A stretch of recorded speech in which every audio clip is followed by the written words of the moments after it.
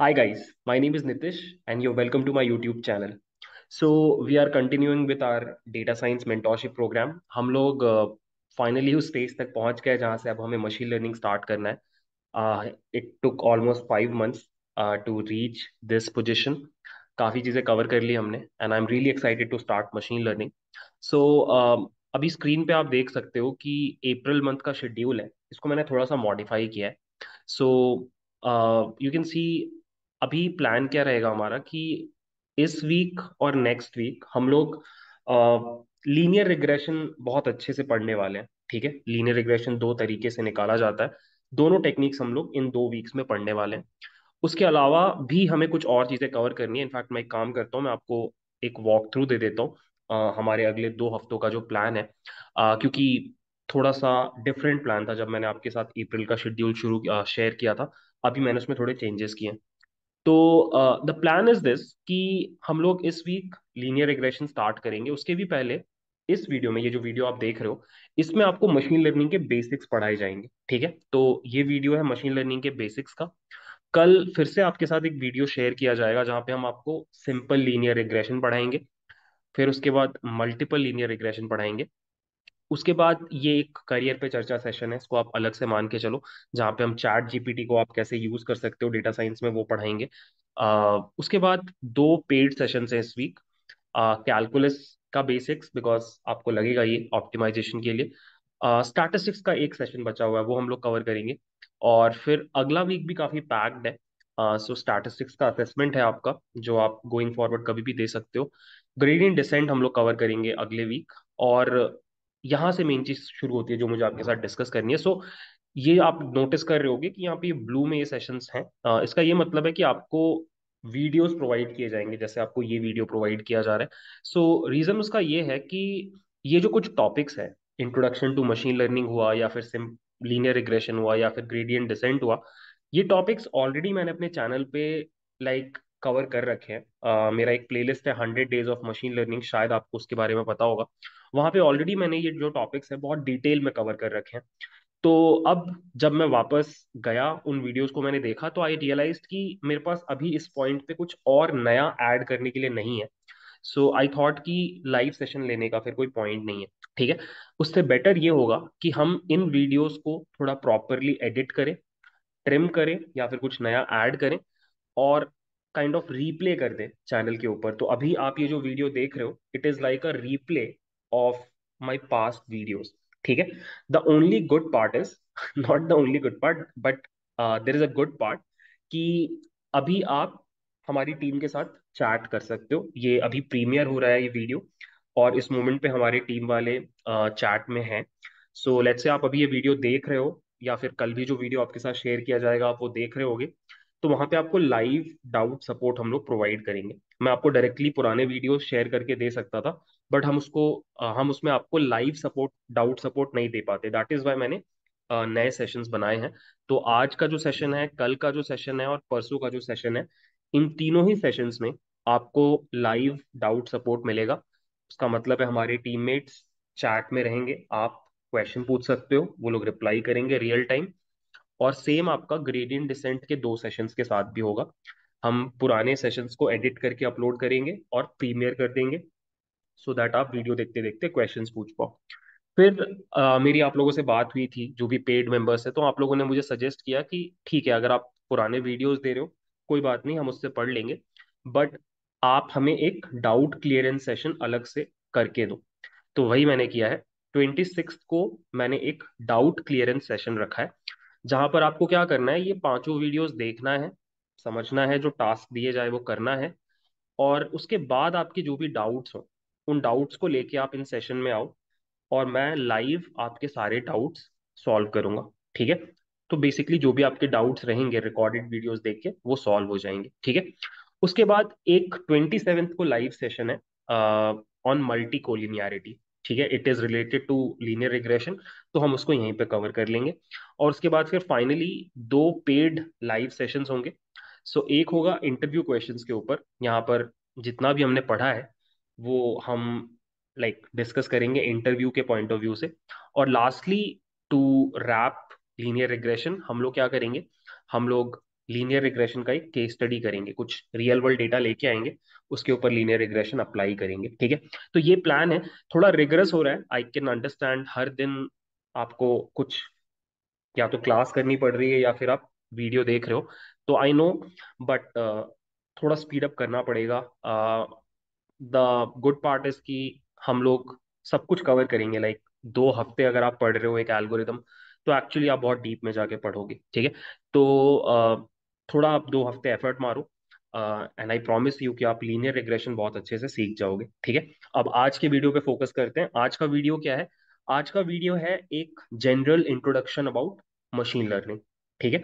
सो फंडा बहुत सिंपल है। मशीन लर्निंग स्टार्ट करने के पहले एज इन मशीन लर्निंग के एल्गोरिदम्स पढ़ने के पहले, आपको एक ओवरव्यू होना चाहिए मशीन लर्निंग के बारे में। तो आज का जो वीडियो है ना, वो आपको यही सारा ओवरव्यू प्रोवाइड करेगा। मशीन लर्निंग क्या होता है? Machine learning A I deep learning में क्या डिफरेंस है? मशीन लर्निंग में क्या क्या जॉब प्रोफाइल्स होते हैं? ऑनलाइन मशीन लर्निंग क्या होता है? बैच मशीन लर्निंग क्या होता है? आप एक मशीन लर्निंग प्रोजेक्ट के में को प्लान कैसे करते हो? या फिर एक मशीन लर्निंग प्रोजेक्ट में क्या क्या स्टेप्स होते हैं? ये सारी चीज़ें आपको आज के वीडियो में समझने को मिलेंगी। तो आई वुड रिकमेंड एक बार आप ये पूरा वीडियो देखो और फिर मुझे लगता है you will be ready to start your journey in machine learning ठीक है?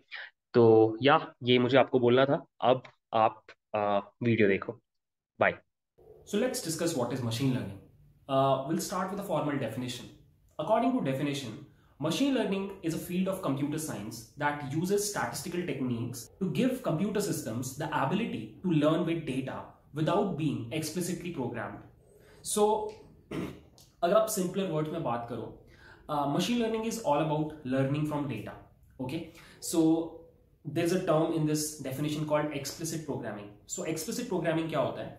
जहाँ पर आप हर सिनारियो के लिए एक कोड लिखते हो। To handle that scenario you write a code right but in machine learning you don't do that what you do is you have got some data you have got an algorithm और आप उस algorithm को बोलते हो कि उस data के ऊपर घूम करके पैटर्न्स ड्रॉ करो इनपुट और आउटपुट के बीच में। और फिर जैसे ही वो पैटर्न्स तुमको पता चल जाते हैं, हम उस एल्गोरिदम को फिर नया डेटा देते हैं इनपुट डेटा और वो हमें आउटपुट निकाल करके देता है। सो so, अगर आप ये फ्लो डायग्राम देखो यहाँ पर यू कैन सी अगर आप कन्वेंशनल प्रोग्रामिंग के ऊपर जाओ तो वहाँ पर आप क्या करते हो आप एक प्रोग्राम लिखते हो जिसका लॉजिक आप क्रिएट कर रहे हो ठीक है? और फिर आप कुछ इनपुट देते हो उस प्रोग्राम को और आपको आपका आउटपुट मिल जाता है। But in machine learning things are different what you do is you provide some data उस डेटा में आप इनपुट भी दे रहे हो आप आउटपुट भी दे रहे हो बट आपने कोई प्रोग्राम नहीं लिखा आपने कोई लॉजिक नहीं लिखा। वो लॉजिक ऑटोमेटिकली जनरेट कहाँ से होता है? आपके मशीन लर्निंग एल्गोरिदम से, ठीक है? तो द गुड पार्ट इज़ कि you don't have to write code for each and every condition case वो automatically machine learning algorithm handle कर लेता है। जैसे I give you one example let's say आपने एक प्रोग्राम लिखा दो नंबर्स को ऐड करने का राइट right? तो कभी भी जब आप उस प्रोग्राम में दो नंबर्स दोगे, वो पलट के आपको एडिशन एज इन सम निकाल करके दे देगा। बट मशीन लर्निंग में आप क्या करते हो कि आप आप डेटा देते हो। आप एक एक्सेल फ़ाइल दोगे, जहाँ पर रोज में आप अलग अलग नंबर्स और उनका सम दे रहे हो, ठीक है? अब जैसे ही मशीन लर्निंग एल्गोरिथम उस डेटा के ऊपर ट्रेन होगा, वो रियलाइज़ कर लेगा कि जो पैटर्न है, वो एडिशन है। तो फ्यूचर में अगर आप दो नंबर्स दो, या चार नंबर्स दो, या दस नंबर्स दो, आपका मशीन लर्निंग एल्गोरिथम को पता है कि उसको एडिशन करना है, वो सबको ऐड करके आपको दे देगा। Whereas in a program that you have written जो दो नंबर्स को ऐड कर सकता है उसमें अगर आप तीन नंबर्स दो या चार नंबर्स दो या उससे ज़्यादा नंबर्स दो, वो प्रोग्राम काम नहीं करेगा क्योंकि वो एक्सप्लिसिटली कोडेड है सिर्फ़ दो नंबर्स का सम परफॉर्म करने के लिए। And that is the main difference guys I hope आपको इस पूरे एग्ज़ाम्पल से ये समझ में आ रहा होगा कि क्यों मशीन लर्निंग आज के डेट में इंडस्ट्री में इतना पावरफुल हो गया है, ठीक है? तो अब नाउ दैट वी नो कि मशीन लर्निंग क्या है लेट्स ऑल्सो डिस्कस कि कब यूजफुल होता है machine learning okay so now let's discuss कि किस तरह के सिनारियोज में machine learning can be use and it is more useful than native, normal software development. So I'll provide you three scenarios and to be honest, इससे ज़्यादा scenarios हैं, but ये तीन scenarios मुझे सबसे ज़्यादा इंपॉर्टेंट लगते हैं. फ़र्स्ट सिनारियो है कि आप कुछ चीज़ें प्रोग्राम लिख के नहीं कर सकते. You can not write cases for everything इस तरह के सिनारियोज में आपको मशीन लर्निंग हेल्प करेगा. I give you one scenario let's say you are trying to build a email spam classifier जो एक गिवन ईमेल को बता पाए कि वो स्पैम है या नहीं है, ठीक है? अब अगर आपको कोई बोले as a software developer you have to write a program which can classify an email into spam और नॉट स्पैम तो आप क्या करोगे? आप खूब सारे ईमेल्स को उठाओगे और ऑब्वियसली आपके पास इंफॉर्मेशन होगा कि वो ईमेल स्पैम है या नहीं है। और आप वहाँ पे पैटर्न्स क्रिएट करने का ट्राई करोगे कि अगर तीन बार से ज़्यादा बार डिस्काउंट वर्ड यूज़ हो रहा है, या फिर सेल वर्ड यूज़ हो रहा है, या फिर ऑसम वर्ड यूज़ हो रहा है, या फिर बहुत सारे पिक्चर्स हैं।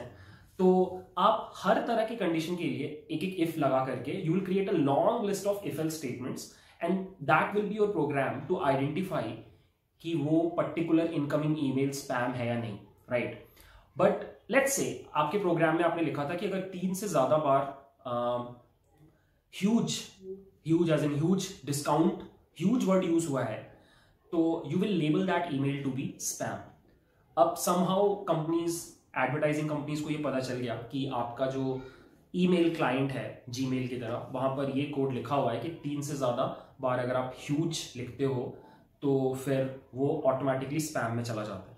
तो what advertising companies can do they can in, instead of writing huge they can write big or massive ठीक है? अब आपका प्रोग्राम इस कंडीशन को पिक नहीं कर पाएगा एंड वो स्पैम में नहीं आएगा, ठीक है?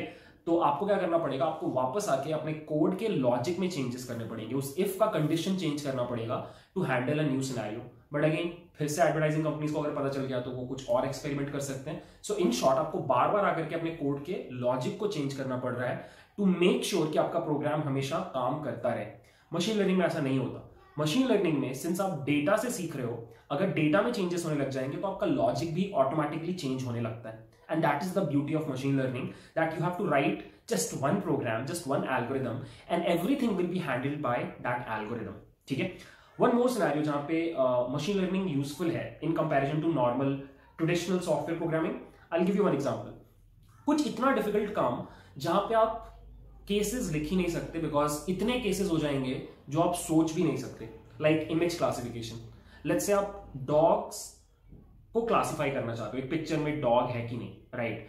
अब डॉग्स के हज़ारों ब्रीड्स होते हैं, जो कि बहुत अलग अलग दिखते हैं। कुछ डॉग्स बहुत बड़े दिखते हैं, कुछ बहुत छोटे होते हैं। कलर्स में बहुत डिफरेंस होता है, कानों में बहुत डिफरेंस होता है। बहुत सारे तरीकों से डॉग्स डिफरेंट होते हैं अलग अलग ब्रीड में राइट अब अगर आपको बोला जाए कि you have to create program जो देख करके बता सकता है एक इमेज के अंदर डॉग है कि नहीं कैन यू थिंक आपको कितने केसेस लिखने पड़ेंगे to incorporate each and every dog breed you can not do so आप नहीं कर सकते।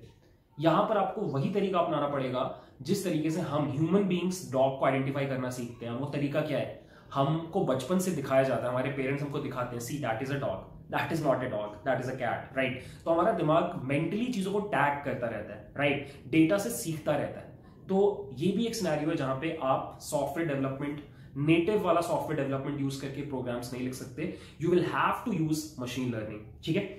One more important use case of machine learning is data mining ठीक है? सो डेटा माइनिंग क्या होता है? टेल यू कभी कभी मतलब डेटा एनालिसिस क्या होता है? वो डिस्कस करते हैं पहले। So data analysis is a process जहाँ पे आप डेटा के अंदर पैटर्न्स या फिर आप हिडन uh, इंफॉर्मेशन खोजते हो right by plotting graphs and all right that is data analysis but कभी कभी कुछ इंफॉर्मेशन बहुत ज़्यादा हिडन होता है जो सिर्फ़ ग्राफ्स वगैरह प्लॉट करने से दिख नहीं पाता। I give you one scenario जैसे कि ईमेल को देख करके सिर्फ़ ईमेल के कंटेंट को पढ़ करके शायद मुझे आ, अगर ठीक से पता ना चल पाएगी कौन से कीवर्ड्स होते हैं जिनकी वजह से कोई ईमेल स्पैम बनता है।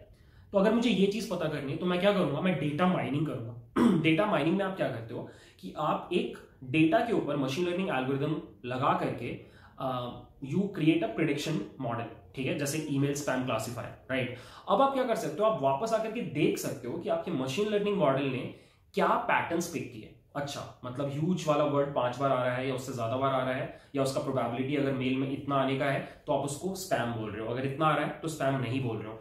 तो मशीन लर्निंग करने के बाद जो आपके पास इंफॉर्मेशन है उसके थ्रू अगर आप कुछ इंपॉर्टेंट चीज़ निकाल पा रहे हो अपने डेटा के बारे में that thing is known as data mining तो बहुत बार क्या होता है कि आप बहुत ज़्यादा हिडन जो पैटर्न्स होते हैं, उनको खोजने के लिए, उस तरह का डेटा एनालिसिस करने के लिए आप मशीन लर्निंग को इंप्लीमेंट करते हो और इस चीज़ को डेटा माइनिंग बोला जाता है। तो अगेन डेटा माइनिंग करने के लिए machine learning is very important thing ठीक है?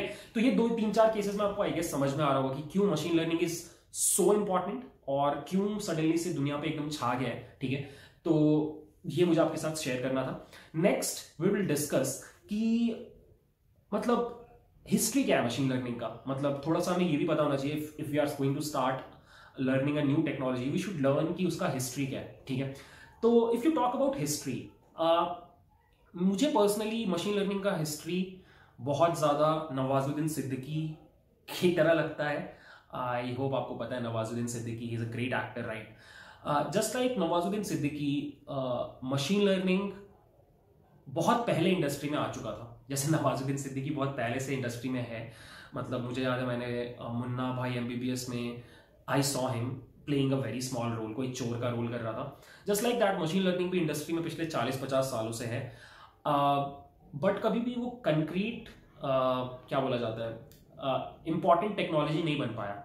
अनटिल वेरी रिसेंट 2010 के बाद से ही मशीन लर्निंग वो बन पाया जो मशीन लर्निंग आज है। ठीक है? जस्ट लाइक नवाजुद्दीन सिद्दीकी जो रिसेंटली बहुत सक्सेसफुल हो पाया। सो so, नवाजुद्दीन सिद्दीकी का अगर आप बात करो तो उसके सक्सेस का रीजन क्या हो सकता है? दैट रिसेंटली ये ओ टी टी प्लेटफॉर्म्स आ गए।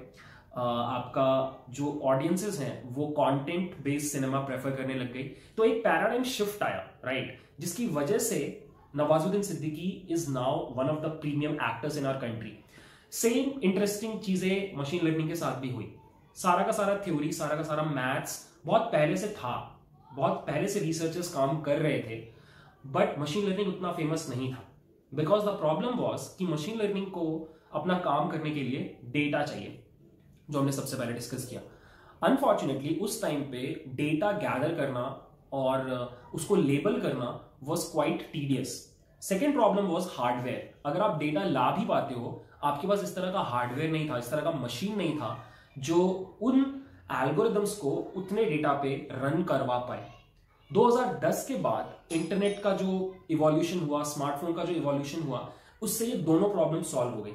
हम बहुत तेज़ी से डेटा जनरेट कर रहे हैं। You can see your own life आप सुबह उठने से शाम में सोने के पहले तक बहुत सारा डेटा आप अकेले जनरेट कर रहे हो। आपके तरह के चार बिलियन लोग इंटरनेट यूज़ करते हैं अर्थ पे। इमेजिन कितना डेटा डेली जनरेट हो रहा है, ठीक है? इनफैक्ट हमने शुरू से जब से ह्यूमन बींग्स आए धरती पे, तब से 2015 तक जितना डिजिटल डेटा क्रिएट किया था, उतना ही डेटा हमने 2016 में विद इन वन ईयर फिर से क्रिएट कर दिया। तो that is the speed at which we are generating data तो ये खूब सारा data is actually adding the growth of machine learning ठीक है? सेकेंड थिंग हार्डवेयर अगर आप बात करो आज की डेट आज की डेट में आपके पास फ़ोन में, आपके पॉकेट में ट्वेल्व जीबीज ऑफ़ रैम है राइट आपके पास जीपीयूज है आपके पॉकेट में राइट जो पहले के रिसर्च साइंटिस्ट को नहीं मिल पाता था राइट उस टाइम पे even 128 MB RAM was a big deal right but आज की डेट में we have got good hardware and good algorithms and good data जिसकी वजह से machine learning is enjoying its success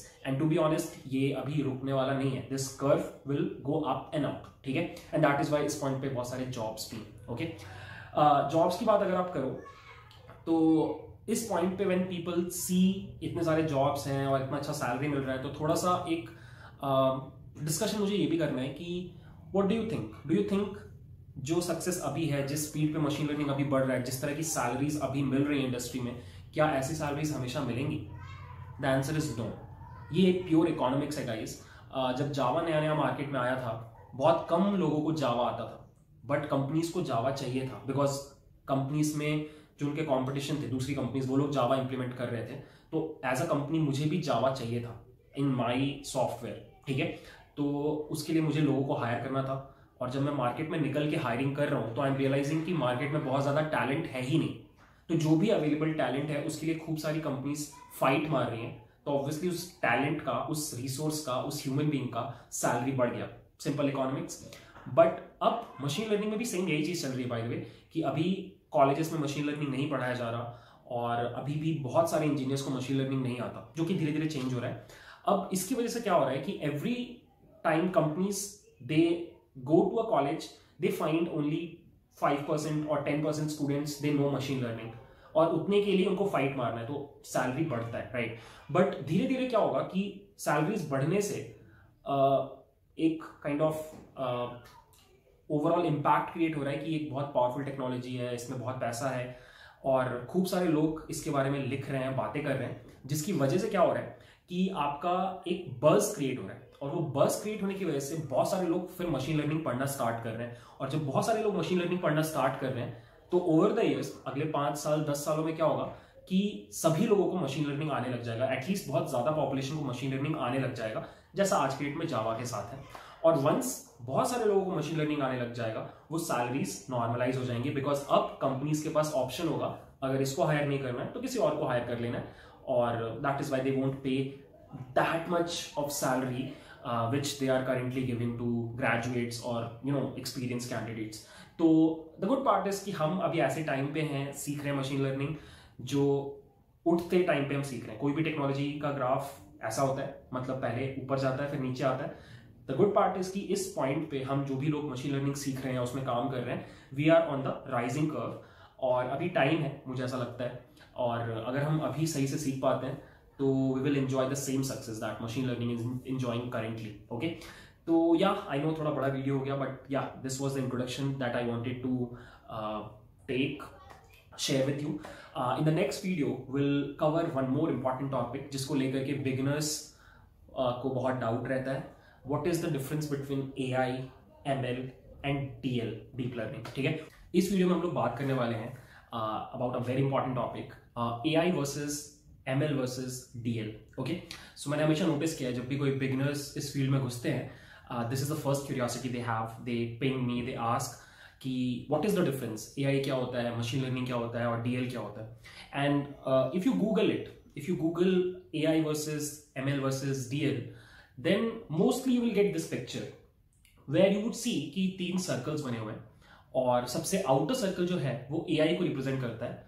और उसके अंदर ML वाला सर्कल होता है और उसके अंदर डीएल वाला सर्कल होता है राइट right? अब देख करके समझ में आ रहा है कि सबसे जो आउटर सेट है, जो सबसे बड़ी चीज़ है वो एआई है। और एआई के अंदर एक subset is machine learning and machine learning का एक subset is deep learning which is actually correct but what I want is I want to give you a very good intuition कि ऐसा क्यों है, ठीक है? So let's discuss that let's first discuss about A I A I stand for artificial intelligence या फिर you बोल सकते हैं कि मशीन्स में इंटेलिजेंस किसी तरीके से डालना राइट right? और ये आइडिया बहुत दिनों से है प्रोबेबली सौ सालों से है।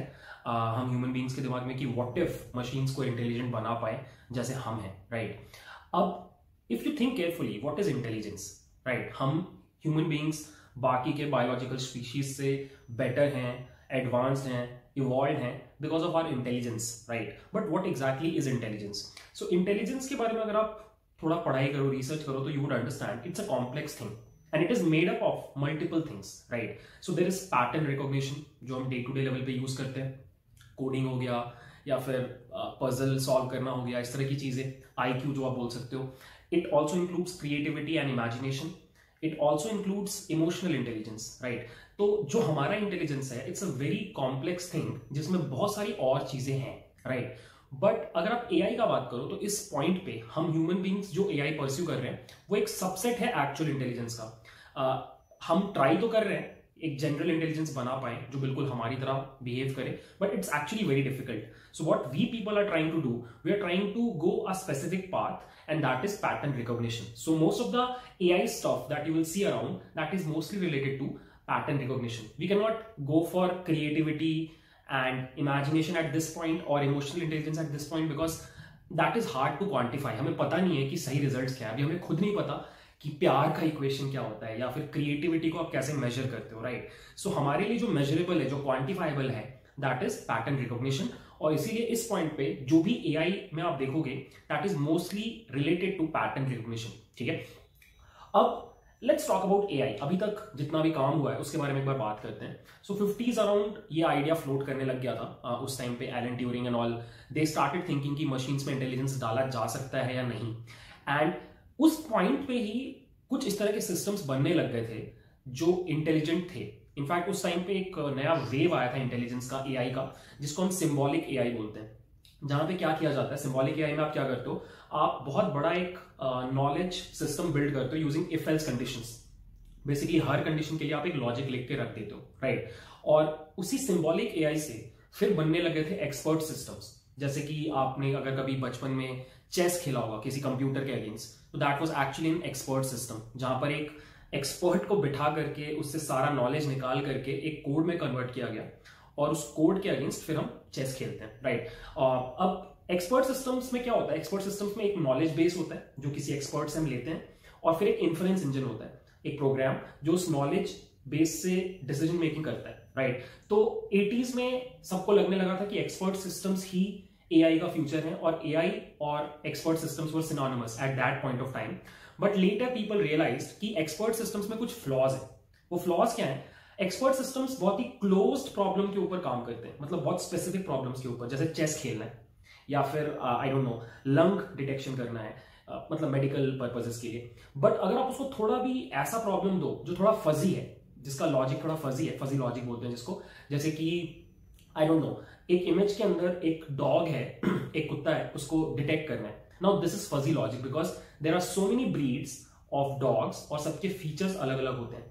तो अगर आप इफ़ एल्स लिखने बैठोगे तो you can not write all the condition as to build an expert system which can actually classify dogs in an, in a given image, right? तो इस तरह के प्रॉब्लम्स जहाँ पे फजी लॉजिक था इमेज क्लासिफिकेशन हो गया वॉइस रिकॉग्निशन हो गया। और इसके अलावा भी बहुत सारे और एरियाज़ थे, जहाँ पर ये जो सिंबॉलिक एआई वाला लॉजिक था, ये एप्लीकेबल नहीं था। And that is why expert systems फिर पीछे रह गए। और फिर आया मशीन लर्निंग जिसने इस प्रॉब्लम को सॉल्व किया। तो नेक्स्ट हम लोग जो डिस्कस कर रहे हैं, वो है machine learning so now let's talk about ML ML कहाँ पे फिट होता है?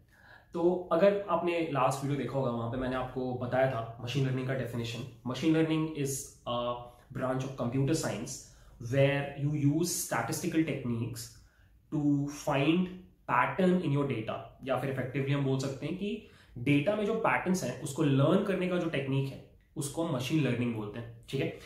सबसे इंपॉर्टेंट डिफरेंस जो होता है मशीन लर्निंग और सिंबॉलिक एआई में, जो पहले यूज़ होता था, वो ये है कि मशीन लर्निंग में कभी भी आप एक्सप्लिसिट प्रोग्रामिंग नहीं करते। एक्सप्लिसिट प्रोग्रामिंग का मतलब होता है रूल बेस्ड प्रोग्रामिंग हर चीज़ के लिए आप एक लॉजिक लिख रहे हो राइट आप वहाँ पे मशीन लर्निंग में ये नहीं करते। Instead what you do is आपके पास एक डेटा होता है डेटा में इनपुट भी होता है आउटपुट भी होता है, और वो डेटा आप अपने सिस्टम को फ़ीड कराते हो और आपके सिस्टम का काम है रूल्स या पैटर्न्स निकालना मैथमेटिकल पैटर्न्स निकालना। सो so दैट जब नया इनपुट आपको मिले now that you know the rules आप नया आउटपुट या प्रिडिक्शन बता पाओ, ठीक है? अब क्यों ये अप्रोच बेटर है सिंबॉलिक एआई से? ये समझना बहुत ईजी है। कहाँ पे फेल कर रहा था सिंबॉलिक एआई फजी लॉजिक में फजी लॉजिक बेस्ड प्रॉब्लम्स में। जैसे कि एक इमेज क्लासिफिकेशन प्रॉब्लम जहाँ पे आपको डॉग्स को क्लासिफाई करना है।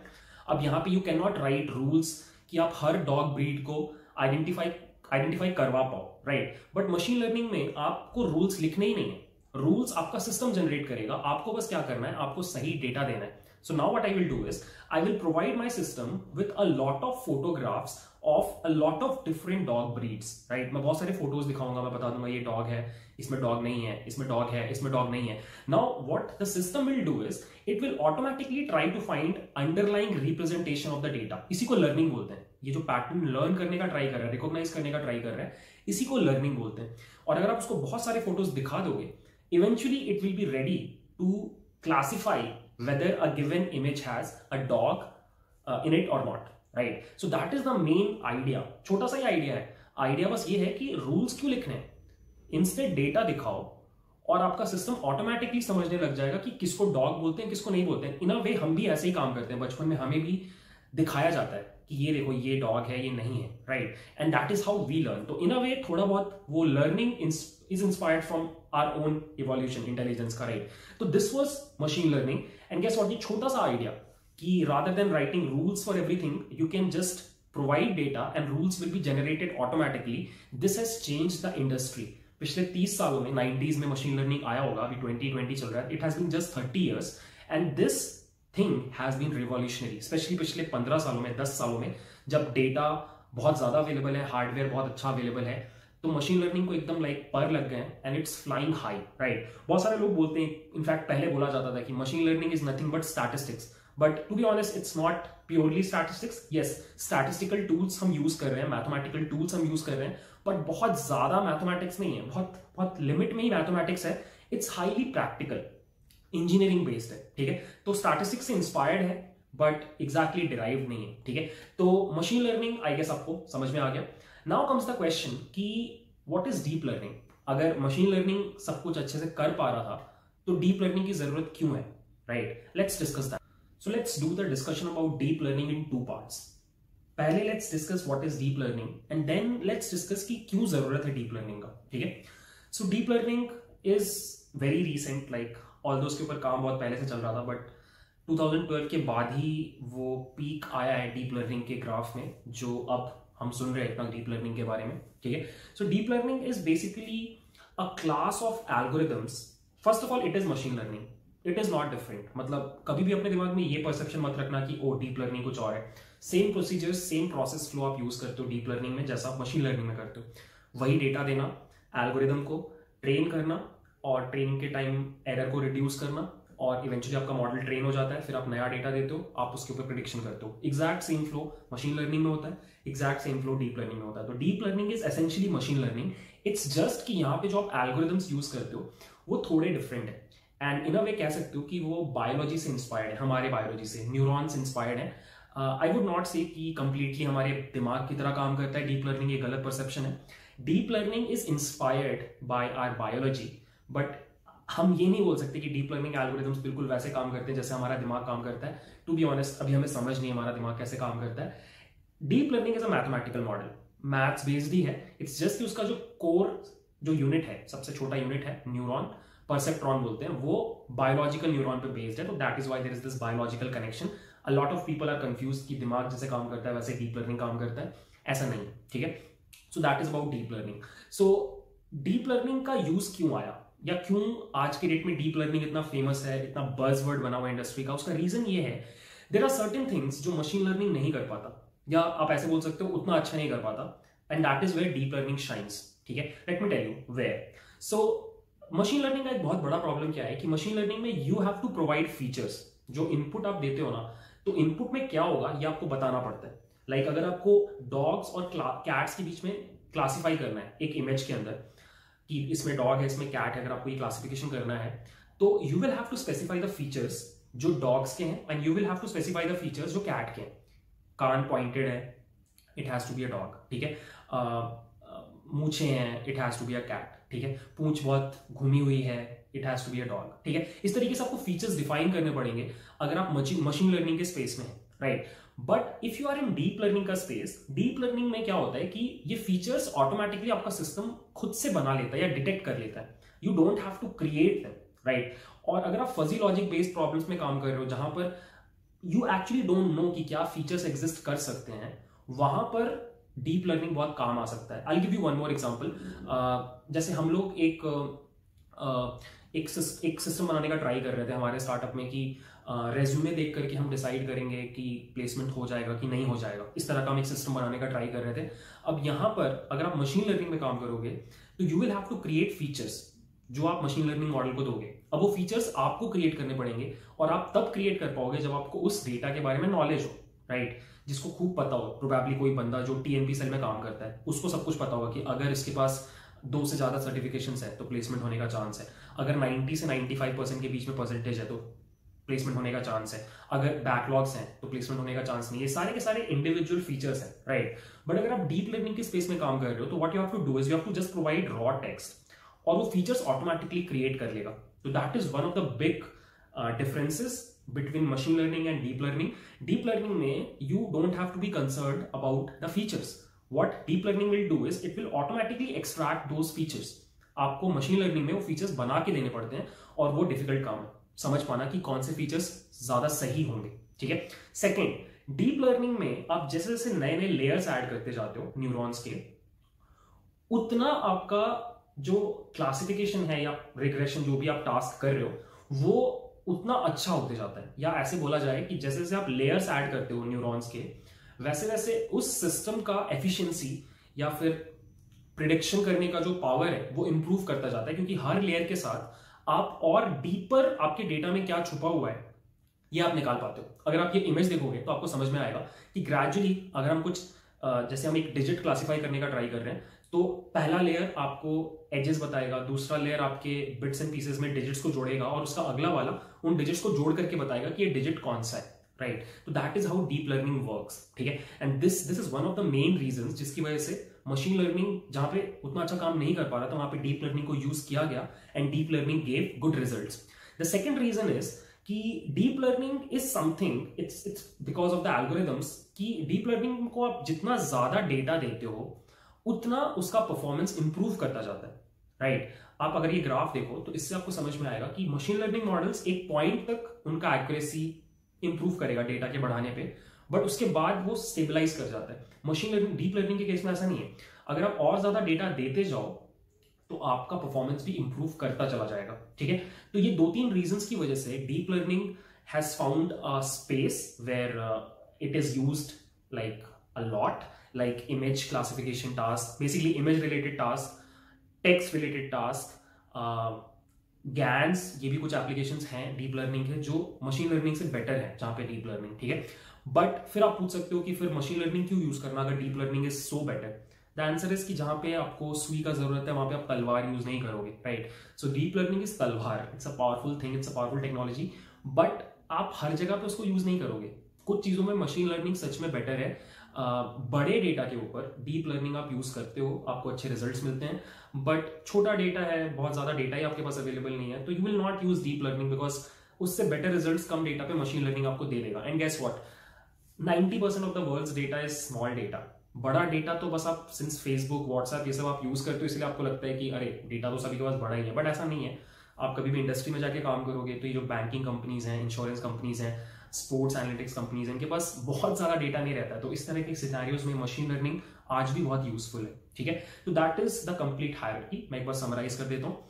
सबसे बड़ा जो टर्म हुआ, वो है एआई हम सब पीछे पड़े हैं इस चीज़ के कि हमें एआई बनाना है।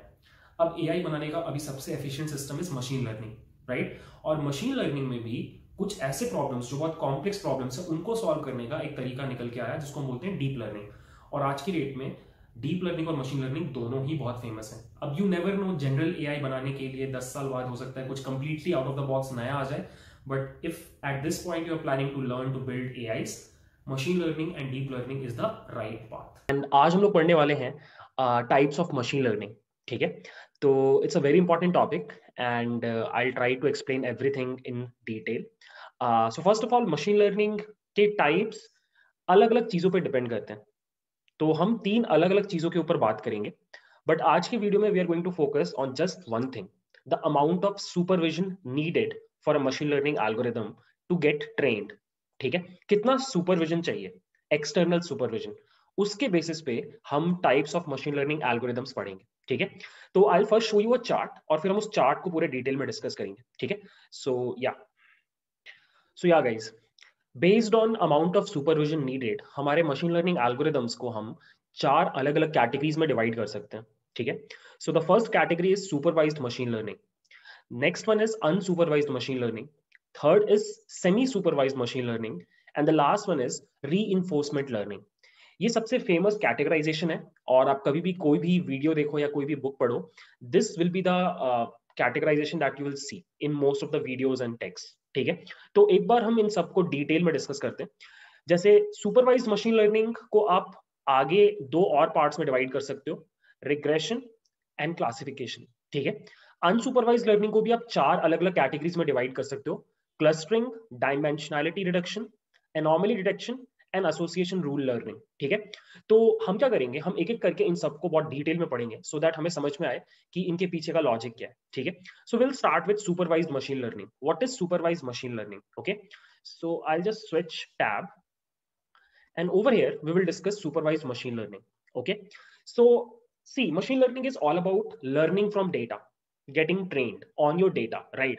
अब डेटा में अगर आपके पास इनपुट भी है और आउटपुट भी है और आपका काम है इनपुट और आउटपुट के बीच में रिलेशनशिप पता करना सो so दैट एक नए इनपुट के लिए आप आउटपुट बता पाओ then this learning is called supervise machine learning okay let me explain it with an example let's say हमारे पास कुछ स्टूडेंट्स का डेटा है जहाँ पे हमारे पास हर स्टूडेंट के बारे में uh, दो पीसेस ऑफ़ इंफॉर्मेशन है। फ़र्स्ट उसका आईक्यू कितना है?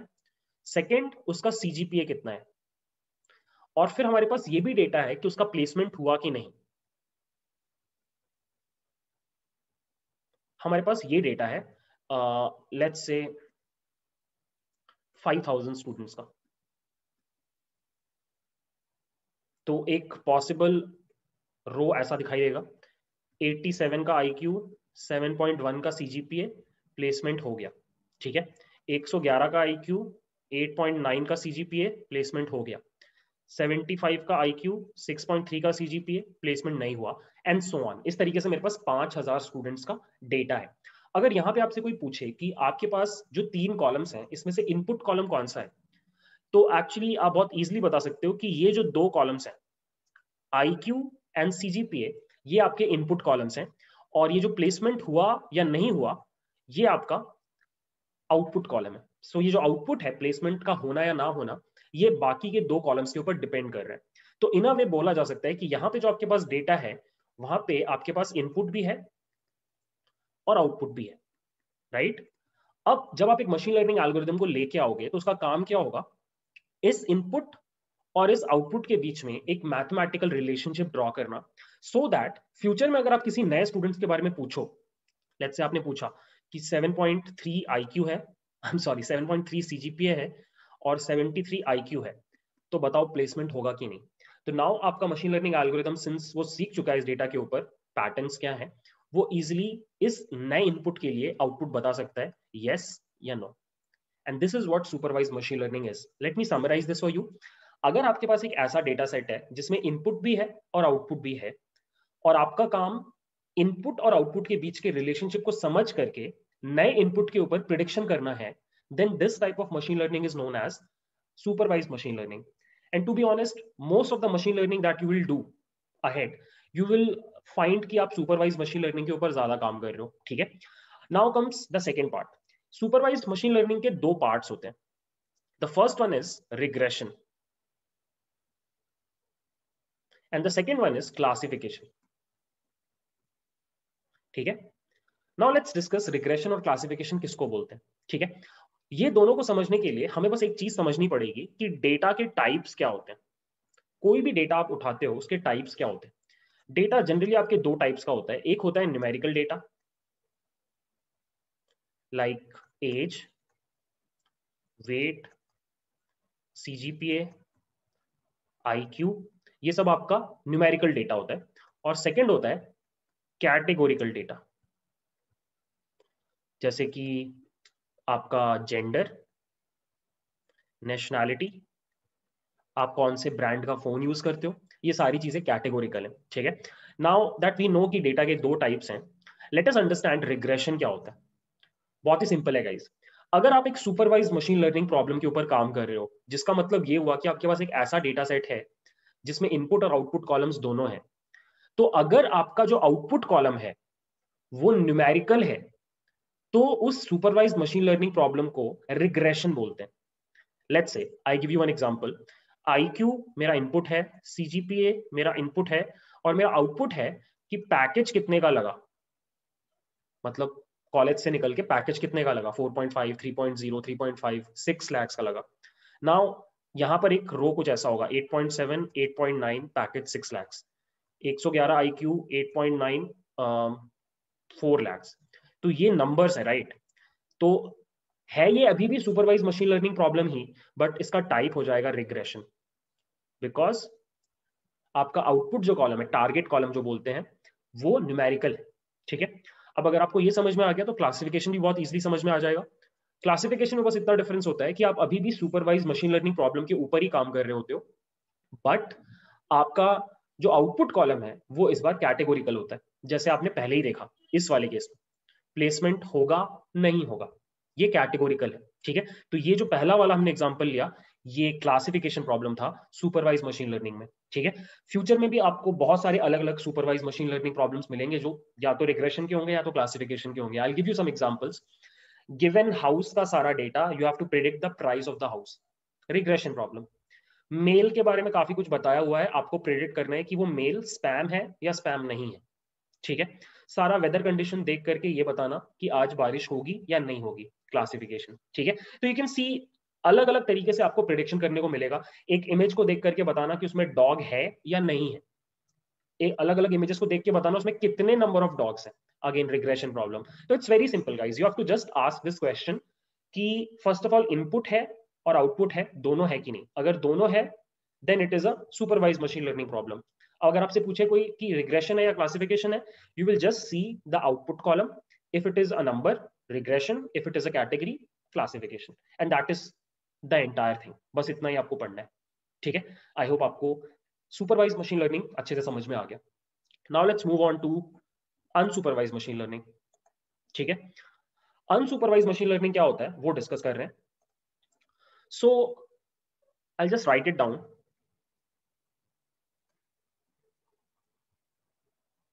So unsupervised machine learning is quite opposite of supervised machine learning. Supervised machine learning mein aapke paas input bhi hota hai aur output bhi hota hai right? Unsupervised mein aisa nahi hota Unsupervised mein aapke paas sirf input hota hai I'll give you an example. Let's say aapke paas 5,000 students ka data hai और आपके पास data क्या है? दो columns है बस, IQ, CGPA. Placement का कोई data नहीं है तो आपके पास डेटा बस ऐसा है 70, 7.0, 60, 6.0, हंड्रेड नाइन। इस तरीके से आपके पास फाइव थाउज़ेंड स्टूडेंट्स का डेटा है। Now if you see carefully यहाँ पर मेरे पास सिर्फ़ इनपुट है आउटपुट नहीं है। तो इसका मतलब यहाँ पे टास्क प्रिडिक्शन तो हो ही नहीं सकता, क्योंकि मेरे को पता ही नहीं है कि मुझे प्रिडिक्ट क्या करना है राइट तो क्वेश्चन है कि हम करें क्या फिर? तो अनसुपरवाइज लर्निंग में आप कई तरीके की चीज़ें करते हो। प्रिसाइजली आप चार चीज़ें करते हो, जो मैंने आपको फ़र्स्ट स्लाइड में दिखाया भी था। इधर यू डू क्लस्टरिंग मैं एक एक करके सारा डिस्कस करूँगा you don't have to worry or you do dimensionality reduction or you do anomaly detection या फिर आप करते हो was the last thing uh, clustering dimensionality reduction anomaly detection and association rule learning यही चार चीज़ें आप करते हो ठीक है? तो एक एक करके हम ये चारों चीज़ें डिस्कस करेंगे। Let's first talk about clustering so clustering क्या होता है मैं आपको बताता हूँ। बहुत सिंपल सा फंडा और बहुत यूजफुल है। मतलब टू बी ऑनेस्ट अनसुपरवाइज बहुत इंटरेस्टिंग है और बहुत काम की चीज़ है। इनफैक्ट बहुत सारा मशीन लर्निंग जब आप करोगे, वहाँ पे आपको अनसुपरवाइज मशीन लर्निंग पे ही काम करना पड़ेगा। I give you one example clustering क्या होता है। जैसे यहाँ पर अगर आप देखो तो आपके पास स्टूडेंट्स का डेटा है दो कॉलम्स के बारे में। तो you can actually plot this data onto a 2D coordinate system जहाँ पे एक्स एक्सिस पे IQ होगा वाई एक्सिस पे CGPA होगा, और आपका सारा डेटा यहाँ पर ऐसे प्लॉट हो सकता है। लाइक दिस राइट अब एक क्लस्टरिंग एल्गोरिदम क्या करके देगा कि वो ये डिटेक्ट कर सकता है कि कौन से स्टूडेंट्स एक ग्रुप में आने चाहिए। जैसे यहाँ पर अगर आप देखो यू कैन सी ये स्टूडेंट्स एक ग्रुप के लग रहे हैं, ये स्टूडेंट्स दूसरे ग्रुप के लग रहे हैं और ये स्टूडेंट्स तीसरे ग्रुप के लग रहे हैं। तो मुझे क्या फ़ायदा मिल रहा है कि मैं अपने स्टूडेंट्स को कैटेगरीज में डिवाइड कर पा रहा हूँ। वो स्टूडेंट जिनका आईक्यू भी ज़्यादा है सीजीपीए भी ज़्यादा है, वो स्टूडेंट जिनका आईक्यू ज़्यादा है सीजीपीए कम है, वो स्टूडेंट जिनका सीजीपीए ज़्यादा है आईक्यू कम है राइट तो मैं किसी भी इनकमिंग स्टूडेंट को कैटेगरीज में डाल सकता हूँ और फिर उसके ऊपर मुझे जो भी प्रोसेसिंग करना है, मैं प्रोसेसिंग कर सकता हूँ। इनफैक्ट अब मैं क्या कर सकता हूँ? इन स्टूडेंट्स को खुद में लेबल दे सकता हूँ। ज़ीरो मतलब दोनों चीज़ें ज़्यादा है। वन का मतलब सीजीपीए ज़्यादा है आईक्यू कम है। टू मतलब आईक्यू ज़्यादा है सीजीपीए कम है। इस तरीके से मैं खुद से लेबल्ड डेटा क्रिएट कर सकता हूँ सुपरवाइज मशीन लर्निंग के लिए। या फिर मेरे खुद के एनालिसिस में भी ये चीज़ हेल्प करेगी मुझे। जैसे अगर मैं कोई ई कॉमर्स वेबसाइट चला रहा हूँ तो मुझे पता होना चाहिए कि मेरे पास जो कस्टमर्स हैं, वो उनका टाइप क्या है, वो किस तरीके से बिहेव करते हैं, उनको किस कैटेगरी में डाला जा सकता है राइट? तो clustering in that sense is very very important and the good part about clustering is कि यहाँ पर तो सिर्फ़ दो कॉलम्स थे तो यहाँ पे तो आप नेकेड आई से भी बता सकते थे कि तीन क्लस्टर्स बनेंगे। बट क्लस्टरिंग एल्गोरिदम्स क्या कर सकते हैं? वो एक एन डायमेंशनल हाइपर स्पेस में मतलब बहुत हाई डायमेंशनल डेटा को भी क्लस्टर्स में डिवाइड कर सकते हैं, जहाँ पे आप खुद नेकेड आई से नहीं देख सकते। तो clustering trust me is a very powerful technique used quite a lot in industry to do a lot of things ठीक है इंडस्ट्री में आज की डेट में बहुत सारी चीज़ें इस तरीके से की जा रही हैं जिसमें क्लस्टरिंग की बहुत ज़रूरत पड़ती है। ठीक है, आप अपने सारे कस्टमर्स को ग्रुप्स के अंदर ग्रुप्स में डिवाइड कर सकते हो। अगर आप हायरार्कल क्लस्टरिंग करो, एक हायरार्कल क्लस्टरिंग का भी एक कॉन्सेप्ट होता है, जहाँ पे आप ग्रुप्स के अंदर ग्रुप्स क्रिएट करते हो समथिंग लाइक दिस इसके अंदर एक और ग्रुप बन गया, इसके अंदर एक और ग्रुप बन गया। तो आपको सब कुछ ग्रुप बाय ग्रुप पता चल सकता है। तो इट्स अ पावरफुल टेक्निक और हम फ्यूचर में इसके बारे में पढ़ेंगे। इनफैक्ट ऑलरेडी मेरे चैनल पे कुछ वीडियोज़ हैं क्लस्टरिंग से रिलेटेड आप वो देख सकते हो। ठीक है? नेक्स्ट इज़ डायमेंशनैलिटी रिडक्शन ठीक है?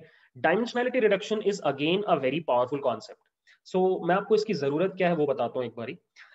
कभी कभी क्या होता है जब आप सुपरवाइज मशीन लर्निंग पे काम कर रहे हो तो आपके पास जो इनपुट डेटा होता है ना जैसे अभी तो हमारे पास सिर्फ़ दो इनपुट कॉलम्स थे आई और सीजीपीए बट कभी कभी क्या होगा कि आपके पास इनपुट कॉलम्स बहुत सारे हो जाएँगे। जैसे कुछ पर्टिकुलर प्रॉब्लम्स जैसे आप इमेज बेस्ड डेटा पे काम करो या टेक्सचुअल डेटा पे काम करो तो हो सकता है कि आपके पास थाउज़ेंड इनपुट कॉलम्स हो जो कि बहुत ज़्यादा होते हैं। अब थाउज़ेंड इनपुट कॉलम्स होने से क्या प्रॉब्लम होता है कि फ़र्स्ट ऑफ़ ऑल आपका एल्गोरिथम बहुत स्लो रन करेगा, क्योंकि बहुत ज़्यादा डेटा के ऊपर काम करना है। और सेकेंड एक पॉइंट के बाद और एक्स्ट्रा इनपुट कॉलम्स डालने से रिज़ल्ट में कुछ इंप्रूवमेंट होता नहीं है। तो कुछ कॉलम्स की ज़रूरत ही नहीं होती। तो डायमेंशनैलिटी रिडक्शन क्या करता है? Dimensionality reduction comes from dimension and dimension का मतलब कॉलम कॉलम मतलब इनपुट कॉलम्स तो dimensionality reduction will do what it will remove those extra columns I give you one example let's say आप एक house data set के ऊपर काम कर रहे थे जहाँ पे आपके पास uh, दो कॉलम्स हैं। मतलब बहुत सारे कॉलम्स हैं बट उसमें से दो कॉलम्स ये थे। एक था नंबर ऑफ़ रूम्स और एक था नंबर ऑफ़ वॉशरूम्स और आपको प्रिडिक्ट करना था कि हाउस का प्राइस कितना होगा। तो एक डायमेंशनैलिटी रिडक्शन एल्गोरिदम क्या करेगा? वो इस तरह के रिलेटेड कॉलम्स को उठा करके एक सिंगल कॉलम में कन्वर्ट कर देगा स्क्वायर फीट एरिया उसने बोला नंबर ऑफ़ रूम्स और वॉशरूम्स को मिला करके घर ही तो बन रहा है, घर का एरिया ही तो बढ़ रहा है। तो instead of keeping two separate columns let's keep one single column by the name of software square feet area right और यहाँ पे आपने क्या किया, एक नया कॉलम क्रिएट कर दिया गिवन कॉलम्स में से। इसको फीचर एक्सट्रैक्शन बोलते हैं बाय द वे आप फ्यूचर में पढ़ोगे इसके बारे में। इसको बोलते हैं फीचर एक्सट्रैक्शन ठीक है? तो आपने गिवन मल्टीपल कॉलम से एक नया कॉलम क्रिएट कर दिया, और since number of columns reduce हो गए तो फिर इसको डायमेंशनैलिटी रिडक्शन बोलते हैं। बहुत पावरफुल टेक्निक है। यहाँ पर एक एल्गोरिदम होता है। पीसीए आप पीसीए के ऊपर काम करोगे। ठीक है? सो या एक और चीज़ इससे रिलेटेड होती है विजुअलाइजेशन सो so, कभी कभी क्या होता है कि आपको कुछ ऐसा डेटा मिलता है जिसमें बहुत ज़्यादा डायमेंशन है। अब आप उसको ग्राफ पे प्लॉट करके नहीं देख सकते बिकॉज़ ग्राफ पे आप मैक्सिमम कितने एक्सेस पे प्लॉट कर सकते हो? तीन एक्सेस पे। बट आपके पास जो डेटा है, उसमें हज़ार एक्सेस है, या फिर दो हज़ार एक्सेस है, या पाँच सौ कॉलम्स है, या जो भी है। मतलब you can not plot that on to a three D coordinate system तो इस तरह के सिनारियों में भी आप क्या करते हो? आप डायमेंशनैलिटी रिडक्शन एल्गोरिथम्स को यूज़ करके नंबर ऑफ़ डायमेंशन को घटा करके दो या तीन में लेके आ जाते हो। और फिर उस दो और तीन कोऑर्डिनेट सिस्टम में दो या तीन डायमेंशनल कोऑर्डिनेट सिस्टम में what you do is you plot दो सेम पॉइंट्स जो कि हायर डायमेंशनल में थे। अब वही रिलेशनशिप एग्जैक्टली आप कैप्चर करके लोअर डायमेंशन में ला रहे हो और आप उसको स्टडी कर सकते हो। इसका एक एग्जांपल मैं आपको दिखाता हूँ। जैसे एक बहुत फ़ेमस डेटा सेट है एमनिस्ट बोल के। MNIST is basically image of handwritten digits और ये इमेजेस बहुत छोटे इमेजेस हैं 28 बाय 28 पिक्सल्स के। तो इसको लोगों ने टेबुलर फॉर्म में कन्वर्ट कर दिया। हर पिक्सल के वैल्यू को एक कॉलम बना दिया। तो टोटल मिला के हमारे पास कितने कॉलम्स हो गए? 28 मल्टीप्लाइड बाई 28 मतलब 784 कॉलम्स तो ये जो डेटा है, ये 784 डायमेंशनल स्पेस में अब ऑब्वियसली मैं 784 डायमेंशनल स्पेस में चीज़ों को विजुलाइज नहीं कर सकता। तो यहाँ पर आप एक टेक्निक लगाते हो टीसने बोल के, जो कि एक डायमेंशनैलिटी रिडक्शन टेक्निक है। उसने क्या करना है? उसने 784 डायमेंशनल स्पेस को उठा करके थ्री डायमेंशन में ले आना है। और उस थ्री डायमेंशनल स्पेस में भी आप दो पॉइंट्स के बीच का रिलेशनशिप देख सकते हो। वही यहाँ पर इस ब्लॉग में किया हुआ है। सो so, यहाँ पर यू कैन सी ये actually there are nine ten different colours और हर कलर एक डिजिट सिग्निफाई कर रहा है। जैसे ये वाला येलो कलर जो है ये वन सिग्निफाई कर रहा है। ये ब्लू सिक्स सिग्निफाई कर रहा है। रेड ज़ीरो सिग्निफाई कर रहा है। ग्रीन फोर सिग्निफाई कर रहा है। और ये थ्री स्पेस में इन पॉइंट्स के बीच का रिलेशनशिप है जो कि एक्चुअली 784 डायमेंशनल पॉइंट्स हैं। उनको मैं लाके थ्री डायमेंशन में ले आया और अभी भी मैं विजुअलाइज कर पा रहा हूँ कि इनके बीच का रिलेशनशिप कैसा है। Again a very powerful technique थोड़ा एडवांस है, आप थोड़ा फ्यूचर में जाके पढ़ोगे but just to show you ऐसा कुछ एग्जिस्ट करता है, मैं ये एग्ज़ाम्पल डिस्कस कर रहा हूँ, ठीक है? नेक्स्ट इज़ एनॉर्मली डिटेक्शन नाम से समझ में आ रहा है कि कुछ अलग सा गड़बड़ हो रहा है, उसको आप डिटेक्ट करना चाहते हो। तो it could be anything manufacturing में डिफेक्ट हो रहा है क्रेडिट कार्ड प्रोसेसिंग में डिटेक्ट हो रहा है, लोन अप्रूवल में डिटेक्ट हो रहा है, आपको बस आउटलायर्स को डिटेक्ट करना है और उनको सिस्टम से हटाना है। और इस तरह की चीज़ के लिए भी आप अनसुपरवाइज मशीन लर्निंग यूज़ करते हो। I give you one example जैसे यहाँ पर आप देखो, आपने पहले ही इन सारे रेड पॉइंट्स के ऊपर अपने मॉडल को ट्रेन कर रखा है और आपने बता रखा है कि ये नॉर्मल पॉइंट्स कोई प्रॉब्लम नहीं है। कल को एक नया ग्रीन पॉइंट आया जो यहाँ पे लाई करता है तो आपका सिस्टम बोलेगा ओके क्योंकि ये बाकी पॉइंट जैसा दिख रहा है। राइट बट अगर कल को ये पॉइंट मिलता है, जो कि बाकी पॉइंट से काफ़ी दूर है और अलग है तो आप एक फ्लैग रेस कर दोगे कि दिस इज़ एन अनोमली ठीक है? ये क्लासिफिकेशन के केस में भी हो सकता है, ये इस तरह के रिग्रेशन के केस में भी हो सकता है कि शेयर के वैल्यूज़ एक रेंज में चल रहे थे तो सही है सडनली से ऊपर चले गए अनोमली रेज कर दिया। ठीक है? तो अनोमली डिटेक्शन भी एक बहुत पावरफुल एप्लीकेशन है अनसुपरवाइज लर्निंग का। ठीक है? And the last one is association rule based learning ठीक है? एसोसिएशन रूल बेस्ड लर्निंग क्या होता है? कि इसका मैं एग्जांपल आपको देता हूँ। जैसे कि लेट्स से आप एक सुपर मार्केट में जा रहे हो लेट्स से स्पेंसर्स में या बिग बाज़ार में जा रहे हो। वहाँ पर अगर आप नोटिस करोगे कभी भी तो बहुत सारा सामान रहता है जो कि बहुत प्रॉपरली ऑर्गेनाइज रहता है। चीज़ें एक दूसरे के अगल बगल में मिल जाती हैं राइट सेक्शंस होते हैं चीज़ों का।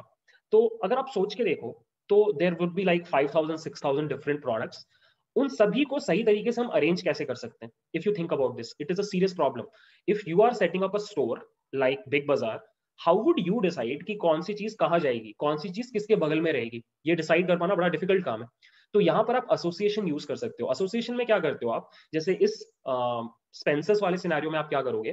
पिछले एक साल दो साल में जितनी भी शॉपिंग हुई है आप उन सारे शॉपिंग के बिल्स को जनरेट कर लोगे और फिर वहाँ पे आप पैटर्न्स नोटिस करोगे।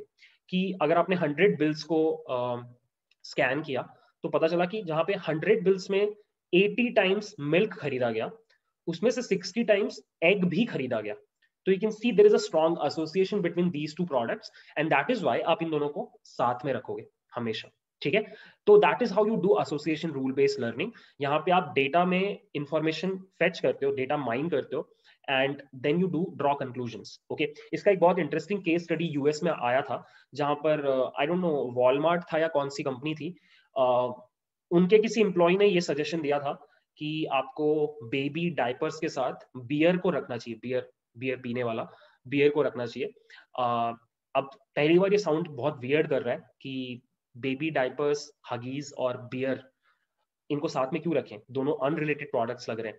बट ये एक स्टडी से पता चला कि वॉलमार्ट के बहुत सारे कस्टमर्स जब बेबी डायपर्स खरीदते थे तो बियर भी खरीदते थे, जिसकी वजह से एक कोरिलेशन डेवलप हुआ बिल्स में दिखाई देता था एक कोरिलेशन तो फिर उन्होंने जैसे ही इस चीज़ को इम्प्लीमेंट किया कि बियर के बदले में बियर के बगल में बेबी डायपर्स रखते थे तो उनका सेल बढ़ गया। ठीक है, ये एक बहुत इंटरेस्टिंग केस स्टडी है। इसका लिंक मैं वीडियो के साथ डाल दूँगा। पढ़ना बहुत ही स्ट्रॉन्ग आपको एक फीलिंग आएगा मशीन लर्निंग के बारे में कि सच में कितने हिडन पैटर्न इस दुनिया में एग्जिस्ट करते हैं, जो मशीन लर्निंग सरफेस पे लेके आ रहा है। राइट और बिज़नेस को बहुत हेल्प कर रहा है। तो ये एक बहुत इंटरेस्टिंग एग्ज़ाम्पल था। सो या अनसुपरवाइज लर्निंग बहुत काम का होता है और बहुत बार आपको करना पड़ता है। तो यही चार सबसे इंपॉर्टेंट यूज़ केसेस हैं। आपको यही चार सबसे इंपॉर्टेंट यूज़ केसेस के बारे में पढ़ना है, ठीक है? Now going back to the first slide हमने ये दोनों चीज़ें तो कवर कर ली। सुपरवाइज पढ़ लिया अनसुपरवाइज भी पढ़ लिया।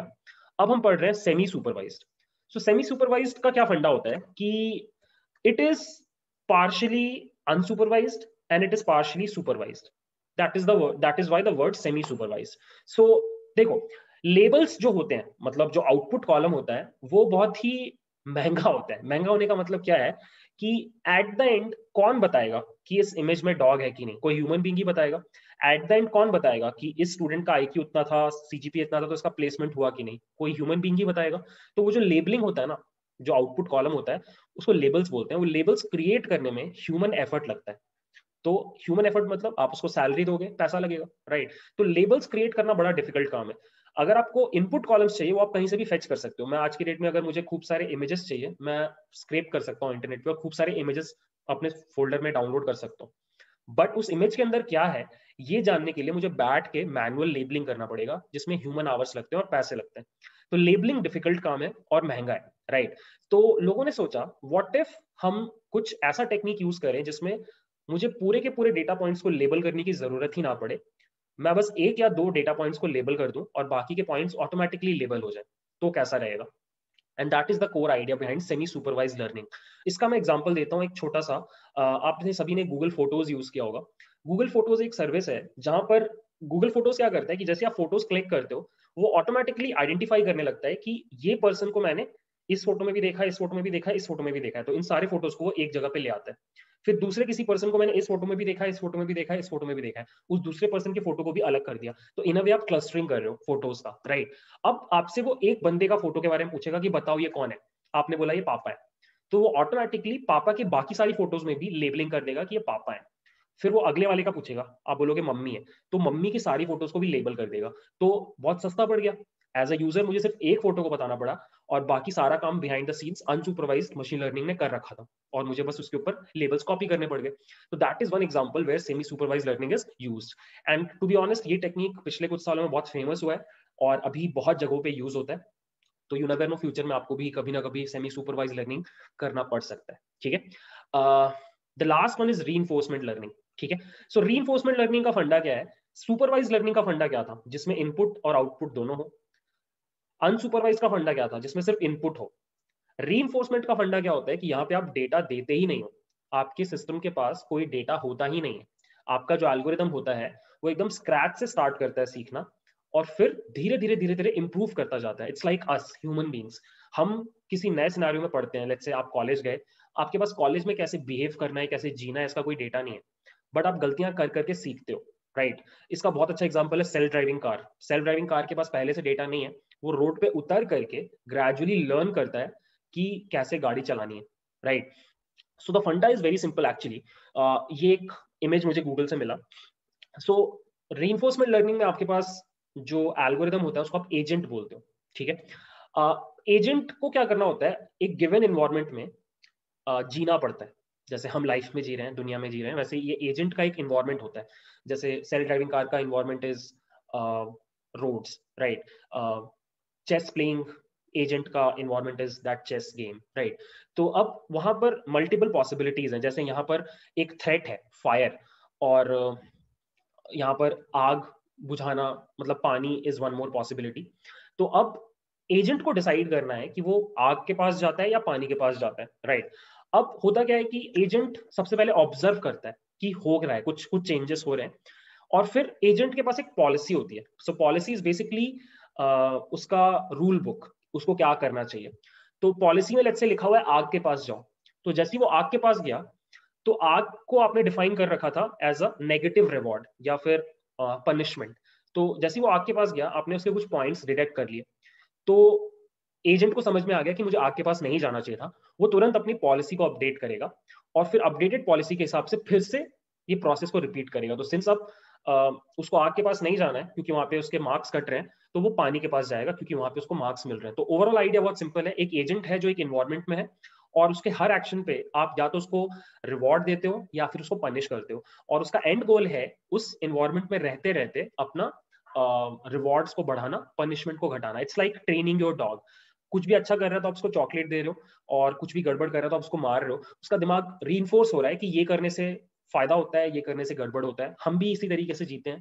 तो ये एक बहुत बढ़िया एक टेक्निक है। अभी रिसेंटली बहुत फ़ेमस हो रही है। There is a company call DeepMind Google ने एक्वायर किया। दे मेड एजेंट जो गो गो बोल के गेम होता है। गो गेम ये गेम एक्चुअली एक चाइनीज़ गेम है और बहुत कॉम्प्लेक्स है। चेस से भी ज़्यादा कॉम्प्लेक्स है।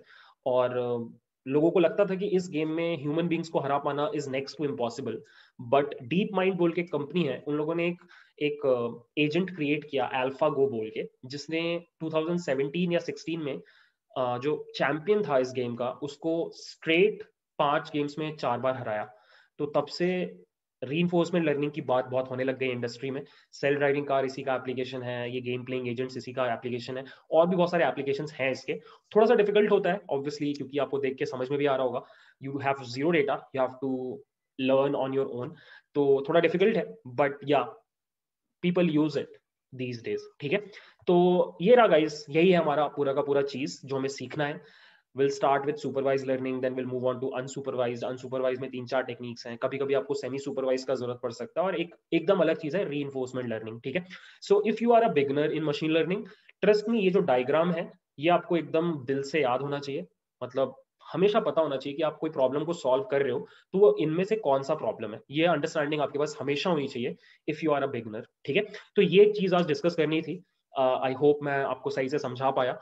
सो so, पिछले वीडियो में हमने टाइप्स ऑफ़ मशीन लर्निंग पढ़ा था जहाँ पे हमने डिफरेंट टाइप्स देखे थे मशीन लर्निंग के on the basis of amount of supervision required to train a machine learning algorithm right तो हमने कल अलग अलग टाइप्स देखे सुपरवाइज्ड अनसुपरवाइज सेमी सुपरवाइज री आज भी हम लोग टाइप्स ऑफ़ मशीन लर्निंग ही पढ़ने वाले हैं बट आज जो हम टाइप्स डिस्कस करेंगे, वो एक कंप्लीटली डिफरेंट चीज़ के ऊपर बेस्ड आउट होगा, ठीक है?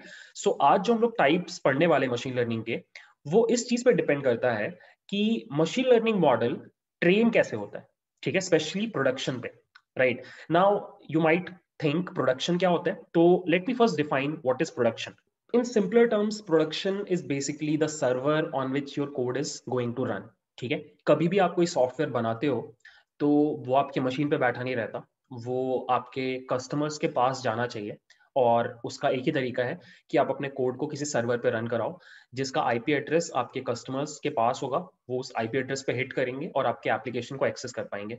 Machine learning is no different जब आप मशीन लर्निंग के सॉफ्टवेयर बनाते हो तो आप उसको भी सर्वर पे डिप्लॉय करते हो और जो सर्वर का जो इन्वायरमेंट है, जहाँ पे आपका कोड रन कर रहा होता है, उसको प्रोडक्शन इन्वायरमेंट बोलते हैं। जब आप उसको कोड कर रहे होते हो अपने मशीन पे तो उसको डेवलपमेंट इन्वायरमेंट बोलते हैं, ठीक है? नाउ मशीन लर्निंग के जो सॉफ्टवेयर होते हैं, या मशीन लर्निंग जो होता है, वो सर्वर पे अलग अलग ढंग से बिहेव करता है या अलग अलग ढंग से चलता है, ठीक है? उसी के बेसिस पे हम लोग दो डिफरेंट टाइप्स आज पढ़ने वाले मशीन लर्निंग के। One of them is batch learning या फिर बैच मशीन लर्निंग जिसको हम लोग ऑफलाइन लर्निंग भी बोलते हैं। And the second one is online machine learning या फिर ऑनलाइन लर्निंग ठीक है? तो इन दोनों को हम लोग बहुत डिटेल में पढ़ेंगे uh, क्योंकि टू बी ऑनेस्ट ये इंपॉर्टेंट है क्योंकि एट द एंड आप सिर्फ़ मशीन लर्निंग मॉडल्स बना के अपने मशीन पे नहीं रखने वाले अपने कंप्यूटर पे नहीं रखने वाले आप उसको सर्वर पे डिप्लॉय करोगे so that other people can use it तो आपको आइडिया होना चाहिए कि बैच और ऑनलाइन लर्निंग में क्या डिफरेंस है ठीक है? So that's the intro part now let's discuss कि बैच लर्निंग क्या होता है। What is batch learning? ठीक है?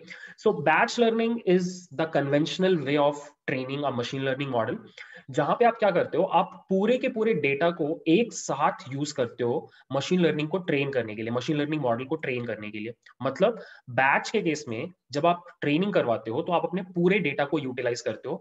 There is no incremental training incremental training का मतलब आप छोटे छोटे टुकड़ों में ट्रेनिंग नहीं कराते, आप पूरे के पूरे लॉट के साथ ट्रेनिंग करते हो। ठीक है?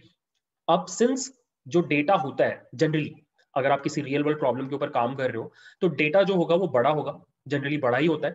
तो बहुत बड़ा डेटा को अगर आप सर्वर पे ट्रेन करने जाओ नो डाउट आप कर सकते हो ऐसा बट ऐसा कोई करता नहीं है, क्योंकि it would be costly and time taking तो जनरली जो बैच लर्निंग होता है, जहाँ पे आप पूरे डेटा के साथ एक साथ ट्रेन कर रहे हो, वो आप ऑफलाइन करते हो, अपने मशीन पे। Data scientist machine learning engineer उसको अपने मशीन पे ट्रेन करता है, और जब वो मॉडल ट्रेन हो जाता है तो जो सीखा हुआ मॉडल है उसको उठा के आप प्रोडक्शन इन्वायरमेंट में डालते हो तो this is called batch learning where you take up your entire data you train your machine learning model on an offline system and then once the model is trained then you deploy it onto a server this is the entire flow of batch learning i'll draw it for you so hota kya hai bahut simple hai aapke paas data hai this is your data and this is your model right?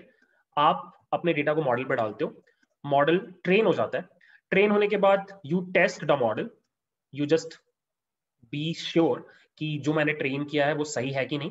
Once you are sure you put it on the server this is the server ठीक है? And over there आपका machine learning model run करता रहेगा। जब भी user कुछ भी data देगा, आपका मशीन लर्निंग मॉडल प्रिडिक्शन करते रहेगा। इट कुड बी एनीथिंग मतलब लेट्स से आप नेटफ्लिक्स में काम करते हो और आपको एक रिकमेंडेशन इंजन बनाना है, जो यूज़र्स को मूवी सेलेक्ट करे, करके बताए, ठीक है? तो इन दैट केस आप क्या करोगे, वो रिकमेंडेशन इंजन को ट्रेन करोगे अपने मशीन पे और उसको उठा के नेटफ्लिक्स के सर्वर पे डाल दोगे, जहाँ पर यूज़र्स जब जब आएँगे तो आपका सिस्टम ऑटोमेटिकली उनको मूवी सजेस्ट करता रहेगा राइट बट आई गेस आपको इस चीज़ में एक प्रॉब्लम समझ में आ रहा होगा। इस चीज़ का प्रॉब्लम ये है कि आपका मॉडल स्टैटिक है। जब वो एक बार सीख गया तो सीख गया। वो कुछ नया नहीं सीख रहा उसके बाद। वो पुरानी चीज़ों के ऊपर ही काम कर रहा है। But the problem with this approach is कि आपका जो बिज़नेस सिनेरियो है, वो इवॉल्व करते रहता है। I give you one example हम नेटफ्लिक्स का बात कर रहे हैं।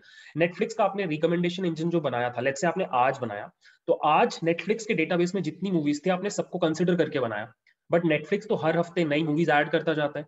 तो आपका recommendation engine should always grow in order to incorporate those new movies right तो इन अ वे मैं क्या बोल रहा हूँ कि आपका मशीन लर्निंग मॉडल को कॉन्स्टेंटली इवॉल्व करते रहना पड़ेगा डेटा के साथ। क्योंकि अगर आप ऐसा नहीं करोगे तो फिर क्या फ़ायदा? नई मूवीज़ के ऊपर आपका रिकमेंडेशन काम ही नहीं कर रहा। सेम काम ईमेल स्पैम क्लासीफायर में भी हो सकता है। आपका ईमेल स्पैम क्लासीफायर आज की डेट से, आज की डेट के हिसाब से एकदम अप टू डेट है। बट आपने एक बार सर्वर पे डाल दिया, उसके बाद कोई ट्रेनिंग नहीं हुई। आपने एक साल तक वैसे ही छोड़ दिया। बट इस एक साल में तो जो मार्केटियर्स होते हैं, वो लोग नए नए टेक्निक्स निकाल लेंगे स्पैम ईमेल्स बनाने के, जो स्पैम फोल्डर में ना घुसे। तो अगर आप अप टू डेट नहीं रखोगे अपने सिस्टम को तो फिर व्हाट्स द पॉइंट वो ऑप्सलीट हो जाएगा। तो सबसे बड़ा प्रॉब्लम जो हम बैच लर्निंग के साथ है, वो ये है कि आपको अपने मॉडल को रीट्रेन करवाते रहना पड़ता है, ठीक है? So what you do is generally people do what they do this entire thing periodically so what they do is कि वो नया डेटा लेके आते हैं। ये डेटा पूरे टाइम अपडेट हो रहा होता है। ये अपडेट हो रहा होता है। किसी भी फ्रीक्वेंसी पे अपडेट हो सकता है।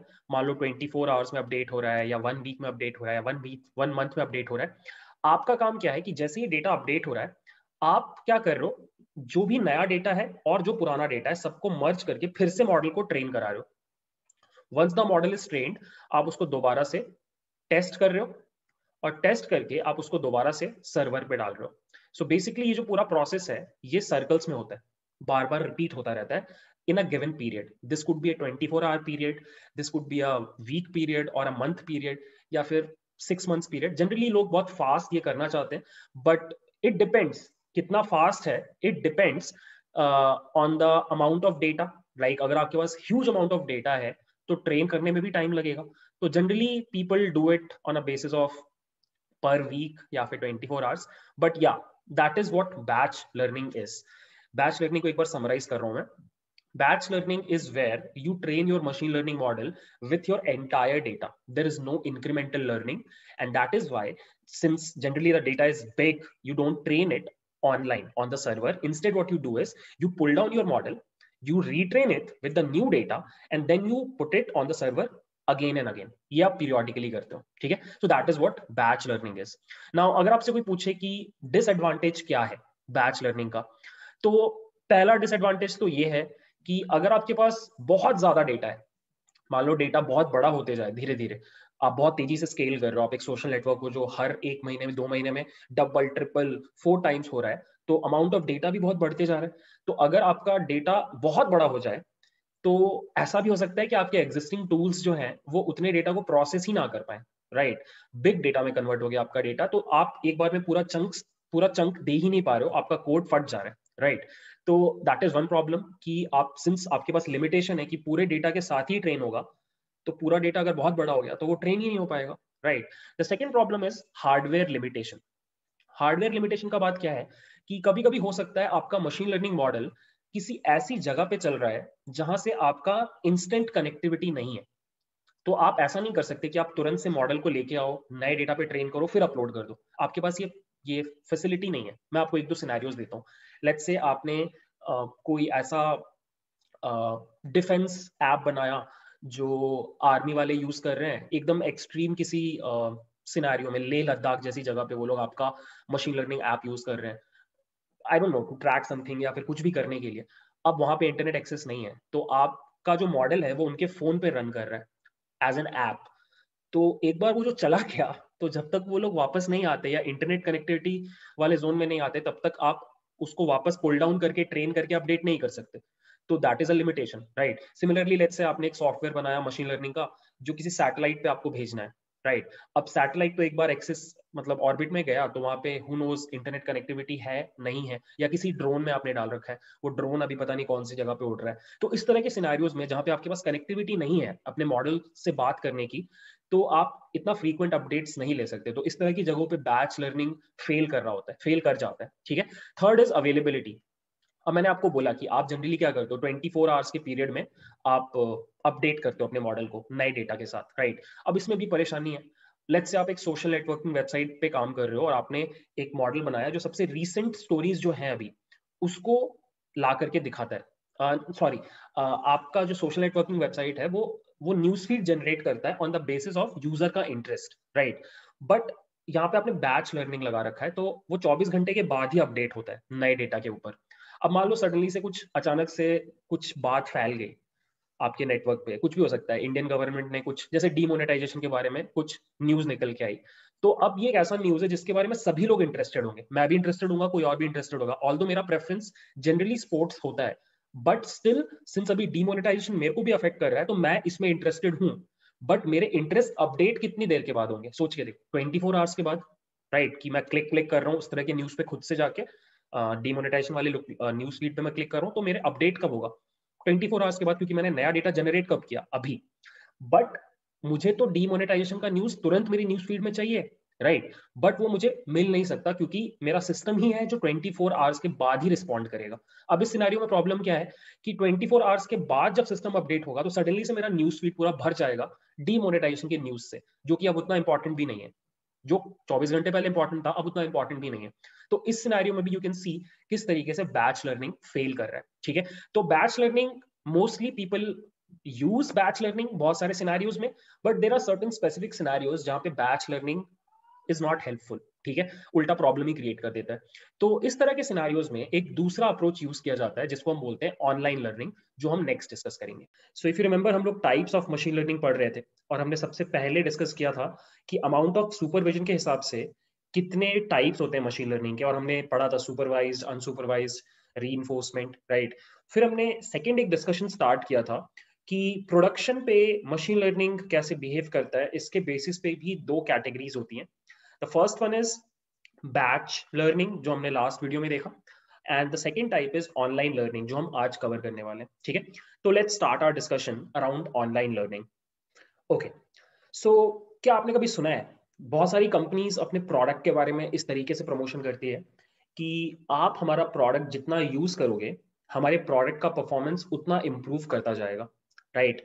मतलब यूजेबिलिटी के हिसाब से जो आपका परफॉर्मेंस है, वो इम्प्रूव कर रहा है राइट? बहुत सारी कंपनीज़ इस तरह का बात करती हैं अगर आपने इस तरह का कुछ भी सुना है, किसी भी कंपनी की तरफ़ से then those companies are actually talking about online learning so so, इसका मतलब ये है कि उन लोगों ने कुछ इस तरह का टेक्निक यूज़ किया है अपने प्रोडक्ट में कि dynamically on the go server पे उनका मशीन लर्निंग मॉडल नए डेटा के साथ ट्रेन होते होते इंप्रूव कर रहा है। ठीक है? मैं आपको एक फॉर्मल डेफिनेशन बताता हूँ ऑनलाइन लर्निंग का। So online learning quite unlike batch learning is done incrementally मतलब आप जो ट्रेनिंग करवाते हो वो इंक्रीमेंटल होता है। और आप क्या करते हो आप छोटे छोटे बैचेस में अपने मॉडल को डेटा फ़ीड कराते हो। सीक्वेंशली एक के बाद एक, ठीक है? इन बैचेस को मिनी बैचेस बोला जाता है। और होता क्या है कि हर ट्रेनिंग के बाद आपका मॉडल इंप्रूव करता जाता है। हर बैच के बाद आपका मॉडल इंप्रूव करता जाता है, ठीक है? और सिंस ये सारे के सारे जो छोटे बैचेस होते हैं, ये एक्चुअली बहुत छोटा चंक ऑफ़ डेटा होता है तो आप ये पूरा जो ट्रेनिंग है, ये सर्वर पे एज इन प्रोडक्शन पे भी करवा सकते हो। एंड दैट इज़ वाई इस टेक्निक का नाम है ऑनलाइन लर्निंग मतलब ये आपका मॉडल तब ट्रेन हो रहा है, जब आपका मॉडल सर्वर पे है मतलब ऑनलाइन है, ठीक है? तो मैं आपको एक डायग्राम बना के जल्दी से बताता हूँ कि पूरा प्रोसेस फ्लो क्या है। सो व्हाट हैपेंस इज़ कि आप इनिशियली कुछ डेटा के साथ यू स्टार्ट विथ थोड़ा data and you feed this data to your machine learning algorithm, right? And once it is trained, आप इसको एक बार टेस्ट कर लेते हो कि ठीक ठाक काम कर रहा है कि नहीं, और उसके बाद आप इसको सर्वर पे भेज देते हो। अब सर्वर पर आपके पास कंटिन्यूस इनफ्लो है नए डेटा का। You are continuously getting new data और आपका मॉडल जो अब यहाँ पर है, ये एक्चुअली दो काम कर रहा है। ये नए डेटा के ऊपर प्रिडिक्शन कर रहा है और साथ ही साथ लर्न भी कर रहा है। And that is the main difference batch learning और ऑनलाइन लर्निंग में। बैच लर्निंग में एक बार ट्रेन होने के बाद आपका मॉडल सर्वर पे डिप्लॉय होता है। और वहाँ पे सिर्फ़ प्रिडिक्शन करता है। अगर आपको उसको दोबारा ट्रेन करना है तो आपको उसको ऑफलाइन लाके फिर से ट्रेन करना पड़ता है। Whereas in online learning what you do is आप सर्वर पे अपने मॉडल को डायनेमिकली ट्रेन भी करवाते जाते हो। सो so, जैसे जैसे नया डेटा आता जाता है आपका मॉडल का परफॉर्मेंस अकॉर्डिंगली और इम्प्रूव करता चला जाता है। ठीक है? That is the core idea behind online machine learning या फिर ऑनलाइन लर्निंग ठीक है? नाउ कहाँ पर इसके एग्जाम्पल्स आपने देखे होंगे? कुछ एग्जाम्पल्स डिस्कस करते हैं। चैटबॉट्स आई गेस आप सभी ने यूज़ किए होंगे। जितने भी चैटबॉट्स एटलीस्ट फ़ेमस कंपनीज़ के जो चैटबॉट्स हैं गूगल नाउ हो गया एलेक्सा हो गया, या सीरी हो गया, ये सब के सब अच्छे एग्ज़ाम्पल है ऑनलाइन लर्निंग के। क्योंकि ये जब सर्वर पे डिप्लॉयड है, ये डिप्लॉयमेंट के टाइम पे नए डेटा के साथ प्रिडिक्शन भी कर रहे हैं एज इन चैट भी कर रहे हैं, और साथ ही साथ उस नए डेटा को पकड़ करके इंप्रूव भी हो रहे हैं। ठीक है? तो this is one example second example could be ये बहुत स्पेसिफिक एग्ज़ाम्पल है. Uh, अब आई एम नॉट श्योर मैंने ऑफिशियल ब्लॉग नहीं पढ़ा इस कंपनी का बट आई थिंक यहाँ पर ऑनलाइन लर्निंग यूज़ होता है. आई होप आपने स्विफ्ट की कीबोर्ड यूज़ किया होगा एंड्रॉइड फोन्स में. स्विफ्ट की बोल के एक ऐप आता है उनका कीबोर्ड बहुत सही होता है. अब वहाँ पर मैंने नोटिस किया है कि जैसे जैसे मैं टाइप करता जाता हूँ ना डायनेमिकली उसका परफॉर्मेंस इंप्रूव करता जाता है काइंड ऑफ़ पर्सनलाइज होता जाता है मेरे बिहेवियर के अकॉर्डिंग तो वहाँ पर मैंने फील किया है कि वो ऑनलाइन लर्निंग यूज़ करते हैं. I am not sure one more example is YouTube YouTube में आप जैसे स्क्रोल करते हो, पता नहीं आपने नोटिस किया है कि नहीं, मैंने नोटिस किया है कि आप किसी पर्टिकुलर वीडियो पे क्लिक करके जब वापस फ़ीड पे आते हो वीडियो देखने के बाद तो आपके नीचे का फ़ीड अब चेंज हो जाता है और वो ऑटोमेटिकली मॉडिफाई हो जाता है जो वीडियो आपने देखा उसके हिसाब से। क्योंकि यूट्यूब को पता है कि आपने अगर अभी कुछ देखा है, आपके दिमाग में यही चल रहा है तो आप उससे रिलेटेड कंटेंट ही देखना चाहोगे। तो this is again an example of online learning जहाँ पे आप के क्लिक से जो डेटा जनरेट हुआ, उसी से मॉडल ट्रेन होकर के नया डेटा लेकर के आ रहा है आपको रिकमेंड करने के लिए ठीक है? तो you would find many examples in fact online learning आज के डेट में सॉफ्टवेयर uh, प्रोडक्ट्स में बहुत यूज़ हो रहा है। अभी भी ये बात ट्रू है कि बहुत सारे कंपनीज़ बैच लर्निंग ही यूज़ करता है। बट यस ऑनलाइन लर्निंग की तरफ़ एक शिफ्ट आ चुका है ठीक है? तो ये पूरा डिस्कशन हो गया कि ऑनलाइन लर्निंग क्या होता है। मैं एक बार फिर से डिफाइन कर देता हूँ। ऑनलाइन लर्निंग में you do incremental learning using mini batches of data where you train your model sequentially using these mini batches. ठीक है? That is how this entire thing works और सिंस ये बैचेस बहुत छोटा छोटा होता है, आप ये ट्रेनिंग सर्वर पे भी करवा सकते हो, उतना कॉस्ट नहीं लगता। That is why this type of learning is called online learning ठीक है? तो आई होप ये पूरा डिस्कशन आपको समझ में आ गया। Now the question is when to use कब यूज़ करना चाहिए? कब मुझे बैच लर्निंग यूज़ करना चाहिए? कब मुझे ऑनलाइन लर्निंग यूज़ करना चाहिए। सी एक सबसे इंपॉर्टेंट यूज़ केस होता है concept drift so concept drift क्या होता है मैं आपको बताता हूँ कि कभी कभी क्या होता है कि आपका, आप किसी प्रॉब्लम के लिए आपने एक मशीन लर्निंग मॉडल बनाया, उसको सॉल्व करने के लिए। बट वो प्रॉब्लम का जो नेचर है ना, वो वोलाटाइल है, वो चेंज होता है ओवर टाइम तो उस तरह के सिनारियोज में जहाँ पे आपका प्रॉब्लम का नेचर चेंज हो रहा है बहुत तेज़ी से, वहाँ पर आपको ऑनलाइन लर्निंग का ज़रूरत पड़ सकता है। It could be I don't know stock exchange वहाँ पे बहुत तेज़ी से कॉन्टेक्ट चेंज होता है। It could be e commerce platforms जहाँ पे कभी सेल आ रहा है कभी सीज़न uh, चेंज हो रहे हैं तो उसके हिसाब से कस्टमर्स का बाइंग प्रेफरेंस चेंज हो रहा है। तो इस तरह के वोलाटाइल सिनेरियोज में जहाँ पर एक कॉन्सेप्ट ड्रिफ्ट होता है मतलब आपका कॉन्सेप्ट ही हिलते रहता है चेंज होता रहता है उस तरह के सिनेरियोज में you would prefer online learning ठीक है? सेकेंड जहाँ पे भी आपको कॉस्ट बचाना है Uh, अगर आप बहुत बड़े स्केल पे काम कर रहे हो तो बैच लर्निंग आपको ज़्यादा पैसे आपके ढुकवा देगा। It would be prefer it would be great अगर आप ऑनलाइन लर्निंग यूज़ करो वहाँ पे आपका कॉस्ट इफ़ेक्टिव रहता है बिकॉज़ आप छोटे छोटे चंक्स के साथ काम कर रहे हो तो उतना परेशानी नहीं होता उतना पैसा नहीं उठता ठीक है?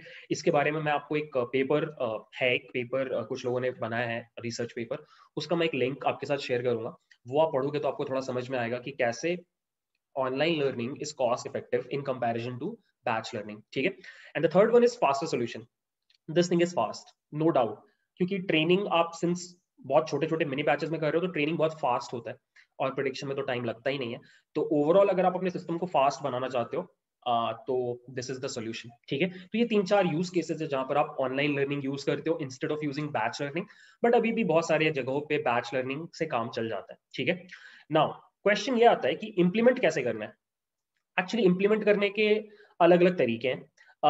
एक तो बहुत सिंपल तरीका है, जैसे आप बैच लर्निंग यूज़ करते हो, वैसे ही आप यूज़ कर लो ऑनलाइन लर्निंग जैसे बहुत फ़ेमस जो हमारा साइकिट लर्न मॉड्यूल है इसमें देर आर सर्टेन एल्गोरिदम्स जो आपको uh, अपने डेटा को सीक्वेंशली इंक्रीमेंटली ट्रेन करने का ऑप्शन देते हैं। जैसे कि लीनियर रिग्रेशन एक एल्गोरिदम है जो आप फ्यूचर में पढ़ोगे। उसी का एक वेरिएंट होता है S G D regressor stochastic gradient descent regressor ये करता वही काम है जो लीनियर रिग्रेशन करता है। इट्स जस्ट कि इसके काम करने का तरीका थोड़ा अलग होता है।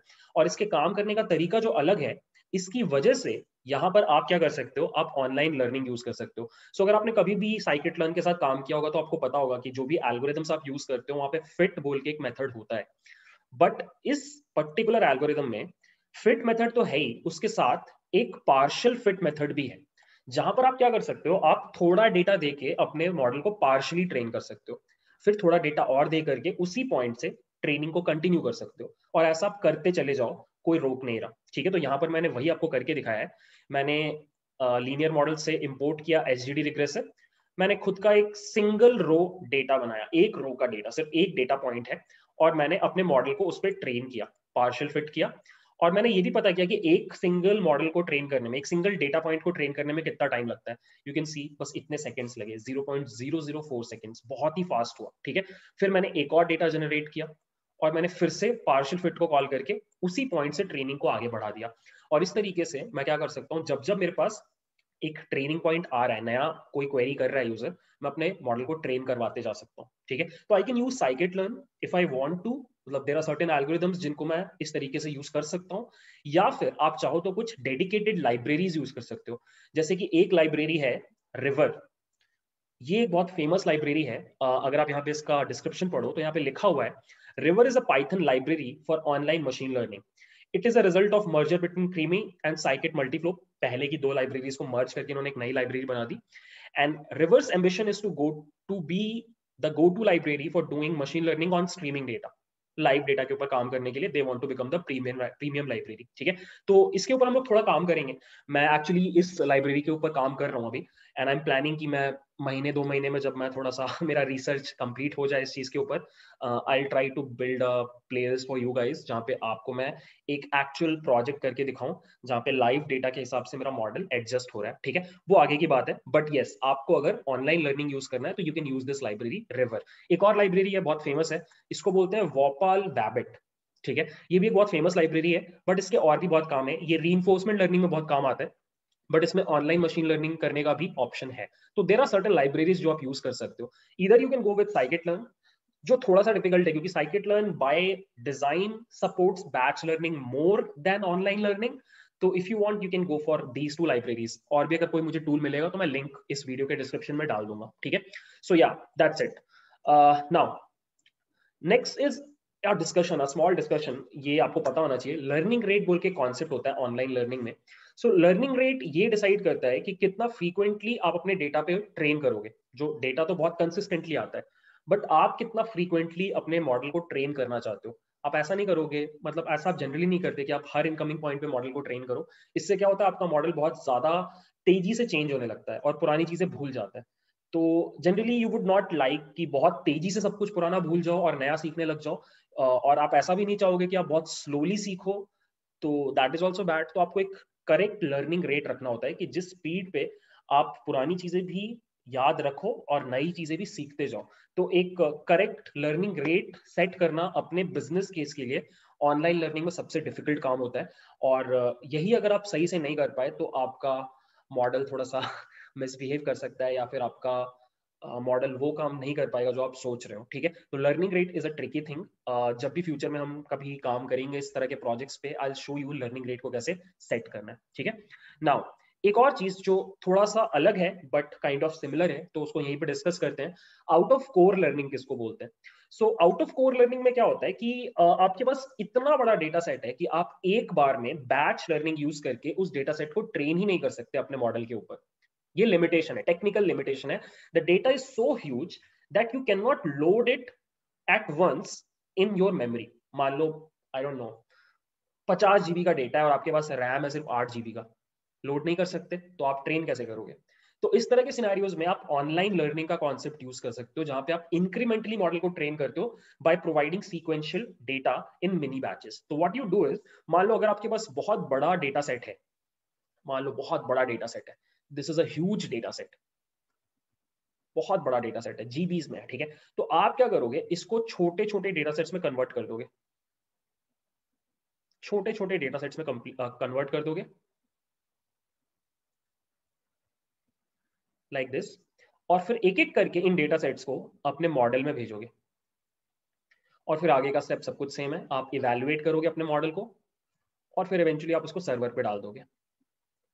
ठीक है, आप सर्वर पे इसको आप बैच लर्निंग की तरह बिहेव करवाना चाहते हो या फिर आप ऑनलाइन लर्निंग की तरह बिहेव करवाना चाहते हो आपके ऊपर है। बट यूजिंग ऑनलाइन लर्निंग आप क्या कर सकते हो, एक बहुत बड़े डेटा सेट को प्रोसेस कर सकते हो, ठीक है? अब टू बी ऑनेस्ट ये सारा काम आप ऑफलाइन ही करते हो, क्योंकि डेटा सेट बहुत बड़ा है, ऐसा नहीं करोगे कि आप पचास जीबी का डेटा सेट सर्वर पर डाल रहे हो। ये पूरा काम आप ऑफलाइन करते हो, लेकिन इसमें जो टेक्निक यूज़ हो रहा है, वो ऑनलाइन लर्निंग का है। तो थोड़ा कंफ्यूजिंग है बट इसका जो एक्चुअल नेम है, वो है आउट ऑफ़ कोर लर्निंग तो ये अगर आपसे कोई पूछ ले कि आउट ऑफ़ कोर लर्निंग क्या है तो छोटा सा कॉन्सेप्ट आपके साथ डिस्कस करना था, ठीक है? नाउ सब कुछ अच्छा अच्छा तो हमने सुन लिया इसके बारे में ऑनलाइन लर्निंग के बारे में, कि सब कुछ तो अच्छा ही है तो मस्त लग रहा है तो बहुत सही है बट क्या कोई प्रॉब्लम्स भी हैं?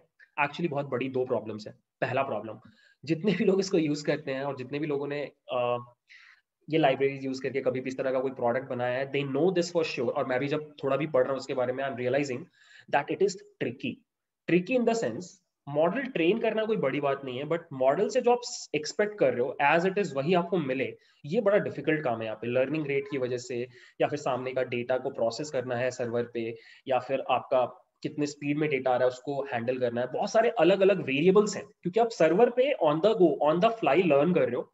It is a difficult task ठीक है?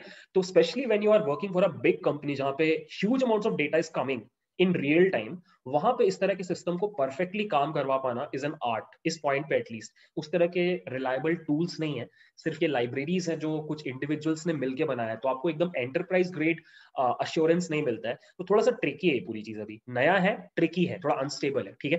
The second problem is it is risky risky क्यों है? यार सोच के देखो, आप क्या कर रहे हो? आपने सर्वर पे अपना मॉडल डाल दिया और आप नए डेटा के हिसाब से मॉडल का बिहेवियर चेंज करने पे मतलब आपने ओपन कर रखा अपने मॉडल को कि नए डेटा के हिसाब से मेरे मॉडल का बिहेवियर चेंज हो सकता है। अब सोचो, अगर किसी तरीके से डेटा गड़बड़ आने लग जाए, कुछ भी, कोई स्पैमर है, उसने कुछ गलत डेटा करने लग गया, या आपका सर्वर हैक हो गया और गलत सलत रिक्वेस्ट आ रहा है और आप उन्हीं को कैप्चर कर रहे हो तो आपका मॉडल बहुत बायस्ड हो जाएगा गलत चीज़ों को लेकर के। तो वहाँ पे आपको तुरंत अपने मॉडल को उतारना पड़ेगा सर्वर से। तो ये भी एक बहुत बड़ा रिस्क है कि इनकमिंग डेटा के ऊपर आपका मॉडल का बिहेवियर डिपेंड कर रहा है। And if someone controls the incoming data then तो हालत खराब हो सकती है ठीक है? तो सोल्यूशन ये होता है कि आपको बहुत एक्टिवली एक मॉनिटरिंग सिस्टम बनाना पड़ता है कि आप पूरे सिस्टम को एकदम पूरे टाइम मॉनिटर करते रहो। प्रोबेबली uh, आप कोई एनॉमली डिटेक्शन एल्गोरिदम लगा सकते हो जो किसी भी तरह के एनॉमली के आते ही क्या करे आपके सिस्टम को ऑफलाइन कर दे या फिर उस डेटा को रिजेक्ट कर दे या कुछ भी किसी भी तरीके से आप बचा पाओ अपने सिस्टम को ये आपको इंश्योर करना है। अब लेट से आपकी हालत खराब हो ही गई, किसी ने गड़बड़ कर ही दिया तो इन दैट केस भी आपके पास एक सेकेंड ऑप्शन होना चाहिए कि आप तुरंत सर्वर ऑफलाइन करके या अपने सिस्टम को ऑफलाइन करके वापस पिछले स्टेट में रोल बैक करके ऑनलाइन कर दो। ये सारे टेक्निक्स आपको पता होने चाहिए। Otherwise this can actually be screwed very easily. so you have to be careful about that, ठीक है? So yeah, that is all about online learning. एक last topic जो मैं आपके साथ discuss करूँगा, वो है बैच वर्सेस ऑनलाइन लर्निंग के बीच में कुछ की डिफरेंसेस ठीक है? तो कुछ की फीचर्स के बारे में बात करेंगे। मैंने इस वेबसाइट से डायरेक्टली कॉपी पेस्ट कर लिया क्योंकि बहुत अच्छा इन लोगों ने डाल रखा था। सो या कॉम्प्लेक्सिटी का अगर आप बात करो तो ऑफलाइन लर्निंग या फिर बैच लर्निंग जिसको बोलते हैं, वो ऑब्वियसली कम कॉम्प्लेक्स है बिकॉज़ आप सिंपली अपने मशीन पे ट्रेन कर रहे हो सर्वर पे डाल के प्रिडिक्शन कर रहे हो। Online learning is difficult because आप सर्वर पे मॉडल uh, को ट्रेन भी कर रहे हो और प्रिडिक्शन भी कर रहे हो तो ऑब्वियसली कॉम्प्लेक्सिटी ज़्यादा है ऑनलाइन लर्निंग का। अगर आप कंप्यूटेशन पावर का बात करो तो सर्वर uh, पे आपको ट्रेनिंग नहीं करना तो उस हिसाब से आपका कंप्यूटेशन बच रहा है लेकिन आपके खुद के मशीन पे जब आप काम कर रहे हो ट्रेनिंग करवा रहे हो तो वहाँ पे you have to do a lot of computation ठीक है? uh, और अगर आप ऑनलाइन लर्निंग का बात कर रहे हो तो वहाँ पे continuous data injection results in consequent model refinement computation क्या कॉम्प्लेक्स लिखा हुआ है आप लोग पढ़ लेना। मैंने आपको समझा दिया सब कुछ। प्रोडक्शन में batch learning is easier to implement no doubt और यहाँ पे it is difficult to implement application के हिसाब से अगर आप बात करो तो अगर आप कुछ इस तरह का एप्लीकेशन बना रहे हो जहाँ पे वो कॉन्सेप्ट ड्रिफ्ट नहीं आ रहा ओवर टाइम आपका कॉन्सेप्ट चेंज नहीं हो रहा तो you would go for batch learning otherwise you will go for online learning so let's अगर आप एक इमेज क्लासिफिकेशन प्रॉब्लम पे काम कर रहे हो तो ऑब्वियसली कुत्ते दस साल बाद भी कुत्ते रहेंगे, बिल्लियाँ दस साल बाद भी बिल्लियाँ ही रहेंगी। तो यहाँ पे कोई कॉन्सेप्ट ड्रिफ्ट नहीं आ रहा। तो यहाँ पर you would go for batch learning why would you go for online learning right और टूल्स की अगर आप बात करो तो इंडस्ट्री प्रूवन टूल्स आप यूज़ करते हो बैच लर्निंग में you go with scikit learn और टेंसर फ्लो और पाई टॉर्च वेर एज यहाँ पर नए टूल्स हैं टू बी ऑनेस्ट मैंने साइकिट मल्टी फ्लो को छोड़ के इनमें से कोई भी टूल यूज़ नहीं किया है एंड साइकिट मल्टी फ्लो वही टूल है रिवर मर्जर के बाद, ठीक है? तो या, ये एक डिफरेंस आपको समझाना था बैच वर्सेस ऑनलाइन लर्निंग और ये आपको इसलिए पता होना चाहिए क्योंकि beginners generally their entire focus is कि हमारा मॉडल एक बार रन कर जाए, हमारा एक्यूरेसी एक बार 90 परसेंट के ऊपर आ जाए, हमारा काम खत्म। But when you are working as an industry professional तो यार आपको फिर एंड टू एंड चीज़ों को सोचना पड़ता है कि यार सर्वर पे जा रहा है तो पैसा कितना लगेगा? या सर्वर पे अगर डेटा चेंज हो रहा है तो मेरा मॉडल कैसे बिहेव करेगा? तो ये जो हमने भी डिस्कशन किया पिछले दो वीडियोज़ में, ये आपको as a machine learning engineer grow करवाएगा। आप ज़्यादा सोच पाओगे, ठीक है? तो that is why I did this discussion I hope it help you हम लोग आज पढ़ने वाले हैं एक इंपॉर्टेंट टॉपिक जिसका नाम है instance based learning versus model based learning तो पिछले तीन दिनों से हम लोग टाइप्स ऑफ़ मशीन लर्निंग पढ़ रहे थे।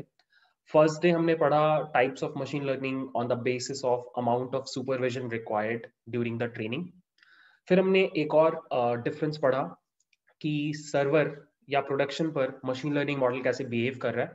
उसके बेसिस पे भी हमने टाइप्स ऑफ़ मशीन लर्निंग पढ़ा। और हम लोग आज भी टाइप्स ऑफ़ मशीन लर्निंग पढ़ने वाले हैं बट आज हमारा जो कंसर्न है, जिस चीज़ के बेसिस पे हम टाइप डिसाइड कर रहे हैं, वो है कि हमारा मशीन लर्निंग मॉडल लर्न कैसे करता है, सीखता कैसे ठीक है? तो let's start our discussion okay so machine learning models actually दो तरीके से सीखते हैं। बिल्कुल वैसे ही जैसे हम ह्यूमन बींग्स चीज़ों को सीखते हैं, ठीक है? सो अगर आप लर्निंग का बात करो इन मशीन लर्निंग तो the first form of learning is a very simple way of learning anything it's basically memorising रट लेना, ठीक है? याद कर लेना. That is the first form ठीक है? And the second form is generalising या फिर आप बोल सकते हो कॉन्सेप्ट समझना अंडरलाइंग प्रिंसिपल समझना, ठीक है? तो हम भी जब कॉलेज में या स्कूल में हुआ करते थे तो दो तरीके के लोग होते थे हमारे आसपास, या हम खुद इन दोनों में से किसी एक फॉर्म में चीज़ों को सीखते थे। या तो हमें कुछ समझ में नहीं आता था तो हम रटने का ट्राई करते थे बिकॉज़ इंडिया एग्ज़ाम तो क्रैक करना ही पड़ेगा। और या फिर सेकंड फॉर्म होता था कि हमें कुछ इंटरेस्टिंग लग रहा है और हम उसके पीछे का कॉन्सेप्ट सीखने का ट्राई करते थे। राइट जैसे आपको केमिस्ट्री याद होगा, वहाँ पे आपको कुछ चीज़ें रटनी पड़ती थी। वहीं अगर आप फिजिक्स का बात करो तो वहाँ पे कॉन्सेप्ट होते थे, जो हम समझने का ट्राई करते थे। तो सिमिलरली मशीन लर्निंग में भी दो तरीके के मॉडल्स होते हैं, दो तरीके के एल्गोरिदम्स होते हैं। एक ऐसा एल्गोरिदम होता है जो डेटा को पकड़ करके उसको रट लेता है। ठीक है? और सेकंड एक दूसरा क्लास ऑफ़ एल्गोरिदम्स होते हैं जो डेटा जब उनको मिलता है तो वो उसके अंडरलाइंग प्रिंसिपल के ऊपर काम करना चाहते हैं उसके अंडरलाइंग प्रिंसिपल को एक्सट्रैक्ट करना चाहते हैं। ठीक है? तो जो मॉडल रटने लग जाता है उसको हम बोलते हैं इंस्टेंस बेस्ड मॉडल ठीक है? या इंस्टेंस बेस्ड लर्निंग और जो मॉडल अंडरलाइंग प्रिंसिपल एक्सट्रैक्ट करने का ट्राई करता है या फंडामेंटल uh, मतलब जो पैटर्न है, उसको निकालने का ट्राई करता है। उसको हम बोलते हैं मॉडल बेस्ड लर्निंग ठीक है? तो हम लोग दोनों एक एक करके देखेंगे। And the whole idea of this video since अभी आपने मशीन लर्निंग एल्गोरिदम्स पढ़े नहीं है तो इस वीडियो का आइडिया बस ये है कि आपको फ्यूचर में जब आप कोई एल्गोरिदम पढ़ो तो आप आइडेंटिफाई कर पाओ कि ये मॉडल बेस्ड लर्निंग कर रहा है या इंस्टेंस बेस्ड लर्निंग कर रहा है। बस आपको इतना ही समझना है, ठीक है?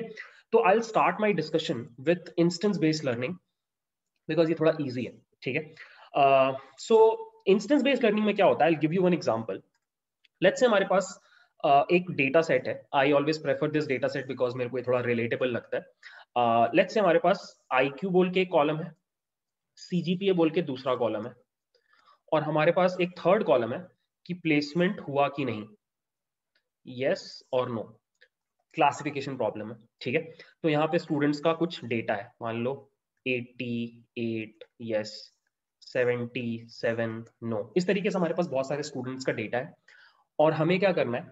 हमें क्लासिफिकेशन परफॉर्म करना है। मतलब अगर मेरे पास कोई नया स्टूडेंट आता है और अगर मुझे उसका आईक्यू और सीजीपीए पता है तो मुझे ये प्रिडिक्ट करना है कि उसका प्लेसमेंट होगा या नहीं होगा based on this data set ठीक है? अब अगर आप एक इंस्टेंस बेस्ड एल्गोरिदम के साथ काम कर रहे हो तो वो इस प्रॉब्लम को कैसे अप्रोच करेगा, वो मैं आपको बताता हूँ। So instance based problem instance based algorithm क्या करेगा? वो डेटा को सबसे पहले मैं आपको प्लॉट करके दिखाता हूँ। लेट्स से हमारा डेटा कुछ ऐसा है। ये हमारे यस वाले हैं, जिनका प्लेसमेंट हो गया। ये आपका आईक्यू है और ये सीजीपी है राइट और ये हमारे वो स्टूडेंट्स हैं, जिनका प्लेसमेंट नहीं हुआ। एक्चुअली उल्टा कर दिया। आईक्यू ज़्यादा सीजीपीए ज़्यादा, ऐसे स्टूडेंट्स का प्लेसमेंट होना चाहिए। तो मैं काम करता हूँ इसमें मैं लिख देता हूँ यस प्लेसमेंट हुआ। और इसमें मैं लिख देता हूँ प्लेसमेंट नहीं हुआ, ठीक है? तो यहाँ पे जितने भी ब्लू पॉइंट्स हैं, ये वो स्टूडेंट्स हैं जिनका प्लेसमेंट नहीं हुआ। और रेड जो पॉइंट्स हैं, ये वो स्टूडेंट्स हैं जिनका प्लेसमेंट हो गया, ठीक है? और कुछ कुछ आउटलायर्स भी होंगे, जैसे कि यहाँ पर एक बच्चा है जिसका आई क्यू सी जी पी दोनों अच्छा है, पर प्लेसमेंट नहीं हुआ। और यहाँ पे एक दो स्टूडेंट्स होते, हो सकते हैं जिनका प्लेसमेंट हो गया, ठीक है? अब आपका जो इंस्टेंस बेस्ड लर्निंग होता है, उसमें आप क्या करते हो कि आप ट्रेनिंग डेटा में, जब आपको ट्रेनिंग डेटा मिलता है तो आप कुछ सीखते नहीं हो। आप डेटा को एज इट इज़ अपने पास स्टोर कर लेते हो और आप बोलते हो कि जब मेरे से क्वेश्चन पूछा जाएगा, मैं इंस्टेंटली आंसर कर दूँगा। ठीक है? जैसे कि लेट्स से एक नया क्वेरी पॉइंट आया, जिसका सीजीपीए है 7.5 और आईक्यू है 103 का। ठीक है? मान लो समवेयर अराउंड हियर इस जगह पे आ रहा है। ठीक है? ये हमारा क्वेरी पॉइंट है। और हमें बताना है कि ये रेड है या ब्लू है। तो अब इंस्टेंस बेस्ड लर्निंग में क्या होता है कि सिंस आपने कोई मॉडल इंप्लीमेंट नहीं कर रखा, आप सिंपल चीज़ों के ऊपर फोकस करते हो। और वो सिंपल चीज़ क्या है? सिमिलैरिटी आप ये नए वाला पॉइंट का सिमिलैरिटी निकालते हो बाकी के सारे पॉइंट्स से। ठीक है? तो जनरली सिमिलैरिटी किस टर्म्स में निकाला जाता है? डिस्टेंस के टर्म्स में। आप बोलते हो कि अगर ये पॉइंट इस जगह पर है तो ये आसपास के पॉइंट्स के सिमिलर होगा। नेबर्स के जैसा होगा। आप जहाँ रहते हो, वो आपके बारे में कुछ बताता है। That is the core idea ठीक है?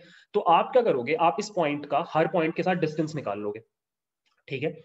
और फिर नियरेस्ट कोई तीन पॉइंट्स को पकड़ लो। आप तीन को भी पकड़ सकते हो, पाँच को भी पकड़ सकते हो। अपने नियरेस्ट तीन को पकड़ लिया। मान लो नियरेस्ट तीन पॉइंट्स हैं ये ये और ये। अब इन तीन में से दो पॉइंट्स रेड हैं तो आप बोलोगे यस प्लेसमेंट होगा बिकॉज़ आपके ज़्यादातर नेबर्स जो क्लोज नेबर्स हैं, उनका प्लेसमेंट हो गया तो आप भी वैसे ही बच्चे हो, आपका भी प्लेसमेंट हो जाएगा and that is it this is an example of instance based learning अभी मैंने जो आपको लॉजिक बताया, ये एक एल्गोरिदम का लॉजिक है, जिसको हम के बोलते हैं के नियरेस्ट नेबर आप फ्यूचर में पढ़ोगे, और अगर आप अभी पढ़ना चाहते हो तो मैं उस प्लेलिस्ट का लिंक इस वीडियो के डिस्क्रिप्शन में डाल दूँगा। You can check it out ठीक है? बट या this simple principle is applied कि आपके पास और कोई तरीका नहीं है। आपने करेंट पॉइंट को वहाँ पे डाला और आपका काम कर लिया। अब यहाँ पर एक चीज़ समझने वाली है कि जब तक ये ग्रीन पॉइंट नहीं आया था, ये क्वेरी पॉइंट नहीं आया था, आपके इस एल्गोरिदम ने कुछ किया ही नहीं। वो चुपचाप डेटा को लेकर के बैठा हुआ था। जैसे ही नया पॉइंट आया, उसने नए पॉइंट को पकड़ा और देखा कि आसपास में पॉइंट्स कौन से हैं और उनका प्लेसमेंट हुआ कि नहीं और उसने रिज़ल्ट डिक्लेयर कर दिया। तो ये आपको याद रखना होता है कि जो इंस्टेंस बेस्ड लर्निंग होता है उसमें एज सच ट्रेनिंग या लर्निंग का कोई कॉन्सेप्ट नहीं होता। आप बस डेटा पॉइंट्स को पकड़ के रखते हो, नया पॉइंट आता है, आप अकॉर्डिंगली रिएक्ट करते हो। That is what model based I am sorry instance based learning is ठीक है? Now let's discuss this same problem with the help of model based learning ठीक है? तो I go to the third slide model based learning में भी let's say आपके पास same ही प्रॉब्लम है। You have I Q CGPA and placement हुआ कि नहीं। आपके पास स्टूडेंट्स का डेटा है। यहाँ पे भी आपने ग्राफ प्लॉट कर रखा है। This is your graph this is your I Q and this is CGPA I quickly draw some points like these are your placement नहीं हुआ वाले बच्चे and this is your placement हो गया वाले बच्चे। एक दो आउटलायर्स हैं like these are certain outliers ठीक है? ये वो बच्चा है जिसका एकदम मार्क्स पास अच्छा नहीं है बट बंदे ने स्टार्टअप कर लिया, उसका प्लेसमेंट हो गया। कुछ भी है, ठीक है? अब मॉडल बेस्ड लर्निंग में क्या होता है I tell you model based learning में आपका जो एल्गोरिदम है, वो जब डेटा पॉइंट्स आप उसको देते हो ना तो वो उस डेटा पॉइंट के अंदर का बिहेवियर समझना चाहता है। एक मैथमेटिकल फ़ंक्शन ड्रॉ करके, ठीक है? तो इन अ वे वो क्या करेगा? वो इस तरह का एक बाउंड्री ड्रॉ करेगा लेट्स से मान लो उसने ये बाउंड्री ड्रॉ किया। अब ये बाउंड्री क्या बता रहा है? कि आपके मॉडल को लगता है कि इस कर्व के इस तरफ़ कोई भी पॉइंट अगर आता है तो उसका प्लेसमेंट हो जाएगा और इस तरफ़ अगर कोई भी पॉइंट आता है तो उसका प्लेसमेंट नहीं होगा। और ये आपके मॉडल ने कैसे सीखा? डेटा के ऊपर रन करके लर्न करके ट्रेन करके, ठीक है? अब most of the machine learning algorithms they use this approach they find a mathematical relationship between input and output जिसके रिजल्टेंट में आपको इस तरह का कुछ एक डिसीज़न फ़ंक्शन मिलता है स्पेशली इन क्लासिफिकेशन प्रॉब्लम्स आपको इस तरह का एक डिसीज़न फ़ंक्शन मिलता है, एक डिसीज़न बाउंड्री मिलती है, जिसको यूज़ करके ही आप क्या कर सकते हो, एक नए इनकमिंग पॉइंट को क्लासीफाई कर सकते हो। अब the good part about this approach is कि आपको ट्रेनिंग पॉइंट्स का ज़रूरत नहीं है। Let me show you let's say अब आपके पास ये ट्रेनिंग पॉइंट्स ना भी हो, ये ट्रेनिंग पॉइंट्स आपके चले गए। आपके पास बस ये डिसीज़न फ़ंक्शन है। आपके पास बस ये डिसीज़न फ़ंक्शन है। अब लेट्स से आपके पास एक नया क्वेरी पॉइंट आया। कुछ भी था। अब अगर वो इस तरफ़ है तो आप सीधे बोल दोगे प्लेसमेंट है, हो जाएगा। और अगर वो इस तरफ़ आता है तो आप बोल दोगे प्लेसमेंट नहीं होगा। So in short you don't require the data points आपने क्या किया? आपने डेटा में घुस करके कुछ कॉन्सेप्ट सीख लिए। और कॉन्सेप्ट क्या था? कि यही वो लाइन है जिसको यूज़ करके I can differentiate between placement जिनका हुआ वो वाले बच्चे और प्लेसमेंट जिनका नहीं हुआ वो वाले बच्चे, ठीक है? तो that is the core idea behind model based learning अब आपको फ्यूचर में बस इतना करना है गाइस कि आपको अगर कोई एल्गोरिदम मिलता है और अगर आप उस एल्गोरिदम को सीख रहे हो, उसके कॉन्सेप्ट समझ रहे हो, आपको बस खुद से एक क्वेश्चन पूछना है कि पढ़ तो लिया मैंने, अब मुझे क्लासिफाई करना है कि ये इंस्टेंस बेस्ड लर्निंग है या मॉडल बेस्ड लर्निंग है, ठीक है? अब इसके बहुत सारे एग्जाम्पल्स हैं linear regression logistic regression decision trees बहुत सारे एग्जाम्पल्स जो होते हैं वो मॉडल बेस्ड लर्निंग के ही होते हैं। एक, दो ही एग्जाम्पल्स हैं जो इंस्टेंस बेस्ड लर्निंग के हैं। के हुआ आर बी एफ़ नेटवर्क्स हुए कर्नल फ़ंक्शंस हुए, यही कुछ एग्जाम्पल्स हैं जो आपके इंस्टेंस बेस्ड लर्निंग में आते हैं। बाकी सारे algorithms most of the times आपके मॉडल बेस्ड लर्निंग में ही होते हैं, ठीक है? तो ये छोटा सा एक चीज़ आपके साथ डिस्कस करना था। अब एक लास्ट चीज़ हम जल्दी से देख लेते हैं कि what are the key differences between instance based and model based ठीक है? तो यहाँ पे लेफ़्ट साइड में आपका मॉडल बेस्ड है और राइट right साइड में आपका इंस्टेंस बेस्ड है ठीक है? तो एक एक करके मैं सारे की पॉइंट्स के आ, को एक बार बोलता हूँ। सो so, आपको दोनों में ही डेटा प्रिपरेशन बराबर करना पड़ेगा। आउटलायर्स रिमूव करने पड़ेंगे कैटेगोरिकल डेटा को वन नॉट एनकोड करना पड़ेगा। ये सब हम पढ़ेंगे आगे डोंट वरी हम स्ट्रिंग्स को नंबर्स में कन्वर्ट करेंगे। ये सारा काम हमें दोनों ही केसेस में करना पड़ता है। इधर you are working with model based और you are working with instance based in both of the cases आपको डेटा प्री प्रोसेसिंग प्रॉपरली करना पड़ेगा। ये पहला पॉइंट है। दूसरा पॉइंट मॉडल बेस्ड लर्निंग में आप मॉडल जनरेट करते हो। मॉडल क्या होता है? It's basically set of parameters ठीक है? सेट ऑफ़ पैरामीटर्स ये जो हमने यहाँ पे डिस्कस किया, ये एक्चुअली क्या है? ये एक कर्व है। तो इस कर्व का कुछ इक्वेशन होगा। तो वो इक्वेशन मुझे पता करना है और वो जो इक्वेशन निकल के आता है, उसी को हम पैरामीटर्स बोलते हैं। तो यही यहाँ पे लिखा हुआ है कि जब आप मॉडल बेस्ड लर्निंग कर रहे हो तो आपको पलट के एक मॉडल मिलता है और वो मॉडल कुछ पैरामीटर से डिफाइंड होता है, जैसे न्यूरल नेटवर्क उसमें वेट्स होते हैं पैरामीटर नाइव बेस उसमें प्रोबेबिलिटीज होती हैं। लीनियर रिग्रेशन स्लोप और इंटरसेप्ट का वैल्यू ये अपने पैरामीटर्स हो जाते हैं, ठीक है? Whereas if you are doing instance based learning वहाँ पे you do not train a model pattern discovery postponed until scoring query is received basically एक नया क्वेरी पॉइंट जब तक नहीं आता, आप कोई प्रिडिक्शन नहीं कर रहे होते, आप दो डेटा के साथ कुछ भी कर ही नहीं रहे होते हो, ठीक है? Next what you do is you store the model in suitable form आप जनरली जब मॉडल बेस्ड लर्निंग करते हो तो आप मॉडल को कहीं ना कहीं सेव कर लेते हो सो दैट आप उसको फ्यूचर में यूज़ करो प्रिडिक्शन करने के लिए. Whereas instance based learning में कोई मॉडल होता ही नहीं है सेव करने के लिए, ठीक है? Next is model based learning में you generalize the rule in the form of model even before even before scoring instance seen scoring instance मतलब नया पॉइंट जिसके बारे में आपको आंसर बताना है।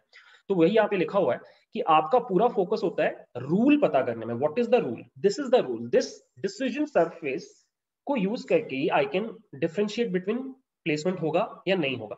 तो मैं इस रूल के पीछे पढ़ा हूँ, ना कि स्टूडेंट्स के पीछे। ठीक है? तो यही लिखा है यहाँ पे। और यहाँ पे लिखा है no generalization before scoring only generalize for each scoring instance individually as and when seen so यहाँ पर क्या होता है कि मॉडल का लॉजिक तभी काम करता है जब एक नया क्वेरी पॉइंट आता है और आप उस क्वेरी पॉइंट के अकॉर्डिंग डिसाइड करते हो। आपको जैसे जनरल रूल नहीं बना रहे। आपका जो रूल है, वो इनकमिंग क्वेरी पॉइंट के ऊपर डिपेंड कर रहा है। Whereas in this model base आपका जो रूल है, वो हर क्वेरी पॉइंट के लिए सेम है। कोई नया क्वेरी पॉइंट आ जाएगा, तब भी रूल यही रहेगा। ठीक है? तो this is one difference next is predict for unseen scoring instance using model आप कभी भी नया आपका कोई क्वेरी पॉइंट आ रहा है तो आप मॉडल जो आपने बनाया, उसके अकॉर्डिंगली प्रिडिक्ट करते हो। और यहाँ पर आप क्या करते हो? आप डायरेक्टली ट्रेनिंग डेटा को देख करके प्रिडिक्शन करते हो, जैसे हमने यहाँ पे किया। जैसे एक नया पॉइंट आया, हमने उसको ट्रेनिंग डेटा से कंपेयर किया। वेर एज मॉडल बेस्ड में आपको ट्रेनिंग डेटा से कोई मतलब ही नहीं है, ठीक है? Next is can throw away input training data after model training model based आपका जो लर्निंग है इसमें आप ट्रेनिंग डेटा को हटा भी दो कोई फ़र्क नहीं पड़ता। बट इंस्टेंस बेस में आपको ट्रेनिंग डेटा को हमेशा अपने पास रखना पड़ता है क्योंकि आपका पूरा लॉजिक जो है प्रिडिक्शन का वो उस चीज़ के ऊपर ही डिपेंड करता है। ठीक है? Next difference is requires a known model form ठीक है? बेसिकली uh, आपको uh, एक पर्टिकुलर कोई फ़ंक्शन यूज़ करना पड़ेगा to differentiate between two classes और थ्री क्लासेस ठीक है? It's not an important point इस पॉइंट पे मतलब हम लोग इसको ऑलरेडी डिस्कस कर चुके हैं। इट्स जस्ट की मैथमेटिकल डिटेल में अभी मैं जाना नहीं चाहता। So just ignore this the last point is storing models generally requires less storage तो ये एक बहुत इंपॉर्टेंट पॉइंट है कि मॉडल बेस्ड लर्निंग में सिंस एट द एंड आप एक रूल निकाल रहे हो, और इसी रूल को यूज़ करके प्रिडिक्शन कर रहे हो तो ये जो मॉडल है, इसका स्टोरेज बहुत ज़्यादा नहीं होता। बिकॉज़ ये छोटी सी चीज़ होती है यार, ये एक इक्वेशन है बस। इक्वेशन को स्टोर करने में कितना टाइम लगेगा? दो वेरिएबल्स कितना स्पेस लगेगा? बहुत कम right whereas in instance based learning आपको अपना सारा ट्रेनिंग डेटा हमेशा अपने पास रखना है। अब इमेजिन अगर आपके पास एक जीबी ट्रेनिंग डेटा है तो वो एक जीबी का स्टोरेज आपको लगेगा, हमेशा। तो इंस्टेंस बेस्ड लर्निंग जो होता है, ये आपको थोड़ा सा स्टोरेज हैवी होता है, ठीक है? तो एक चीज़ और इंस्टेंस बेस्ड लर्निंग को कभी कभी लेजी लर्नर भी बोला जाता है। क्योंकि इंस्टेंस बेस्ड लर्निंग में ड्यूरिंग ट्रेनिंग आपका मॉडल कुछ नहीं कर रहा होता है चुपचाप बैठा रहता है। That is why we call them lazy learners ठीक है? So yeah that is the discussion आपको बस इतना पता होना चाहिए फ्यूचर में कभी कोई एल्गोरिदम पढ़ रहे हो तो आपको बस आना चाहिए कि आप आइडेंटिफाई कर पाओ कि वो मॉडल बेस्ड है या इंस्टेंस बेस्ड है। दैट्स इट और कुछ खास नहीं है। Uh, इस पूरे वीडियो का पूरा ओवरऑल जो जिस्ट था वो यही है कि मॉडल बेस्ड किसको बोलते हैं इंस्टेंस बेस्ड किसको बोलते हैं ठीक है? आगे हम जब एल्गोरिदम्स पढ़ेंगे आई ऑलवेज टेल यू कि ये मॉडल बेस्ड है और ये इंस्टेंस बेस्ड है ठीक है?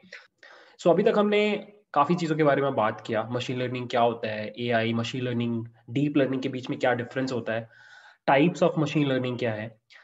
अब हम सिंस आगे बढ़ रहे हैं और धीरे धीरे हम लोग कोडिंग और डेटा को कैसे यूज़ करके मशीन लर्निंग मॉडल्स बनाने इसकी तरफ़ मूव कर रहे हैं। But before that I would like कि आपको एक चीज़ पता हो पहले से और वो है कि आपको क्या क्या चैलेंजेस आगे मिलेंगे। ठीक है? So today's video will be all about challenges in machine learning ठीक है? मैं आपको 10 इंपॉर्टेंट पॉइंट्स बताऊँगा, जो आप आगे के वीडियोस में या फिर अपने करियर में आगे फेस करोगे, जब भी आप कोई मशीन लर्निंग प्रोजेक्ट पे काम कर रहे होगे, ठीक है? तो let's start with today's video so let's start the first point is data collection so we already know machine learning is all about learning from data right अगर डेटा ही नहीं है आपके पास तो फिर what's the point of doing machine learning right so when you do machine learning आपके पास डेटा एटलीस्ट जब आप ये कोर्स कर रहे हो या फिर आप छोटे छोटे प्रोजेक्ट्स बना रहे हो कॉलेज लेवल पे तो आपको डेटा बहुत इजीली मिल जाता है। आपको सी फाइल्स के सी फ़ाइल फॉर्मेट के फॉर्म में डेटा अलग अलग सोर्सेज से मिल जाएगा कैगल से मिल जाएगा, या फिर किसी और वेबसाइट से मिल जाएगा, या प्रोबेबली आपके टीचर्स या आपके सीनियर्स आपको वो डेटा दे देंगे। But when you are doing actual machine learning for some company then data accumulation या फिर data gathering is actually quite difficult in that case what you have to do is you can either you know fetch data from an API और you can do web scraping ये दो famous approaches हैं data को collect करने के लिए but यहाँ पर भी जब आप डेटा कलेक्ट करते हो तो कुछ चैलेंजेस रहते हैं। क्योंकि आप एक कोड को यूज़ करके खूब सारा डेटा किसी और के सर्वर से अपने मशीन पे ला रहे हो, बहुत तरह के गड़बड़ हो सकते हैं। हम ये दोनों तरीके से डेटा गैदरिंग सीखेंगे फ्यूचर में। वहाँ पर मैं आपको बताऊँगा कि क्या क्या प्रॉब्लम्स हो सकती हैं। बट या this step is a problem in machine learning if you don't have readymade data then gathering data is a difficult piece of task okay? The next one is insufficient data, labeled data. So machine learning में एक चीज़ आप gradually सीखोगे कि मान लो अगर आपके पास दो एल्गोरिदम्स हैं आई शो यू मैं क्या बताना चाह रहा हूँ। लेट्स से आपके पास दो एल्गोरिदम्स हैं algorithm A algorithm B and algorithm A is a much better algorithm than algorithm B but algorithm A has got just hundred rows of data whereas algorithm B has got ten lakh rows of data same problem के ऊपर काम कर रहे हैं।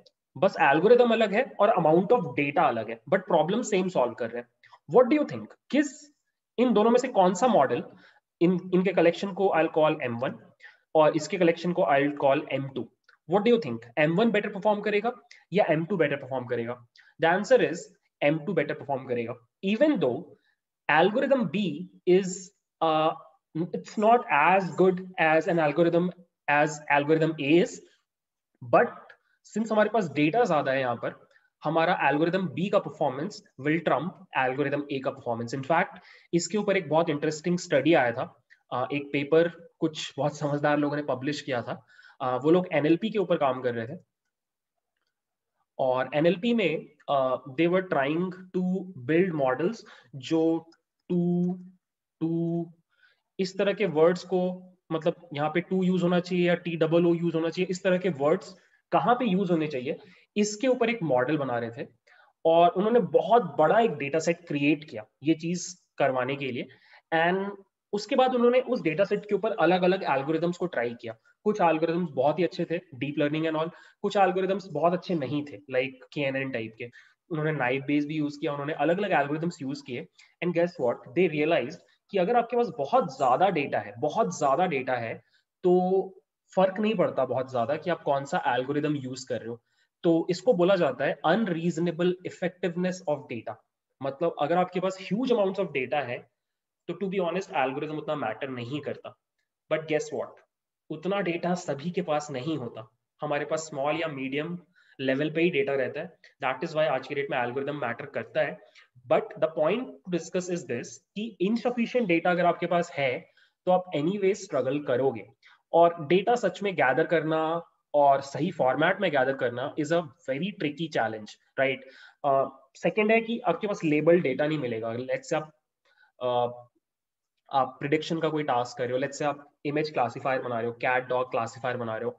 तो आप data collection तो बहुत इजीली कर सकते हो. लेट्स से आप एपीआई uh, किसी का एपीआई यूज़ कर रहे हो. लेट्स से आप uh, बहुत सारे फ्लिकर बोल के एक वेबसाइट है वहाँ पे आपको फ्री में इमेजेस मिल जाते हैं. आप वहाँ से खूब सारे इमेजेस डाउनलोड कर रहे हो या फिर आप गूगल से वेब स्क्रेपिंग कर रहे हो.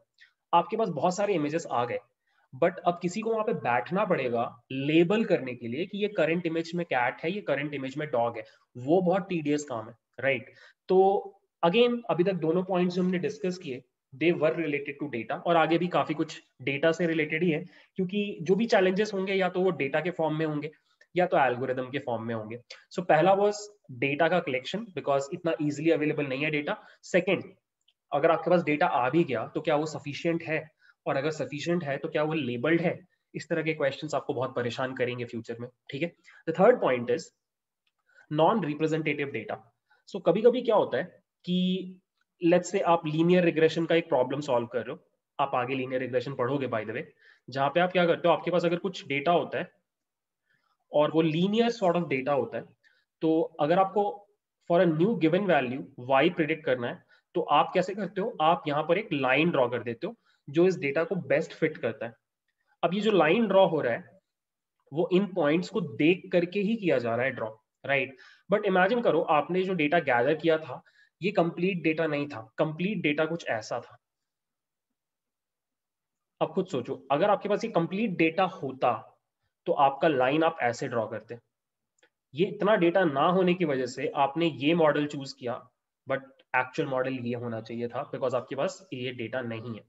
इस प्रॉब्लम को बोला जाता है नॉन रिप्रेजेंटेटिव डेटा मतलब ये हुआ सिंपल वर्ड्स में, कि आप एक मशीन लर्निंग प्रॉब्लम सॉल्व करने जा रहे हो बट आपके पास जो डेटा है, वो आधी कहानी बोल रहा है। और आप आधी कहानी को सुन करके अगर आपको कुछ कंक्लूजन देना है तो ऑब्वियसली आपका कंक्लूजन गलत होगा। I can give you a very intuitive example let's say हम इंडिया में, हमने सर्वे कराना है कि 2021 का टी ट्वेंटी वर्ल्ड कप कौन सी टीम जीतेगी? एंड गेस वॉट मैंने सर्वे इंडिया में कराया। अब अगर मैं इंडिया में सर्वे कराऊँगा तो obviously most of the people would say कि इंडिया जीतेगी। बिकॉज़ हम थोड़े बायस्ड होंगे इंडियन टीम की तरफ़ राइट right? तो कभी कभी क्या होता है कि आप जब डेटा गैदर करने जाते हो तो आप सभी जगह से ना गैदर करके किसी एक जगह से उठा लेते हो। तो प्रॉपर रिप्रेजेंटेशन नहीं होता प्रॉब्लम का। अगर आपको ये पता करना है सर्वे करना है कि कौन सी टीम क्रिकेट वर्ल्ड कप जीतेगी तो आपको सर्वे हर उस कंट्री में करना चाहिए जो टीम खेल रही है। तभी तो आपके पास वैलिड डेटा आएगा। बट आपने सिर्फ़ इंडिया में किया। तो this is poor representation of data और ये आपको परेशान कर सकता है। अगर आपके पास सही से रिप्रेजेंटेटिव डेटा नहीं है it will hamper your performance इसको बोला जाता है सैम्पलिंग नॉइस खेल तो सारी टीम्स रही थी बट क्वेश्चन किससे किया? सिर्फ़ इंडिया से। दिस इज़ सैम्पलिंग नॉइस कभी कभी क्या करते हो, आप सभी जगह से डेटा लाते भी हो, फिर भी गड़बड़ हो जाता है। I give you one example आपने सारी कंट्रीज़ में 200 फैंस से पूछा, कौन क्रिकेट वर्ल्ड कप जीतेगा? फिर भी सबने इंडिया ही बोला। उसका रीजन क्या है कि बाहर की कंट्रीज़ में भी इंडिया वाले बहुत रहते हैं। तो फिर से गड़बड़ हो गई। इसको बोला जाता है सैम्पलिंग बायस कि जब आप बहुत बड़े डेटा के ऊपर भी काम कर रहे हो, तब भी आपने सही से सैम्पलिंग नहीं किया। रिप्रेजेंटेटिव सैम्पलिंग नहीं किया। सबको बराबर मौका नहीं दिया। आपको क्या करना चाहिए था? आपको हंड्रेड इंडियन से पूछना चाहिए था। हंड्रेड पाकिस्तानी से ही पूछना चाहिए था। हंड्रेड ऑस्ट्रेलियन से ही पूछना चाहिए था। उसमें से कोई भी बंदा बाहर वाला इंडियन नहीं होना चाहिए। तो फिर आपके पास सही रिप्रेजेंटेशन आता डेटा का। अगेन मैं एक एग्जांपल दे रहा हूँ। आप जब प्रैक्टिकली इस चीज़ को करोगे तो आप और बेटर इसको समझ पाओगे। बट यस अगर आपके पास डेटा का रिप्रेजेंटेशन में गड़बड़ है तो बहुत गड़बड़ है। आपका एग्ज़ाम मतलब आपका जो रिज़ल्ट है, वो सही नहीं आएगा। ठीक है? The fourth point poor quality data अब this could be a lot of things data में बहुत सारा आउटलायर्स हैं। डेटा में मिसिंग वैल्यूज़ हैं। डेटा में अब्रप्ट वैल्यूज़ हैं।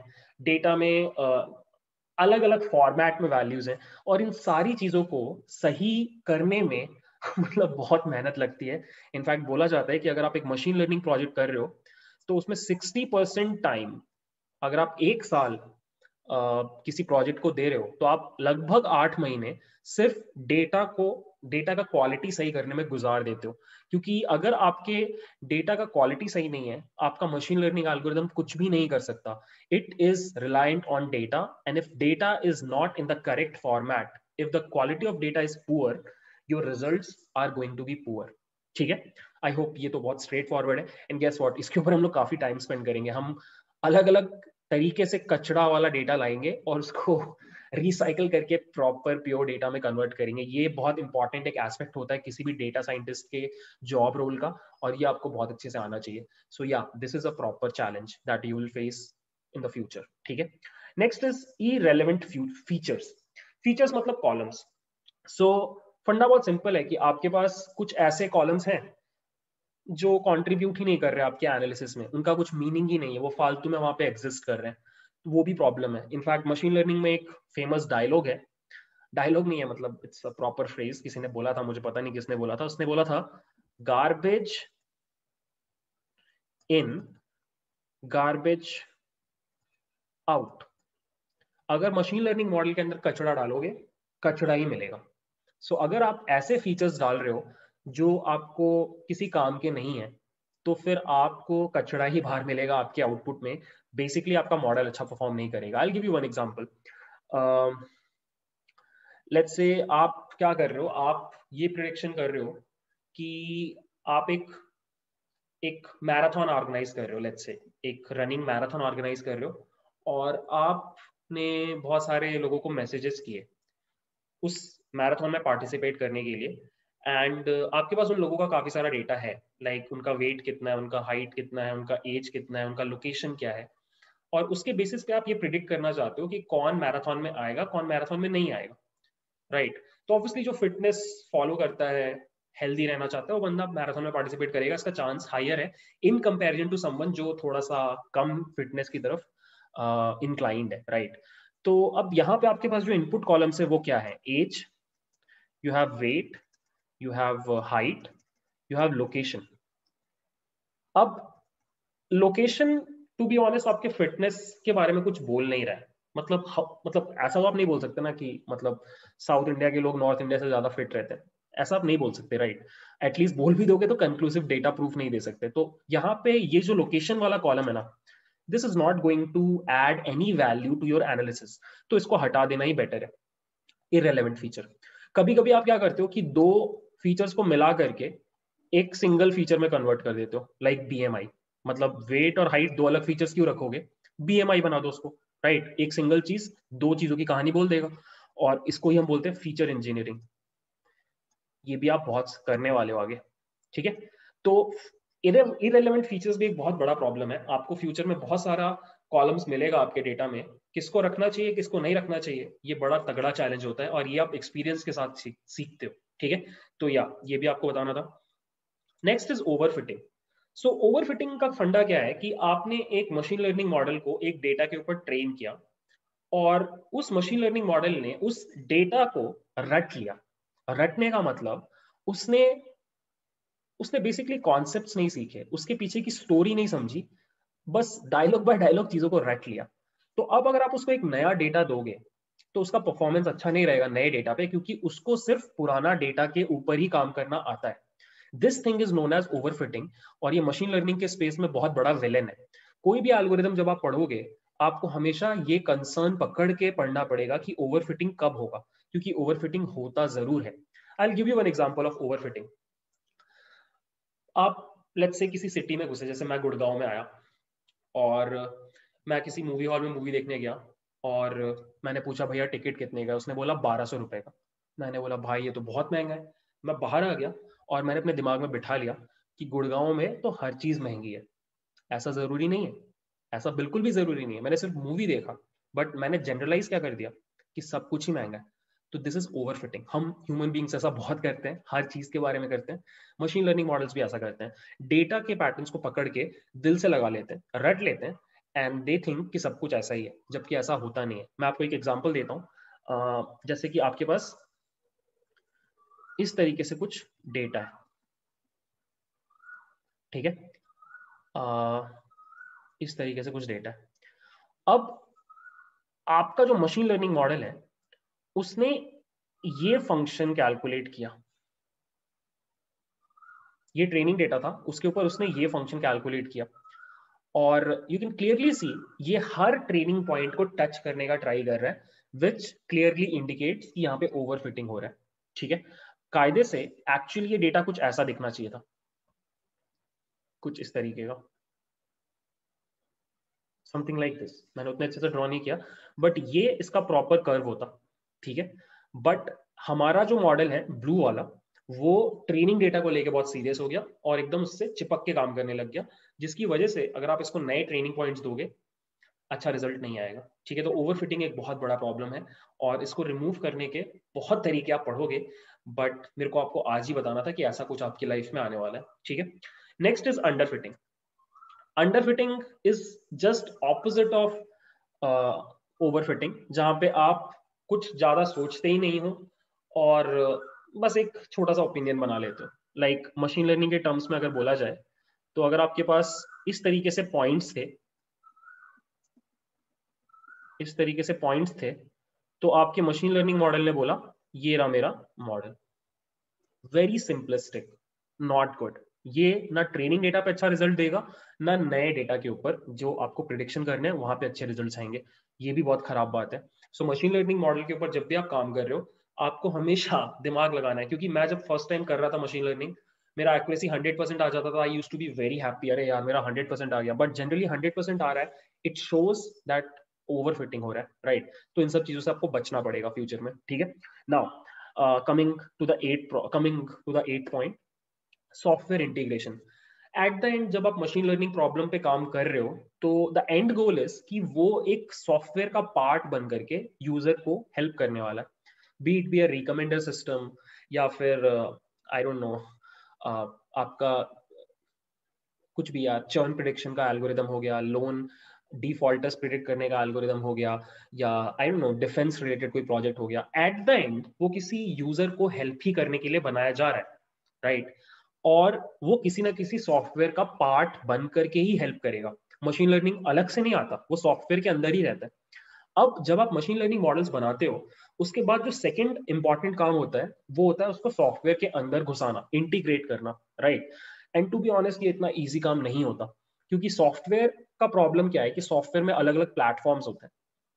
विंडोज़ है एंड्रॉइड है लिनक्स है वॉशिंग मशीन का जावा वाला ओएस है, पुराने ऑपरेटिंग सिस्टम्स हैं डेस्कटॉप के लिए अलग ऑपरेटिंग सिस्टम्स हैं सर्वर के अलग ऑपरेटिंग सिस्टम्स हैं। There are so many platforms right अब you have to make sure actually आप नहीं करते हो बट आपको भी कॉन्ट्रीब्यूट करना पड़ता है इस चीज़ में कि आप सॉफ्टवेयर में इस पूरे अपने मशीन लर्निंग मॉडल को इंटीग्रेट करो। अब आज के डेट में since machine learning is not a very old technology I mean it is a old technology but अभी रिसेंटली फ़ेमस हुआ है तो बहुत सारे सॉफ्टवेयर प्लेटफॉर्म्स उस तरीके से सपोर्ट नहीं करते, जैसे Java Java is such a famous programming language but अभी भी बहुत स्टेबल तरीके से जावा में मशीन लर्निंग नहीं हो पाता। जावा स्क्रिप्ट पूरा का पूरा front end web development JavaScript पे बेस्ड आउट है। अभी रिसेंटली जाके टेंसर फ्लो ने अपना जेएस लाइब्रेरी निकाला है। तो अगर आप किसी वॉशिंग वॉशिंग मशीन में या फिर किसी ड्रोन में मशीन लर्निंग घुसाना चाहते हो या अर्डिनो में मशीन लर्निंग घुसाना चाहते हो, उसके लिए आपको काफ़ी हैकिंग करना पड़ेगा सो so दैट वो मॉडल काम करे। स्टेबल चीज़ें नहीं है अभी। तो सॉफ्टवेयर इंटीग्रेशन डिफ़िकल्ट काम है और एक मशीन लर्निंग मॉडल हर तरह के प्लेटफॉर्म पे सही से काम करे, बहुत ही चैलेंजिंग काम है। Students generally machine learning models बना के खुश हो जाते हैं बट मैं हमेशा उनको बोलता हूँ एंड टू एंड प्रोडक्ट्स बनाओ। प्रोडक्ट मतलब यूज़र उसको यूज़ कर पाए, आपके मॉडल को यूज़ कर पाए। तो उसको वेबसाइट पे कन्वर्ट करो, उसको एंड्रॉइड ऐप में कन्वर्ट करो इफ़ पॉसिबल उसको अर्डिनो पे चला के देखो। डू थिंग्स जो आपकी यूज़र डायरेक्टली यूज़ कर पाए। और ये बहुत चैलेंजिंग काम है आज की डेट में मशीन लर्निंग में आई एम श्योर की अगले पाँच साल, दस सालों में थोड़ा इजी हो जाएगा बिकॉज़ हर प्लेटफॉर्म के लिए लाइब्रेरीज आने लग जाएँगी जो आपस में कंपैटिबल होंगी। ये भी बहुत बड़ा प्रॉब्लम है कि वो लाइब्रेरीज आपस में कंपैटिबल नहीं होती तो आपको हर चीज़ के लिए अलग अलग काम करना पड़ता है। Quite difficult right next is offline learning and deployment offline learning मैंने आपको बताया था कि बैच लर्निंग कहते हैं इसको। मतलब कि आपका मॉडल एक बार ट्रेन होकर सर्वर पे चला जाता है और उसके बाद अपडेट नहीं होता। उसको अगर आपको अपडेट करना है तो वापस नीचे लाओ ऑफलाइन लाओ, नए डेटा पे फिर से ट्रेन करो और फिर से सर्वर पे अपलोड करो। अब ये जो पूरा प्रोसेस है, ये कई परेशानियाँ इसमें मैं last to last video discuss किया था, क्योंकि आप चाहते हो कि कॉन्स्टेंटली आपका मॉडल अपडेट होता रहे सर्वर पे, जिसको हम ऑनलाइन लर्निंग बोलते हैं। वो थोड़ा सा डिफ़िकल्ट है, वो हमने उस वीडियो में देखा था। सेकेंड डिप्लॉयमेंट में बड़ा कॉस्ट लगता है और बहुत मुश्किल होती है।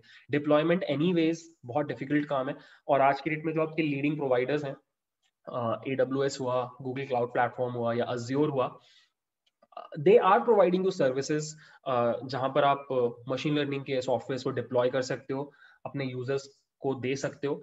बट टू बी ऑनेस्ट अभी भी वो उतना स्टेबल नहीं है जितना सॉफ्टवेयर के लिए चीज़ें अच्छे से काम करती हैं।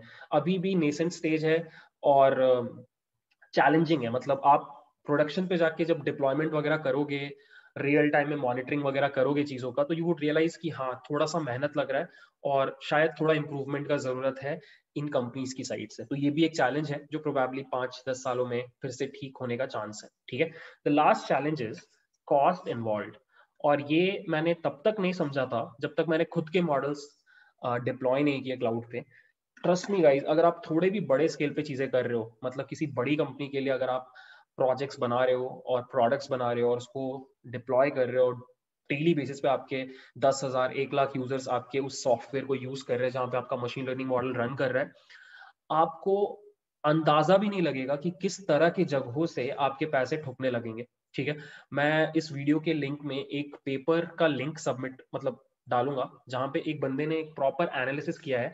उस पेपर का नाम है द कॉस्ट ऑफ़ ए लोग जब मशीन लर्निंग का रिसर्च करते हैं तो बहुत बह जाते हैं और खुशी खुशी में मॉडल्स बनाते हैं, नए ट्रिक्स एंड टेक्निक्स बनाते हैं। बट जब उनको उठा करके सर्वर पे लाया जाता है ना तो इतने सारे हिडन कॉस्ट निकलते हैं ना कि आपका कंपनी आपको बहुत सारी चीज़ों के लिए अलाउ ही नहीं करेगा राइट तो आज की डेट में सिंस मशीन लर्निंग सर्वर पे इज़ अ नेसेंट टेक्नोलॉजी नया है तो सब कुछ अभी ऑप्टिमाइज नहीं है। और वो ऑप्टिमाइज करना भी एक बहुत बड़ा चैलेंज है। तो इस पूरे वीडियो को देखने के बाद एक चीज़ जो मैं चाहूँगा आप सीखो, वो ये है कि जब भी आप मशीन लर्निंग सीख रहे हो ऑलवेज मेक श्योर कि सीखने के बाद एक एक्स्ट्रा स्टेप आप और करो। और वो ये है कि मशीन लर्निंग मॉडल को एक प्रॉपर सॉफ्टवेयर प्रोडक्ट में कन्वर्ट करो। और उस प्रोडक्ट को सर्वर पे डिप्लॉय करके एक्चुअल यूज़र्स को भेजो सो दैट वो उसको यूज़ करें सो दैट आप एक एंड टू एंड प्रोडक्ट को चलाना, बनाना और चलाना, दोनों का एक्सपीरियंस आपके पास हो। और ये सबसे बड़ा चैलेंज है मशीन लर्निंग में आज की डेट में, ठीक है? इनफैक्ट एक बहुत डेडिकेटेड फ़ील्ड भी निकल के आ गई है अब। इसको बोला जाता है एम एल ऑप्स ये एक बहुत फ़ेमस फ़ील्ड अब धीरे धीरे बन रही है मशीन लर्निंग स्पेस में, जैसे डेवॉप्स होता है, जहाँ पे आप सॉफ्टवेयर प्रोडक्ट्स को सर्वर पे डाल के उनका खर्चा वगैरह सब कुछ हैंडल करते हो उसका लोड बैलेंसिंग करते हो उसको डेवॉप्स बोला जाता है डेवलपमेंट ऑपरेशन वैसे ही सेम चीज़ मशीन लर्निंग सॉफ्टवेयर को जब आप सॉफ्टवेयर सर्वर पे रखते हो चलाते हो तो उसको एम एल ऑप्स बोला जाता है मशीन लर्निंग ऑपरेशन और ये खुद में आज के डेट में बहुत ग्रोइंग फ़ील्ड है। सो uh, so इसीलिए मैं आपको सजेस्ट कर रहा हूँ कि थोड़ा सा इन सब चीज़ों के ऊपर भी आपका ध्यान होना चाहिए ठीक है? विद uh, ये डिस्कशन खत्म होता है। और आज हम लोग एक बहुत इंपॉर्टेंट टॉपिक कवर करने जा रहे हैं, जिसका नाम है machine learning development life cycle और ये बहुत इंपॉर्टेंट टॉपिक है let me tell you why अभी तक हमने जितने भी टॉपिक्स कवर किए, वो या तो वाई पे फोकस कर रहे थे, या फिर वॉट पे फोकस कर रहे थे। क्यों? और क्या? इन दो क्वेश्चंस के ऊपर हम फोकस कर रहे थे अभी तक। This will be the first video which will focus on the question how कैसे करना है, ठीक है? सो यहाँ से to be honest first time हम मशीन लर्निंग के हाउ पार्ट में घुस रहे हैं कि मशीन लर्निंग कैसे किया जाता है, ठीक है? और गेस व्हाट ये पर्टिकुलर वीडियो इसलिए भी इंपॉर्टेंट है क्योंकि यहाँ पर हम जो चीज़ें डिस्कस करेंगे ना, इनके बेसिस पर ही आगे के वीडियोस बनेंगे, ठीक है? तो this is like a road map for आगे का पूरा का पूरा वीडियोस ठीक है? आगे के 91 वीडियोस इसी वीडियो से निकलने वाले हैं। तो trust me it's very important ठीक है? So let's focus on this video let's start the discussion okay so before starting let me give you some background कि हम ये टॉपिक क्यों पढ़ रहे हैं।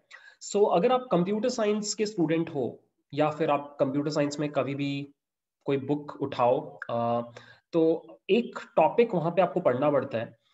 It's called software engineering it's a subject probably आपके सिक्स या सेवन सेम में होता है। और लोगों को बहुत बोरिंग लगता है वो सब्जेक्ट ऑनेस्टली बट वहाँ पर एक टॉपिक रहता है जो आपको पढ़ना होता है और पढ़ना भी चाहिए। इट्स कॉल्ड एस शायद आपने नाम सुना होगा। S D L C stand for software development life cycle so अगर आप किसी कंपनी में हो एज अ सॉफ्टवेयर डेवलपर और आप उस कंपनी के लिए एक सॉफ्टवेयर प्रोडक्ट बना रहे हो तो आपको वो S D L C follow करना पड़ता है। स्टार्टिंग से लेके एंड तक एक सॉफ्टवेयर प्रोडक्ट को कैसे बनाया जाता है, उस चीज़ का गाइडलाइन होता है एस डी एल सी ठीक है? अब सिंस मशीन लर्निंग नया है और अक्रॉस इंडस्ट्री अलग अलग लोग अलग अलग कंपनीज़ में machine learning based software products बना रहे हैं। तो रिसर्चर्स को लगा कि there should be a common pattern procedure process जिसको यूज़ करके हर किसी को एक गाइडलाइन मिल जाए कि ओके मशीन लर्निंग सॉफ्टवेयर ऐसे बनते हैं। And then came this concept it's called M L D L C which stand for machine learning development life cycle जैसे सॉफ्टवेयर डेवलपमेंट लाइफ साइकिल है, बिल्कुल वैसे ही machine learning development life cycle so क्या है machine learning development life cycle it's a set of guidelines जो आपको follow करने होते हैं जब भी आप कोई machine learning based software product बनाते हो. ठीक है? यहाँ पर आपको वो हर गाइडलाइन मिल जाएगा जो आपको आइडिया से लेकर के प्रोडक्ट तक गाइड करेगा. कंप्लीट प्रोसेस आपको बताएगा, ठीक है? And that is why this video is extremely important because we students as beginners what we do is हम एक गलती करते हैं। हमारी गलती क्या होती है कि हम सिर्फ़ मॉडल को ट्रेन करके एक्यूरेसी को निकाल करके छोड़ देते हैं। हमें लगता है हमारा काम हो गया। बट जब आप इंटरव्यूज़ में बैठते हो तो पता चलता है कि ऐसे कैंडिडेट्स को खोजा जा रहा है जिनको एंड टू एंड प्रोडक्ट बनाने का एक्सपीरियंस हो। और जिसको भी एंड टू एंड प्रोडक्ट्स बनाने हैं, उसको ये टॉपिक आना चाहिए, ठीक है? And that is why this topic is important इस टॉपिक में हम जो भी कवर करेंगे इनफैक्ट हम टोटल मिला के नाइन डिफरेंट स्टेप्स कवर करने वाले तो ये जो नौ स्टेप्स है ना, इन्हीं से हम नाइनटी वीडियोस बनाने वाले हैं। तो इसलिए ये बहुत इंपॉर्टेंट वीडियो है इस पर थोड़ा फोकस करेंगे हम लोग। So I am going to discuss nine steps जो M L D L C में आता है। थोड़ा सा टंग ट्विस्टर टाइप का नाम है but there are nine steps अगर आप किसी और वीडियो को रेफर करोगे या कोई टेक्स्ट बुक रेफर करोगे तो हो सकता है वहाँ पे नंबर ऑफ़ स्टेप्स थोड़े कम हो या थोड़े ज़्यादा हो क्योंकि ऐसा प्रॉपरली डिफाइंड नहीं है अभी। Uh, क्योंकि अभी मशीन लर्निंग नया टेक्नोलॉजी है तो सभी लोग एकदम कॉमन बात पे भी अग्री नहीं कर रहे बट कोर आइडिया समझने का ट्राई करना। कोर आइडिया आपको हर जगह सेम मिलेगा। सो so, मैं अगर नौ बता रहा हूँ कोई और दस बता रहा है इट मीन्स द सेम ठीक है? So let's start with M L D L C ठीक है? एक एक करके हम सारे स्टेप्स पढ़ते हैं ठीक है? So the idea is very simple कि आपको एक सॉफ्टवेयर प्रोडक्ट बनाना है जिसमें मशीन लर्निंग हो। It could be anything it could be a recommender system for your website it could be a loan prediction model for your bank it could be user के marks कितने आएँगे इन अ school कुछ भी हो सकता है। किसी भी तरह का सॉफ्टवेयर प्रोडक्ट आप बना रहे हो जिसमें मशीन लर्निंग का यूज़ होने वाला है। तो आप कैसे प्रोसीड करोगे? इसी का डिस्कशन हम लोग स्टार्ट कर रहे हैं। Step one step one is framing the problem मतलब अगर आपको एक चीज़ बनानी है तो आपको सबसे पहले कुछ चीज़ें डिसाइड करनी होती हैं, ठीक है? तभी आप आगे बढ़ते हो, क्योंकि आप स्कूल प्रोजेक्ट नहीं बना रहे, आप कॉलेज प्रोजेक्ट नहीं बना रहे, आप एक कंपनी के लिए काम कर रहे हो और वो कंपनी अपने क्लाइंट्स को सर्व कर रही है या फिर अपने कस्टमर्स को सर्व कर रही है, वहाँ पर आप ऐसे नहीं कर सकते कि आपने बस स्टार्ट कर दिया मिड वे आपने रियलाइज़ किया कि अरे अरे, कुछ गलत हमने सोच लिया था, कुछ फिर से स्टार्ट करते हैं। You can not do so because वहाँ पे खर्चा लग रहा है। तो while starting it's your responsibility कि आप अपने प्रॉब्लम को एकदम करेक्टली फ्रेम करो, ठीक है? यहाँ पर ही आप डिसाइड करते हो कि एग्जैक्टली exactly प्रॉब्लम क्या है, क्या सॉल्व करना है, आपके कस्टमर्स कौन है, खर्चा कितना लगेगा, कितने लोगों की टीम चाहिए एंड प्रोडक्ट कैसा दिखाई देगा, आपको जो मशीन लर्निंग मॉडल इंप्लीमेंट करना है, वो सुपरवाइज्ड है अनसुपरवाइज्ड है। आपको जो मशीन लर्निंग मॉडल इंप्लीमेंट करना है वो ऑफलाइन मोड में चलेगा या बैच मोड में चलेगा। किस तरह के एल्गोरिदम्स यूज़ करने से आपको हेल्प होगा? आपका डेटा कहाँ से आएगा? इस तरह के सारे क्वेश्चन आप इस स्टेज पे आंसर करने का ट्राई करते हो so that you get a mental idea कि ओके okay, आगे मुझे क्या करना है ठीक है? ये सब कुछ जब आप प्रॉपरली कर लेते हो फ्रेमिंग द प्रॉब्लम जब आप प्रॉपरली कर लेते हो then only you proceed on to the second stage which is gathering the data see अगर मशीन लर्निंग के प्रोजेक्ट के ऊपर काम कर रहे हो तो डेटा तो चाहिए। Without data machine learning is not possible अब डेटा जैसे हम लोगों के केस में बहुत इजी रहता है when we are doing projects at college level और स्कूल लेवल हमारा डेटा हमें कैगल से मिल जाता है या फिर हमें कोई दिला देता है या फिर हम इंटरनेट पे कहीं से डाउनलोड कर लेते हैं। बट कंपनीज़ के केस में ऐसा नहीं रहता। Data could be very specific और इतना इजीली अवेलेबल नहीं रहता। सो so, मैंने आपके साथ शायद डिस्कस भी किया था कि डेटा अलग अलग सोर्सेज से आ सकता है। या तो आपको डायरेक्टली मिल जाए सीएसवी फाइल्स तब तो कोई प्रॉब्लम ही नहीं है। बट कभी कभी क्या होता है कि आपको किसी एपीआई से डेटा उठाना पड़ता है। मतलब आप किसी एपीआई पे हिट करके पाइथन कोड लिख करके डेटा फेच करते हो जेसॉन फॉर्मेट में और उस जेसॉन फॉर्मेट को आप अपने हिसाब से, अपने पसंदीदा फॉर्मेट में कन्वर्ट करते हो, जो कि जनरली सीएसवी फ़ाइल होता है। कभी कभी क्या होता है कि आपका डेटा पब्लिकली अवेलेबल नहीं रहता किसी वेबसाइट में तो उस in that case what you do is you do web scraping आप उस वेबसाइट का डेटा स्क्रेप करते हो। जैसे कि ट्रेवागो डॉट कॉम एक वेबसाइट है जहाँ पे होटल्स का डिटेल मिलता है। तो what they do is they web scrape the data अलग अलग होटल्स की वेबसाइट से वो डेटा फेच करते हैं। पाइथन कोड के थ्रू वेब स्क्रीपर चला के ठीक है? या फिर आपने ये सब देखा होगा uh, बहुत सारी वेबसाइट्स होती हैं जो अलग अलग ई कॉमर्स वेबसाइट्स पे प्रोडक्ट का प्राइस कितना है, ये हमेशा डायनेमिकली आपको फेच करके दिखाती है। तो वहाँ भी वेब स्क्रेपिंग हो रहा है, ठीक है? कभी कभी क्या होता है कि आपका डेटाबेस में आपका डेटा होता है बट आप डायरेक्टली इस डेटाबेस के ऊपर मशीन लर्निंग मॉडल्स नहीं चला सकते, क्योंकि ये रनिंग डेटाबेस है। यहाँ पे कुछ गड़बड़ हुआ तो आपका वेबसाइट डाउन हो सकता है। तो आप क्या करते हो, इससे एक डेटा वेयरहाउस बनाते हो, शायद आपने कभी नाम भी सुना होगा। यहाँ पर एक चीज़ यूज़ होती है E T L extract transform load ये सब हम आगे पढ़ेंगे।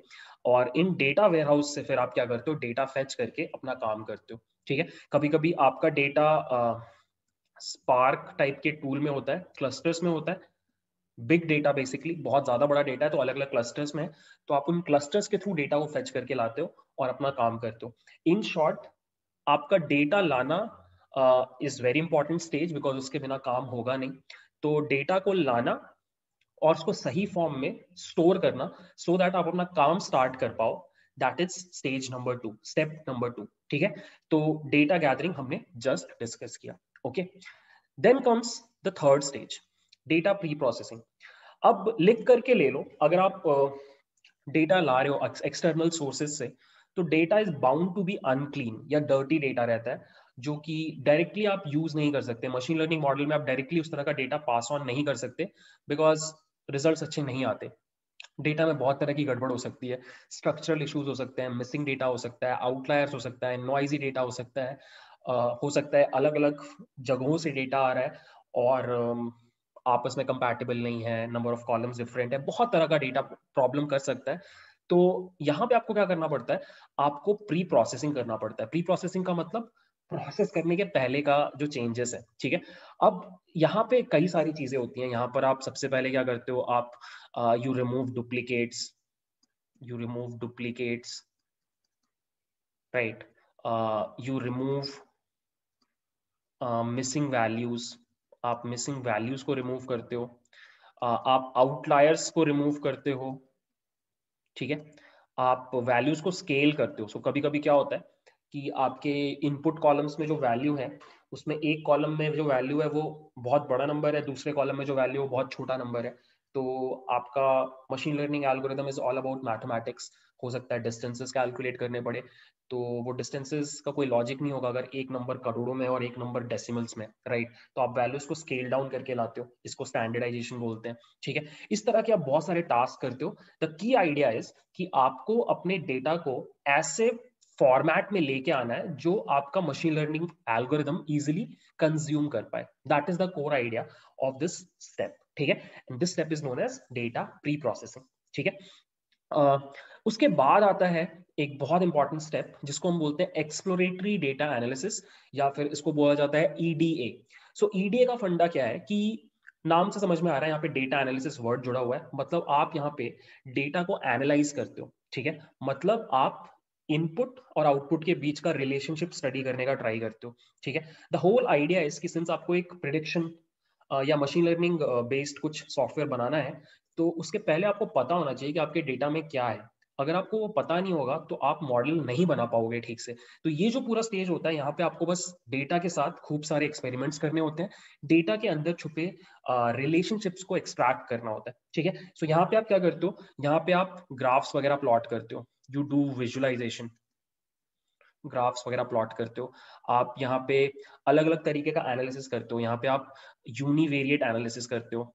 यूनिवेरिएट एनालिसिस का मतलब है हर कॉलम के ऊपर इंडिपेंडेंट एनालिसिस करते हो हर कॉलम में मीन कितना है स्टैंडर्ड डेविएशन कितना है आ, किस तरह का कर्व फॉलो कर रहा है ठीक है? फिर आप बाई वेरिएट एनालिसिस करते हो मतलब आप दो कॉलम्स को साथ में रख करके एनालाइज करते हो कि उनके बीच में कैसा रिलेशनशिप है। कभी कभी आप मल्टी वेरिएट एनालिसिस करते हो, जहाँ पे आप तीन चार कॉलम्स को एक साथ एनालाइज करते हो, ठीक है? सो so दैट आपको उनके बीच का रिलेशनशिप समझ में आए, ठीक है? यहीं पर आप क्या करते हो? आप, यहाँ पर भी आप आउटलायर डिटेक्शन का कोड लिखते हो। यहाँ पर भी आप आउटलायर डिटेक्शन करते हो, ठीक है? और, यहाँ पे आप इम्बैलेंस्ड अगर आपका डेटा है तो उसको बैलेंस डेटा सेट में कन्वर्ट करने का ट्राई करते हो इनबैलेंस डेटा सेट का मतलब है कि अगर आपको let's say image classification problem आप सॉल्व कर रहे हो डॉग वर्सेस कैट आपको इमेज क्लासिफाई करना है तो आपके पास कैट्स के बहुत ज़्यादा इमेजेस हैं डॉग्स के इमेजेस बहुत कम है तो this is imbalanced data set तो इसको आप हैंडल करते हो, ठीक है? तो द होल आइडिया इज़ कि आप इस स्टेज में अपने डेटा के बारे में एक कंक्रीट आइडिया अपने दिमाग में बिठाते हो सो so दैट आगे के स्टेप्स में आपको आसानी हो। क्योंकि सिंपल सी बात है, अगर आप कोई चीज़ करने जा रहे हो तो पहले आपको उसके अंदर का फंडामेंटल समझ होना चाहिए। तो ये ईडीए वाला स्टेप इसीलिए बहुत इंपॉर्टेंट हो जाता है। एंड uh, बहुत लोग इसके ऊपर टाइम स्पेंड करते हैं काफ़ी ज़्यादा क्योंकि जितना ज़्यादा टाइम आप यहाँ पे स्पेंड करते हो उतना आपका आगे का काम ईजी हो जाता है। आपने शायद वो uh, मुहावरा सुना होगा कि अगर आपको एक पेड़ काटना है छह घंटे में तो आपको चार घंटे अपना जो आरी है या जो भी होता है, जो कटिंग टूल है, उसको शार्पन करने में स्पेंड करना चाहिए। क्योंकि अगर आप जितना ज़्यादा टाइम वहाँ पे स्पेंड करोगे तो पेड़ काटने में आपको उतना कम मेहनत लगेगा राइट तो यहाँ पे वही फंड है कि अगर आपको एक मशीन लर्निंग बेस्ड मॉडल बनाना है तो उसके पहले डेटा के बारे में जितना जानना चाहो, जान लो। सो दैट आगे फिर आपको जब डिसीज़न मेकिंग करना पड़े चीज़ों को लेकर के तो वो ईजी हो जाए क्योंकि आपको डेटा का बहुत अच्छा समझ हो चुका है ठीक है? तो आई होप आपको ये फोर्थ स्टेप भी समझ में आ रहा है। Next step is feature engineering and selection so features मतलब इनपुट कॉलम्स ठीक है? मैंने आपको ये बात पहले भी बताई है uh, कि दो चीज़ें होती हैं इनपुट और आउटपुट तो इनपुट जो होता है उसको फीचर बोलते हैं। और फीचर्स बहुत इंपॉर्टेंट होते हैं क्योंकि जो आपका आउटपुट होता है वो इनपुट के ऊपर ही डिपेंड करता है राइट तो फीचर इंजीनियरिंग का आइडिया क्या है कि आप कभी कभी कुछ नए कॉलम्स क्रिएट करते हो अपने हिसाब से सो so दैट आपके एनालिसिस में थोड़ा सा ईजी हो जाए। जैसे एक एग्ज़ाम्पल है कि मान लो आप हाउस प्राइस डिटेक्शन का मशीन लर्निंग मॉडल बना रहे हो और आपके पास इनपुट में है स्क्वायर फीट में area number of rooms number of bathrooms और मान लो स्क्वायर फीट नहीं है, सिर्फ़ आपके पास नंबर ऑफ़ रूम्स है नंबर ऑफ़ वॉशरूम्स है लोकेलिटी है, उस तरह का डेटा है। तो आप क्या करोगे, आप नंबर ऑफ़ रूम्स और नंबर ऑफ़ वॉशरूम्स को हटा दोगे और उसके बदले एक सिंगल नया कॉलम क्रिएट कर दोगे स्क्वायर फीट बोल के, जो एक्चुअली इन दोनों का ही रिप्रेजेंटेशन है। बट फ़ायदा क्या हुआ कि अब आपके पास दो कॉलम के बदले एक ही कॉलम है। तो this is called feature engineering where you you create new features ठीक है? या फिर आप एग्जिस्टिंग फीचर्स में कुछ इंटेलिजेंट चेंजेस करते हो, जिससे आपका एनालिसिस बहुत ईजी हो जाता है। इस पूरी चीज़ के ऊपर हम तीन चार वीडियो शूट करेंगे because this is one of the most important techniques that people use in this entire workflow ठीक है? Then there is something called feature selection so कभी कभी क्या होता है कि आपके पास बहुत ज़्यादा फीचर्स होते हैं like hundred two hundred type के फीचर्स होते हैं, वहाँ पे आपको क्या करना पड़ता है कि आप सारे के सारे फीचर्स को लेके आगे नहीं बढ़ सकते बिकॉज़ उसके दो रीजन है। पहला रीजन ये है कि इतने ज़्यादा features first of all helpful होते ही नहीं है। ज़रूरी नहीं है कि हर इनपुट आउटपुट को इम्पैक्ट करता हो। तो आपको क्या करना होता है कि वो चीज़ें जो आपके आउटपुट को इम्पैक्ट नहीं कर रही, उस तरह के कॉलम्स को, उस तरह के फीचर्स को आपको हटाना होता है। तो आप फीचर्स सेलेक्ट करते हो। और सेकंड रीजन ये भी होता है हटाने का कि जितने ज़्यादा कॉलम्स होंगे, उतना ज़्यादा टाइम लगता है आपके मॉडल को ट्रेन करने में, ठीक है? तो वो टाइम भी आप रिड्यूस करना चाहते हो। तो फीचर इंजीनियरिंग और feature selection is something that is very very crucial very very important in this flow और इसके ऊपर हम लोग कुछ पाँच, छह वीडियोस हम लोग कवर करेंगे फ्यूचर में, ठीक है? अलग अलग टेक्निक्स होती हैं, मैं आपको अलग अलग टेक्निक्स बताऊँगा। इस पॉइंट पे बस आप समझ लो कि इनपुट कॉलम्स को अलग ढंग से चेंज करना या फिर उनमें से कुछ इंपॉर्टेंट कॉलम्स को बाहर निकाल लेना that is known as feature engineering aids and feature selection ठीक है? Okay now once you are sure about your data आपने डेटा को एकदम क्लीन कर लिया है, आपने अपने सारे अच्छे फीचर्स बना भी लिए हैं तो अब आप एकदम रेडी हो अपना मॉडल ट्रेन करने के लिए, ठीक है? तो अब आप क्या करते हो कि आप अलग अलग एल्गोरिदम्स को लाते हो। मशीन लर्निंग में अलग अलग एल्गोरिदम्स हैं। आप अलग अलग टाइप के एल्गोरिदम्स को लाते हो और सभी को अपना डेटा देके उन एल्गोरिदम्स को ट्रेन करते हो, ठीक है? जनरली कोई भी ऐसा नहीं करता कि सिर्फ़ एक एल्गोरिदम को ट्रेन कर रहा है, क्योंकि टू बी ऑनेस्ट ऐसा सबको पता है कि कोई एक एल्गोरिदम किसी एक तरीके की डेटा के लिए अच्छा होता है but you never know actually कि कौन सा एल्गोरिदम कितना अच्छा निकले किसी पर्टिकुलर डेटा के लिए। मतलब मैं क्या बोल रहा हूँ, जैसे नाइफ बेस बोल के एक एल्गोरिदम है, जो टेक्स्ट डेटा पे बहुत अच्छा परफॉर्म करता है। बट फिर हो सकता है कि कोई और एल्गोरिदम भी अच्छा परफॉर्म कर जाए। सो यू नेवर नो आपके पास ये सारे टूल्स अवेलेबल हैं। आपका काम क्या होता है कि सबको चला के देख लो और फिर डिसाइड करो कि कौन सा यूज़ करना है। ठीक है?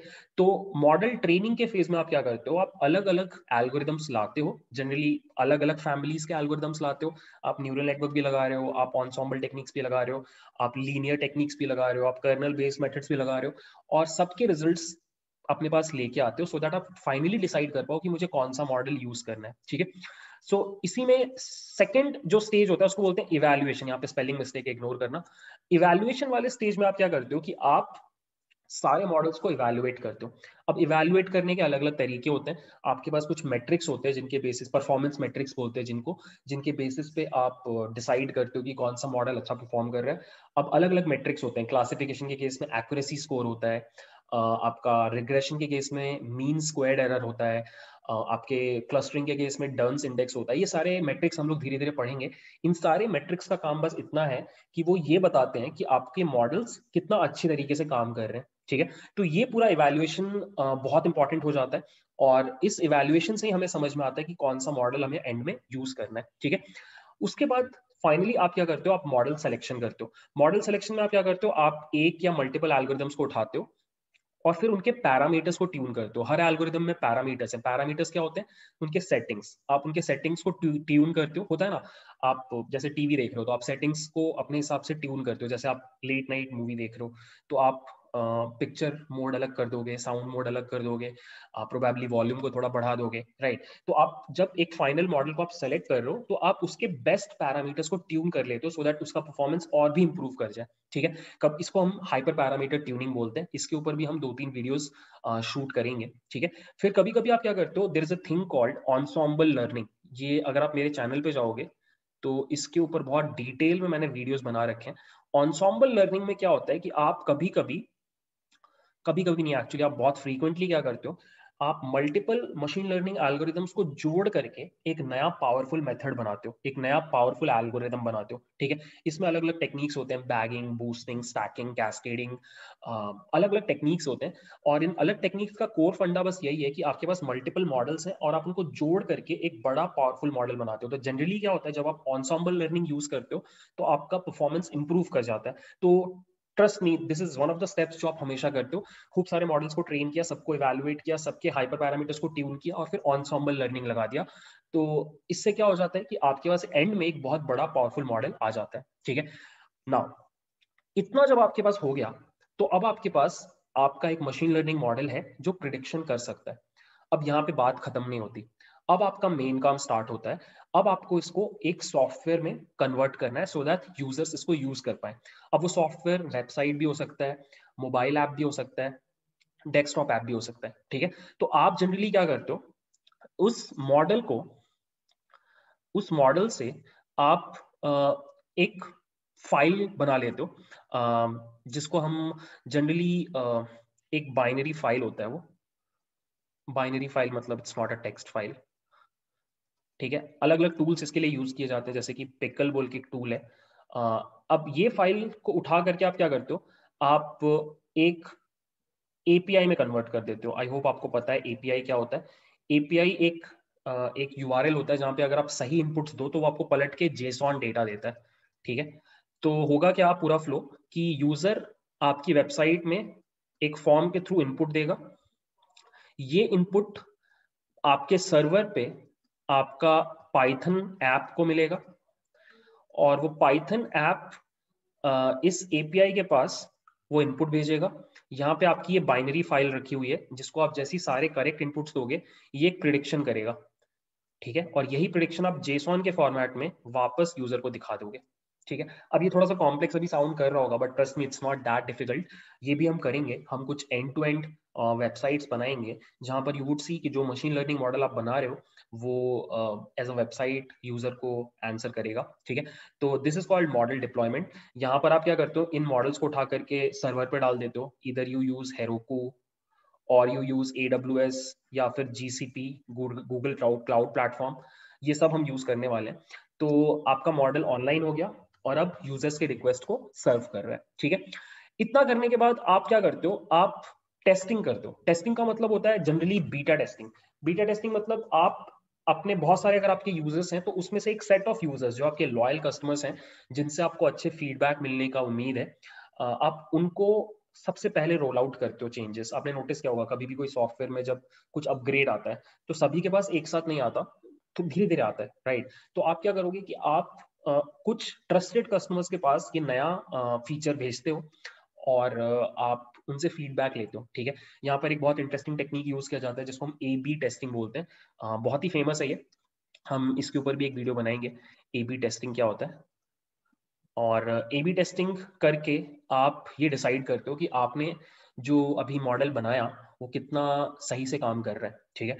अगर वो बहुत अच्छा काम कर रहा है तो तो बहुत अच्छी बात है। अगर कुछ गड़बड़ हुआ तो आप ये पीछे वाले स्टेप्स रिपीट करते हो, ठीक है? ऑब्वियसली आपके पास हो सकता है डेटा खराब हो, या फिर हो सकता है आपने प्री प्रोसेसिंग सही से नहीं की हो, या फिर आपका फीचर सिलेक्शन खराब है, या फिर आपने जो एल्गोरिदम इंप्लीमेंट किया, उसमें कुछ गड़बड़ है। तो किसी भी स्टेज में गड़बड़ हो सकता है, आप जाकर के वापस सारे स्टेप्स को फिर से करते हो। बट अगर आपका मॉडल सही है, आपको सही फीडबैक मिल रहा है आपके कस्टमर से तो आप आगे बढ़ते हो, और आगे बढ़ने का मतलब है अपने पूरे के पूरे प्रोसेस को ऑप्टिमाइज करना, ठीक है? मतलब आप क्या करते हो? नेक्स्ट स्टेप लास्ट स्टेप जो है ऑप्टिमाइज वहाँ पे आप क्या करते हो? सर्वर पे आ, आप एट स्केल अपने मॉडल को लॉन्च करते हो सारे कस्टमर्स के लिए और ऐसा करने के पहले आप कुछ सीरीज़ ऑफ़ स्टेप्स करते हो जैसे कि आप अपने मॉडल का बैकअप लेते हो विच इज़ क्वाइट इंपॉर्टेंट आप अपने डेटा का बैकअप लेते हो which is again quite important आप ये करते हो कि अगर आपका मॉडल फट गया या कुछ गड़बड़ हुआ तो आप रोल बैक करके दोबारा से उसको लाइव कर दो। इस तरह के ऑटोमेशन सेटअप करते हो अपने सर्वर पे आप लोड बैलेंसिंग वगैरह हैंडल करते हो कि अगर बहुत ज़्यादा लोग आ रहे हैं तो मैं कैसे उन लोगों को डिवाइड करके सेम या बहुत कम टाइम में रिक्वेस्ट सर्व कर पाऊँ? फिर आप डिसाइड करते हो कि मुझे कितना फ्रीक्वेंटली मॉडल को रीट्रेन करना है क्योंकि अगर आप मॉडल को रीट्रेन नहीं करोगे तो हो सकता है धीरे धीरे आपका मॉडल खराब परफॉर्म करने लग जाए। ऐसा बहुत होता है। आ, इसको बोलते हैं rotting R O double T I N G मतलब जैसे जैसे टाइम पार होता है, आपका मॉडल का परफॉर्मेंस खराब होता है क्योंकि आपका डेटा इवॉल्व करने लग जाता है। लेट से आप एक मास्क डिटेक्शन सिस्टम बना रहे हो तो आपको बस ये डिटेक्ट करना है कि सामने वाले बंदे ने मास्क पहना है कि नहीं। अब अलग अलग तरीके के मास्क आने लग गए जैसे एक मास्क आने लग गया जिसमें नीचे वाला पार्ट बिल्कुल चेहरे जैसा लगता है। तो ऑब्वियसली हमारा क्लासिफिकेशन फेल करने लग जाएगा उसके ऊपर। तो हमें फिर नया डेटा चाहिए और हमें फिर से ट्रेन करना पड़ेगा अपने मॉडल को। तो ये ट्रेनिंग कितना फ्रीक्वेंटली होगा, इसके आपको फ्रीक्वेंसी डिसाइड करनी पड़ेगी। वीकली करना है पर मंथ करना है और इस पूरी चीज़ को ऑटोमेटेड करना पड़ेगा क्योंकि आप ऐसा नहीं कर सकते कि हर बार जाकर के हर हफ़्ते पूरी चीज़ को रिपीट कर रहे हो, ठीक है? और आप चाहोगे कि हर उस जगह पे जहाँ पे थोड़ा भी खर्चा हो रहा है एक्स्ट्रा उसको आप ऑप्टिमाइज करो और पूरे प्रोसेस को एकदम परफेक्ट बना के रखो, ठीक है? So this is the entire flow guys यही करते हो जब आप एक मशीन लर्निंग प्रोजेक्ट के ऊपर काम कर रहे हो। Uh, हमने आपको नौ स्टेप्स बताए। Uh, यही नौ स्टेप्स आपको फॉलो करने हैं रफली और आज हम लोग पढ़ने वाले हैं what are the various job roles that are available in the field of data science and machine learning ठीक है? So as a beginner when I was searching for jobs in this field things were very confusing in fact आपके लिए भी ये same problem होगा।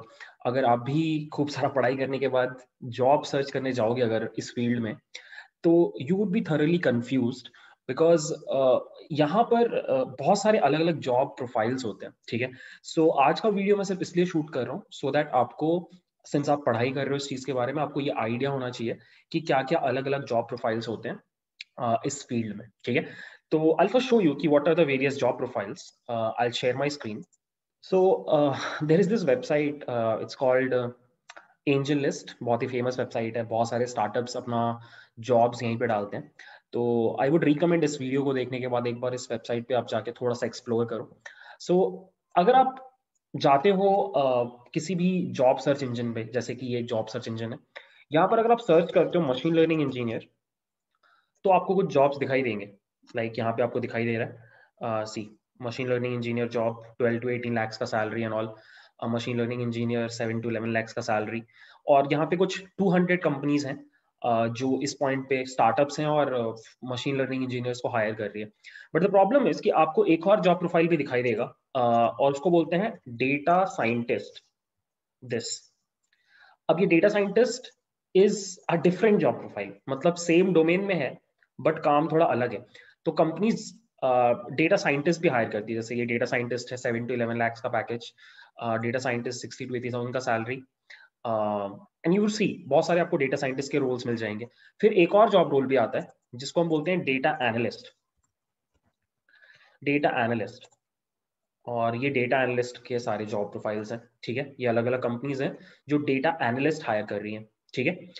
अब एक और लास्ट में आता है data engineer this is data engineer this is different from other three ठीक है? दिस इज़ डेटा इंजीनियर का job profile so when I was a beginner और मैं जॉब्स देख रहा था तो आई गॉट कंफ्यूज कि यार, मुझे मशीन लर्निंग इंजीनियर बनना है या डेटा साइंटिस्ट बनना है या डेटा इंजीनियर या फिर डेटा एनालिस्ट बनना है।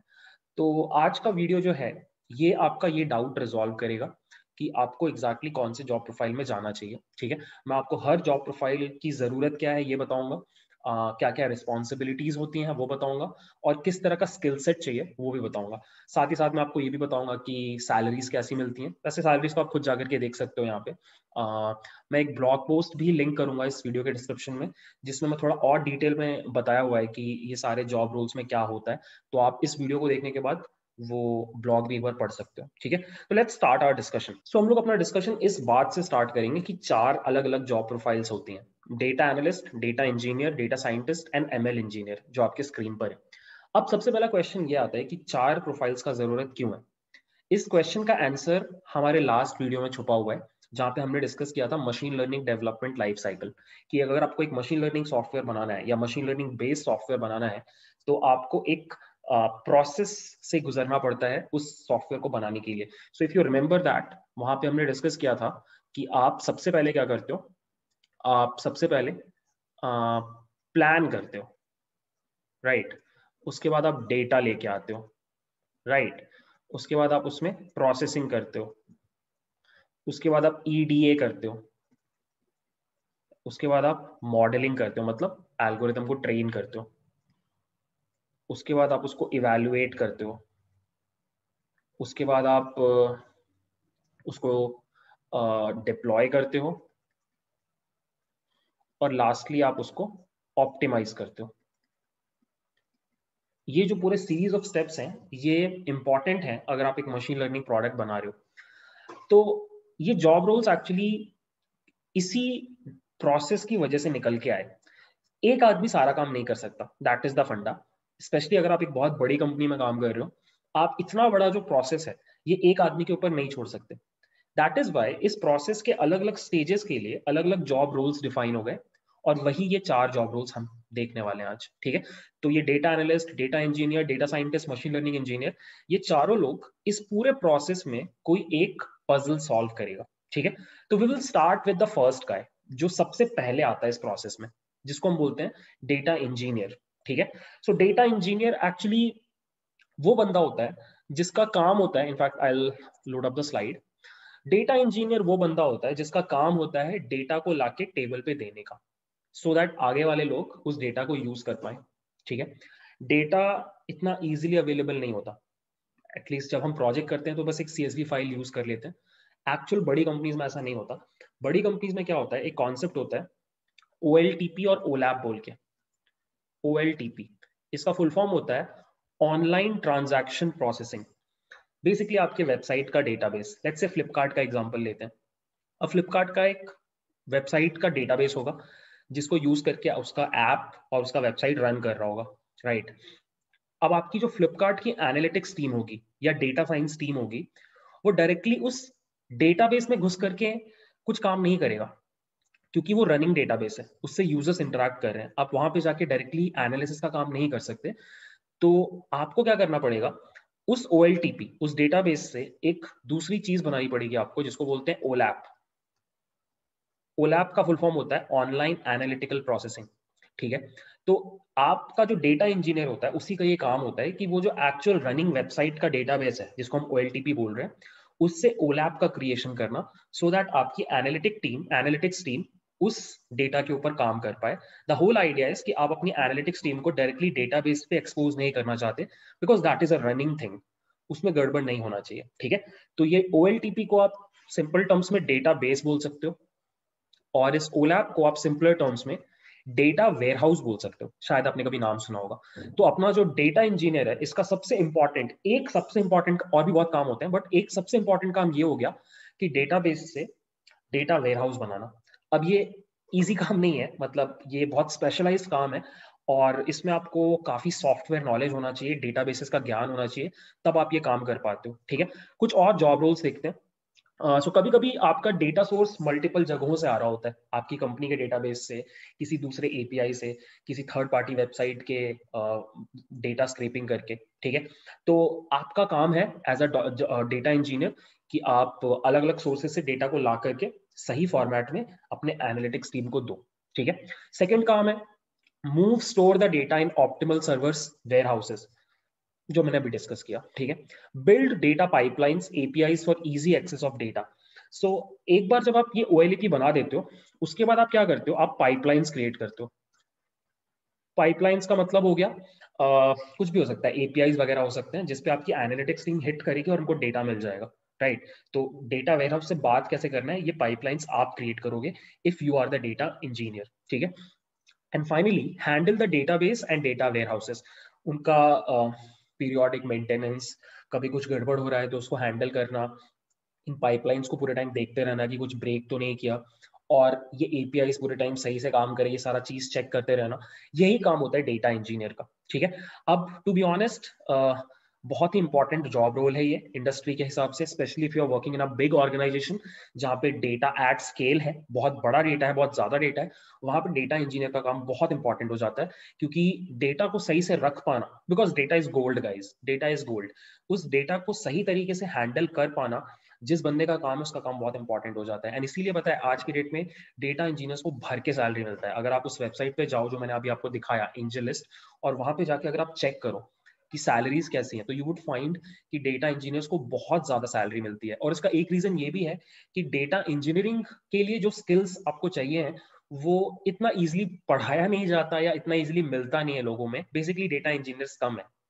और ये जॉब रोल बहुत इंपॉर्टेंट है। तो जो भी लोग हैं, उनको अच्छा खासा सैलरी मिलता है। ठीक है? अगर आप पूछो कि स्किल्स क्या क्या चाहिए डेटा इंजीनियर बनने के लिए तो दीज आर द स्किल्स ये बंदा एक ऐसा बंदा है जिसको सॉफ्टवेयर अच्छे से आना चाहिए। This guy is a proper software developer जिसको बैक एंड और डेटा बेसिस और सर्वर का पूरा नॉलेज हो, ठीक है? तो the first thing that you need in order to become a great data engineer is you should have a great you should have a strong grasp of algorithms and data structures because आप at scale handle कर रहे हो चीज़ों को आपको data structures and algorithms का ज्ञान होना चाहिए, ठीक है? Second you should also learn some programming languages ठीक है? जावा आर पाइथन स्केला इनमें से कोई भी आप यूज़ कर सकते हो, एक से ज़्यादा आता है, बहुत बढ़िया बात है, ठीक है? एडवांस डीबीएमएस आपको अलग अलग डेटा का फ्लेवर होना चाहिए बोथ सीक्वल नो सीक्वल ठीक है? Next big data tools obviously अगर आप बड़ी कंपनी में काम कर रहे हो तो you are going to work with big data और बिग डेटा को हैंडल करने का तरीका कंप्लीटली अलग होता है। You need big data tools ठीक है? Like Apache Spark Hadoop Kafka या हाइव ठीक है? Next is you should also have good experience with cloud platforms like AWS and GCP Google cloud platform या फिर अज्योर ठीक है?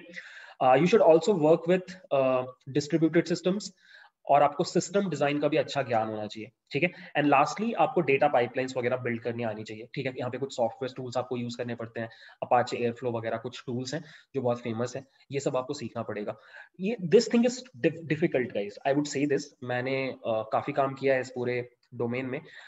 डेटा uh, इंजीनियरिंग वाला पार्ट ही मुझे सबसे डिफ़िकल्ट लगता है because this is hardcore software मतलब एक सॉफ्टवेयर का बंदा इसको अच्छे से कर सकता है। और आपको एट स्केल चीज़ें हैंडल करनी चाहिए, वो बहुत डिफ़िकल्ट काम होता है। तो this thing is something this is something जिसमें आप तब घुसो जब आप बहुत पैशनेट हो सॉफ्टवेयर को लेकर के। ये डेटा के अंदर का फ़ील्ड है बट डेटा साइंस से रिलेटेड नहीं है उतना, ठीक है? So anyways let's move on to the second guy which is data analyst अब अगर आपको याद होगा डेटा साइंस का जो लाइफ साइकिल था machine learning development life cycle जो था, उसमें स्टेज वन था गैदरिंग डेटा जो कौन करके दे रहा है? डेटा इंजीनियर अब जब डेटा आपके पास आ गया तो अब सबसे पहले आपको क्या करना होता है? उस डेटा के ऊपर एनालिसिस करना होता है डेटा को क्लीन करना होता है और फिर आपको यू नो रिपोर्ट्स बनाने होते हैं। जो भी आपने सीखा, जो भी आपने पाया अपने डेटा एनालिसिस के प्रोसेस में, उसको लोगों को बताना होता है सो so दैट लोग उससे सीख करके आगे के मॉडल्स बना पाए।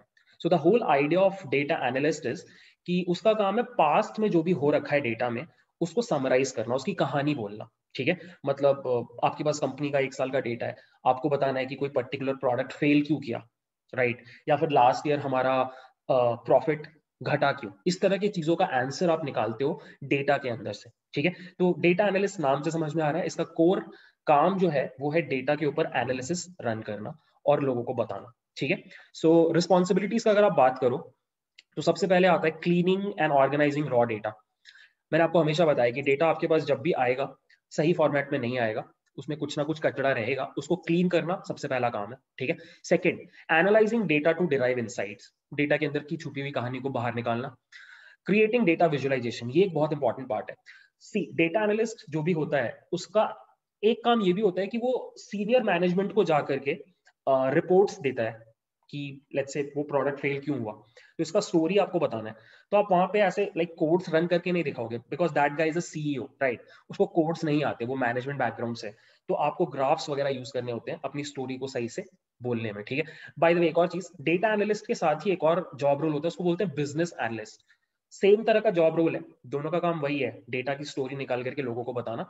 डेटा एनालिस्ट थोड़ा इंजीनियरिंग बेस्ड रोल है, और बिज़नेस एनालिस्ट थोड़ा मैनेजमेंट बेस्ड रोल है मतलब इंजीनियरिंग करके घुसोगे डेटा एनालिस्ट बनोगे एमबीए करके घुसोगे बिज़नेस एनालिस्ट बनोगे। कोर आइडिया सेम है टूल्स थोड़े से अलग हो जाते हैं। यहाँ पे आप पाइथन ज़्यादा यूज़ करते हो कोड्स ज़्यादा लिखते हो वहाँ पे आप कुछ अलग टूल्स यूज़ करते हो टैबल्यू टाइप का या आ, कुछ और टूल्स होते हैं। बी आई बोल के एक माइक्रोसॉफ्ट बी आई बोल के एक टूल होता है वो आप यूज़ करते हो ठीक है?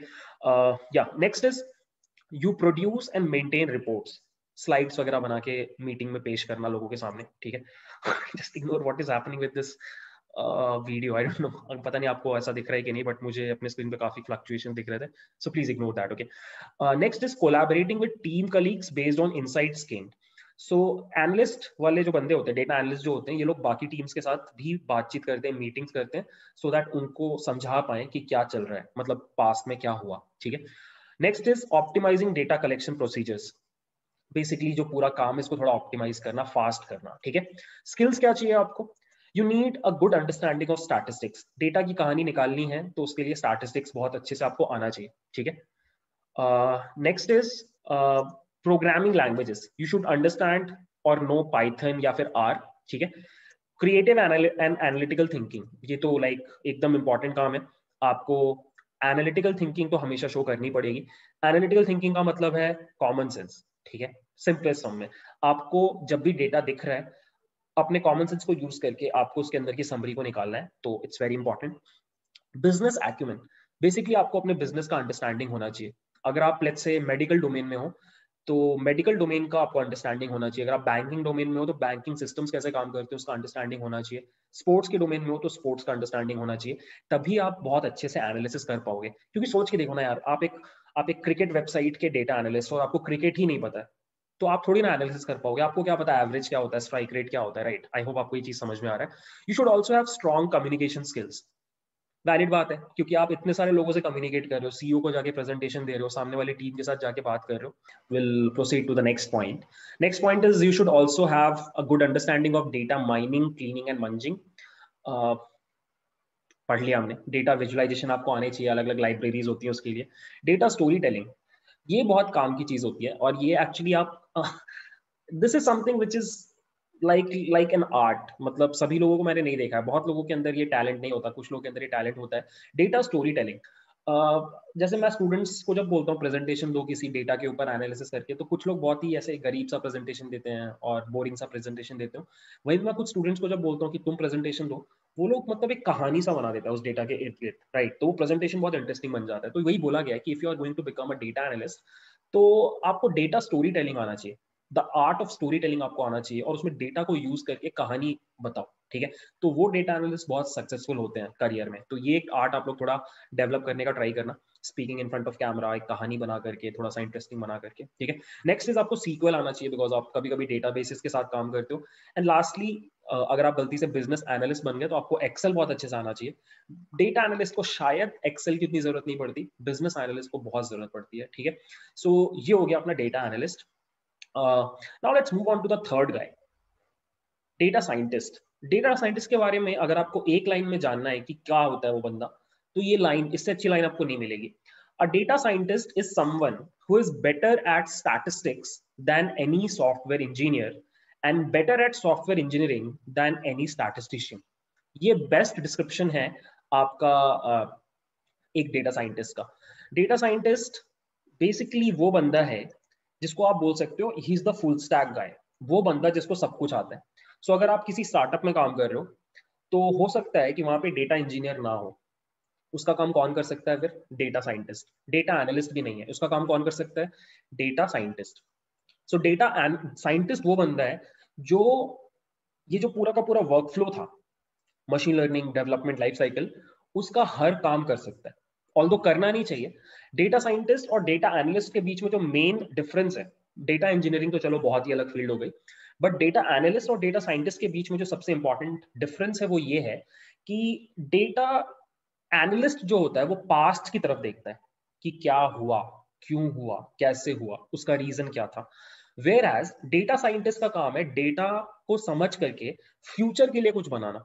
जैसे कि मुझे अपना एमेजोन पे सेल्स uh, बढ़ाने हैं तो उसका एक तरीका क्या है? मैं एक रिकमेंडेशन इंजन डालूं तो रिकमेंडेशन इंजन बनाने जा रहा है।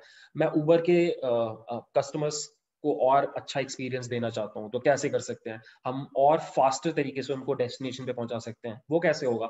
अगर आप पॉइंट ए से पॉइंट बी जल्दी से जल्दी पहुँच पाओ तो वो राउट ऑप्टिमाइज कर पाओ। इस तरह की चीज़ें करते डेटा साइंटिस्ट जो होता है। डेटा साइंटिस्ट इज़ समवन जो future as an predictive modelling करता है, ठीक है? और आपका डेटा एनालिस्ट जो होता है, वो काइंड ऑफ़ समरी देता है डेटा के ऊपर। That is the main difference तो आपको एक्चुअली जो आप ये पढ़ रहे हो अभी ये पूरी चीज़ मशीन लर्निंग एंड ऑल आपका end goal should be to become data scientist because this is the guy who is the main guy यही सब कुछ करता है। ठीक है?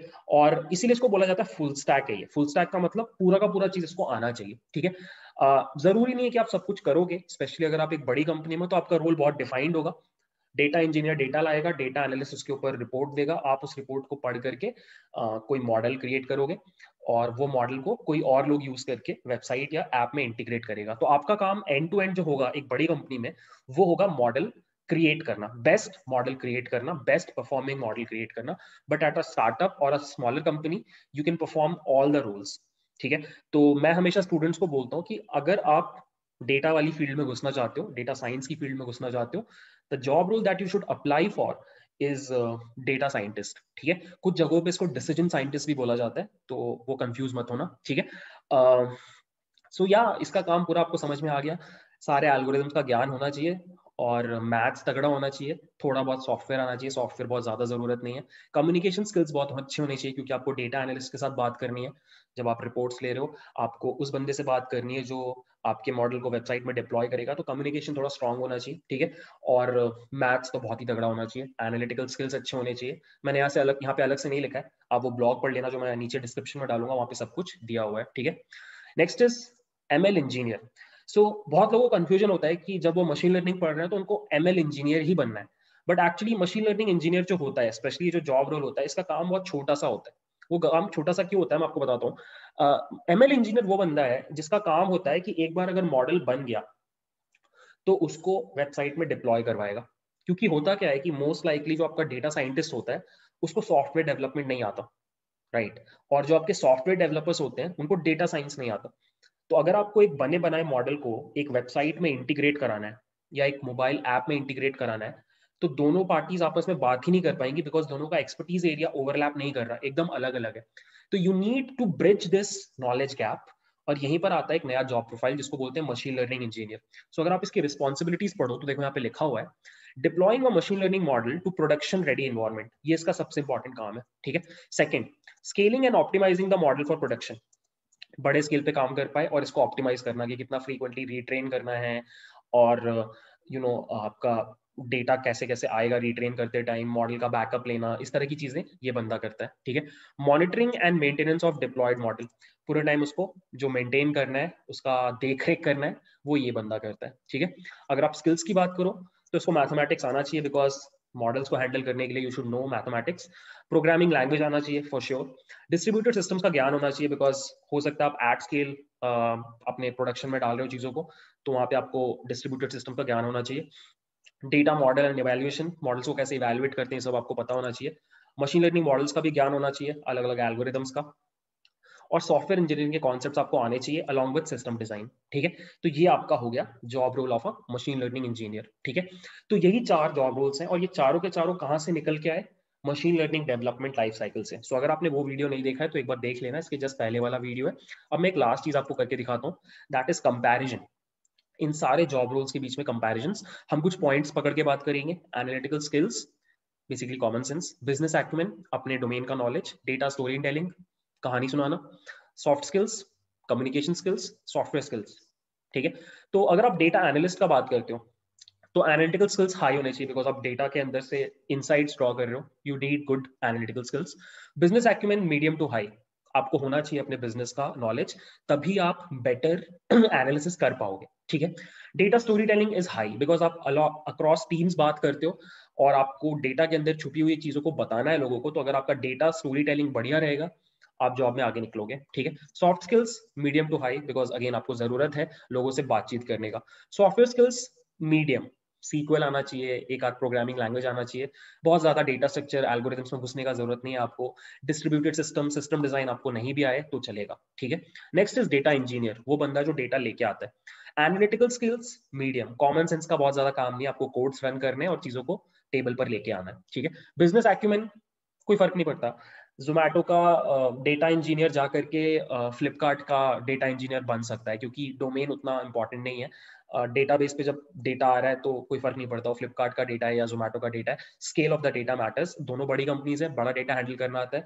किसी भी कंपनी का बड़ा डेटा हैंडल कर लेगा, ठीक है? डेटा स्टोरी टेलिंग किसी से ज़्यादा बातचीत नहीं करनी है, आपको जाके सर्वर पे डेटा को हैंडल करना है तो डेटा स्टोरी टेलिंग का कोई ज़रूरत नहीं है। सॉफ्ट स्किल मीडियम ज़्यादा से ज़्यादा बात करोगे एनालिटिक्स टीम से जाकर के कि हमने पाइपलाइंस बना दी हैं और आप उसको ऐसे एक्सेस कर सकते हो। You don't need very high communication skill for that ठीक है?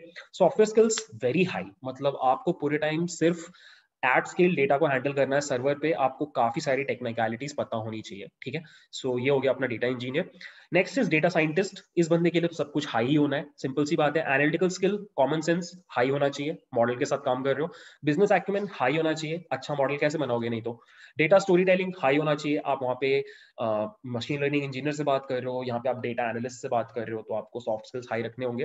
और डेटा स्टोरी टेलिंग भी हाई रखनी होगी। सॉफ्टवेयर स्किल मीडियम बहुत ज़्यादा डीएसएल को आपको नहीं चाहिए अनलेस अंटिल आप खुद के एल्गोरिथम्स बना रहे हो। खुद के एल्गोरिथम्स जनरली लोग नहीं बनाते हैं तो बहुत ज़्यादा सॉफ्टवेयर स्किल्स नहीं चाहिए टू बी ऑनेस्ट ठीक है?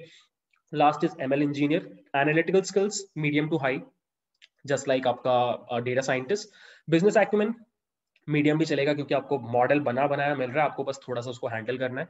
डेटा स्टोरी टेलिंग कोई ज़रूरत नहीं है, आपका काम है।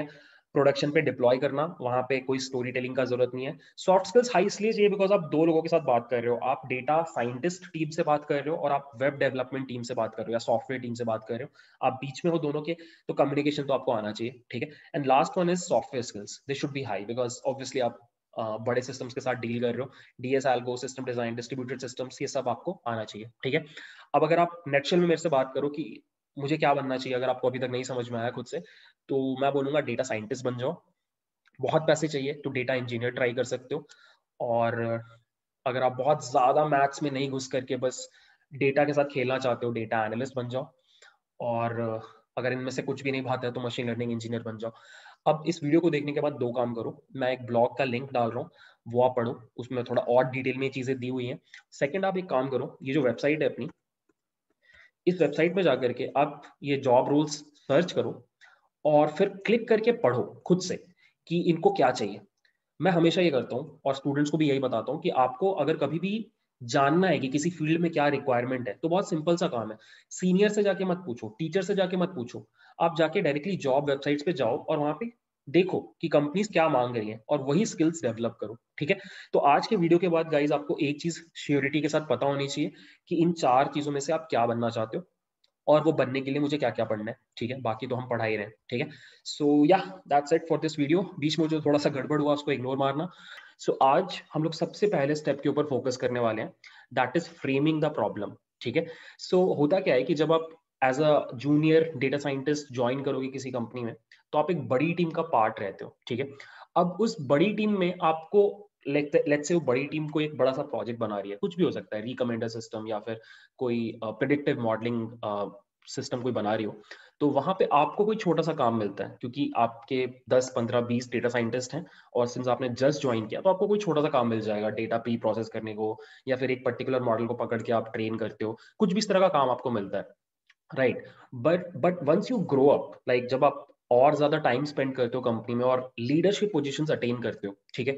तो क्या होता है कि तो आपको जो प्रॉब्लम्स होती है ना, वो आप like end to end plan करते हो कि कैसे उसको सॉल्व किया जाएगा। Because now you are the leader तो एग्जैक्ट स्टेप्स क्या है, ये आपको डिसाइड करना है, ठीक है? तो इसीलिए आज का वीडियो इज़ इंपॉर्टेंट क्योंकि भले ही आपको पहले दिन से ये करने को ना मिले बट आपका प्रोग्रेस उस कंपनी में इस चीज़ पर डिपेंड करता है कि आपका प्रॉब्लम सॉल्विंग स्किल कैसा है, ठीक है? तो आज की वीडियो में I am just going to tell you कि अगर आपको एक बिज़नेस प्रॉब्लम दिया जाए, ठीक है? मतलब एक बिज़नेस को अगर कोई प्रॉब्लम हो रही है, उसके बारे में अगर आपको बताया जाए तो क्या आप उसको मशीन लर्निंग प्रॉब्लम में कन्वर्ट कर सकते हो कि नहीं? और फिर उसको सॉल्व कर सकते हो कि नहीं, ठीक है? तो that is the whole idea for today's video कि आज के डेट में अगर मुझे कोई एक बिज़नेस प्रॉब्लम मिल रहा है तो मैं उसको मशीन लर्निंग प्रॉब्लम की तरह कैसे कन्वर्ट करूँगा, ठीक है? तो let me share the screen first okay so uh, मैंने कुछ सीरीज़ ऑफ़ स्टेप्स लिखे हैं जो आप सबसे पहले करोगे अगर आपको इस तरह का कोई सिनेरियो दिया जाएगा ठीक है?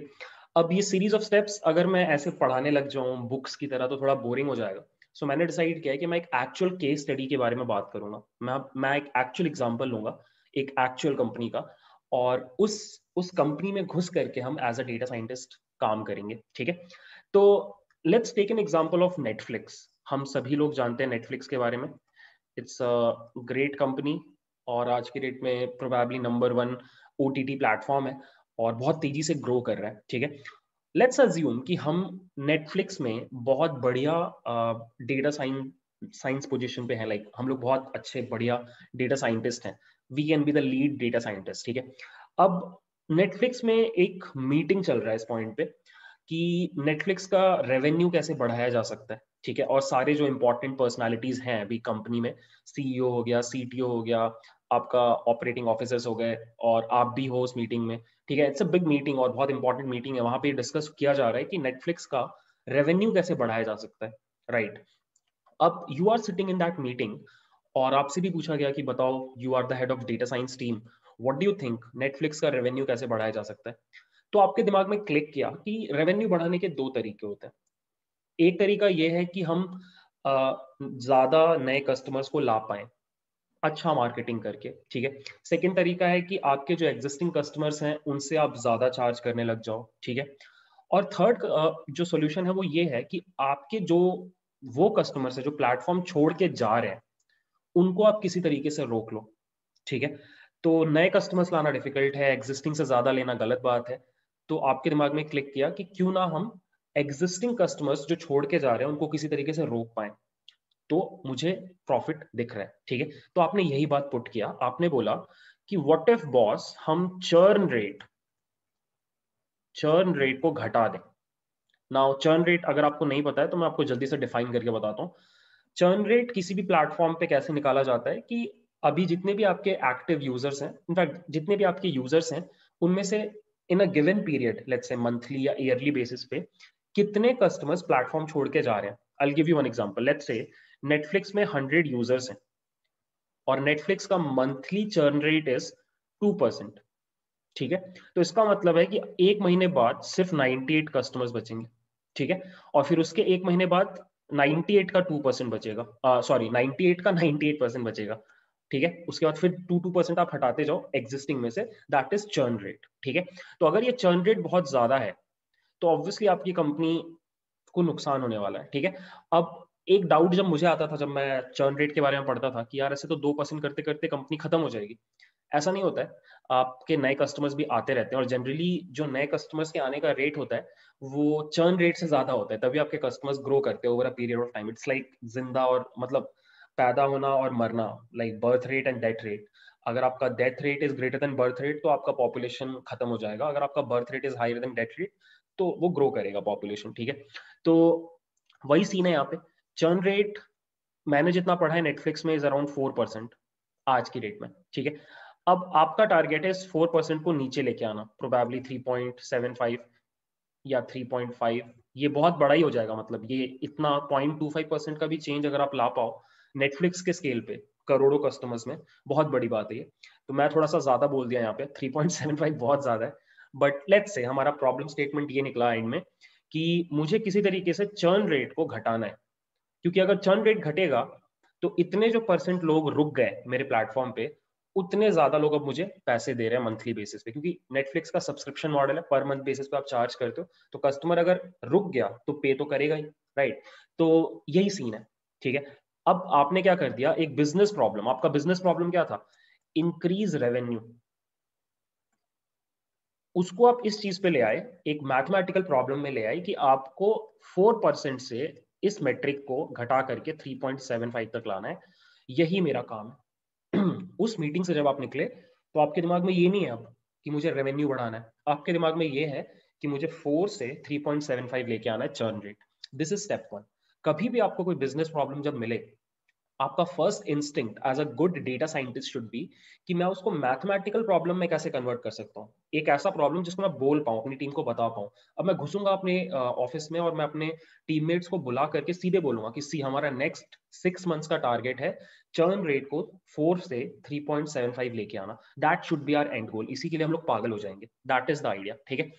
तो ये हो गई सबसे पहली बात। आपने एक बिज़नेस प्रॉब्लम को मैथमेटिकल प्रॉब्लम में कन्वर्ट कर दिया।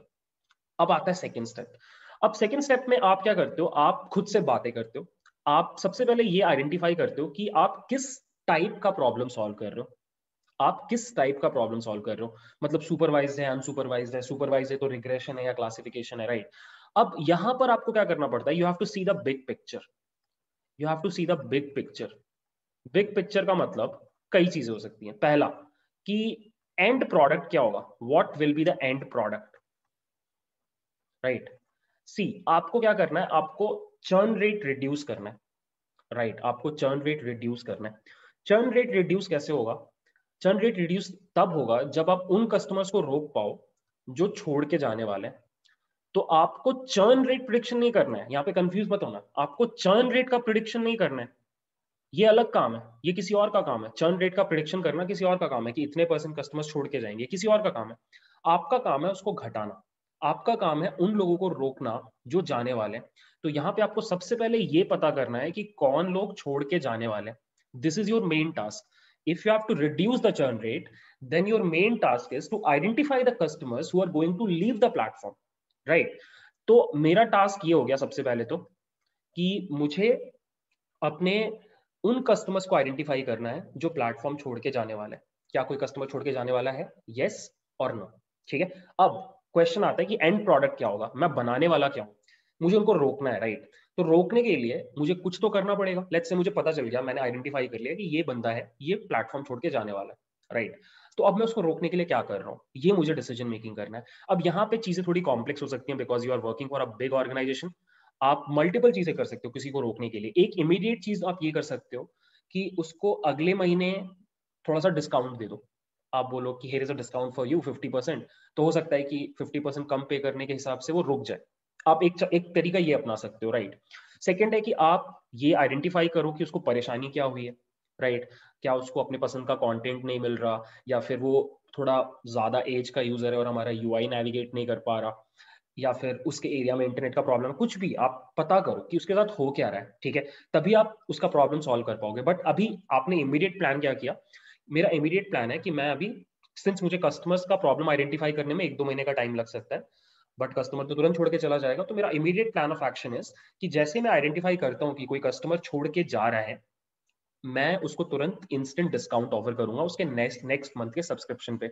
लेट्स होप रुक जाए। तो इस पॉइंट पे अगर आप देखो तो ऐसा लग रहा है कि जैसे आप जो ये प्रॉब्लम सॉल्व कर रहे हो, ये एक्चुअली सुपरवाइज्ड मशीन लर्निंग वाला प्रॉब्लम है, और आपको एक क्लासिफिकेशन प्रॉब्लम मिल रहा है। क्लासिफिकेशन प्रॉब्लम मिल रहा है, जहाँ पे आपको हर एक इनकमिंग कस्टमर के लिए ये प्रिडिक्शन करना है कि क्या वो इस मंथ प्लेटफॉर्म छोड़ेगा या नहीं छोड़ेगा। Right right. अभी तक आपके दिमाग में ये पिक्चर बना कि मुझे हर कस्टमर के लिए प्रिडिक्शन करना है कि प्लेटफॉर्म छोड़ेगा कि नहीं छोड़ेगा।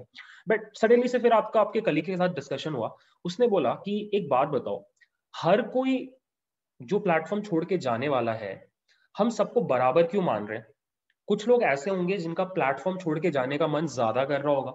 कुछ लोग ऐसे होंगे जिनका प्लेटफॉर्म छोड़ के जाने का मन थोड़ा बहुत कर रहा होगा राइट right? सभी लोगों के अंदर बराबर ऐसा नहीं होगा कि मुझे नेटफ्लिक्स छोड़ना है। कुछ लोग थोड़े ज़्यादा पिस्ड ऑफ़ होंगे, कुछ लोग थोड़े कम पिस्ड ऑफ़ होंगे। तो सभी को बराबर डिस्काउंट क्यों देना? क्योंकि आप जिस स्केल पे डिस्काउंट दे रहे हो, बहुत खर्चा हो सकता है। तो व्हाट इफ़ मैं ये आइडेंटिफाई करूँ कि इसका भी थोड़ा सा मन है छोड़ के जाने का तो मैं इसको कम डिस्काउंट दूँ, और इसका भी बहुत ज़्यादा मन है छोड़ के जाने का तो उसको मैं ज़्यादा डिस्काउंट दूँ राइट आप ऐसा कर सकते हो ना। तो तब आपने सोचा कि हाँ यार, ये बात सही है। Why not identify the amount with which they want to leave the platform मतलब वो सेंटिमेंट आप निकालना चाहते हो कि कितना परसेंट में बंदा मतलब what is the probability of a guy leaving the platform आप 90 परसेंट श्योर हो कि ये बंदा छोड़ के जाएगा, आप 100 परसेंट श्योर है बंदा छोड़ के जाएगा 50 परसेंट श्योर है बंदा छोड़ के जाएगा। तो आप हर कस्टमर के लिए एक स्कोर जनरेट करना चाहते हो ज़ीरो से हंड्रेड के बीच में। कि इतना परसेंट वी आर श्योर कि ये प्लेटफॉर्म छोड़ के जाएगा। जिसका परसेंटेज जितना हाई आप उसको उतना ज़्यादा डिस्काउंट दो और जिसका जितना कम, उसको उतना कम डिस्काउंट दो राइट तो सडनली से आपने रियलाइज़ किया क्या रहना नहीं नहीं, गलती कर रहे थे। ये क्लासिफिकेशन प्रॉब्लम नहीं है।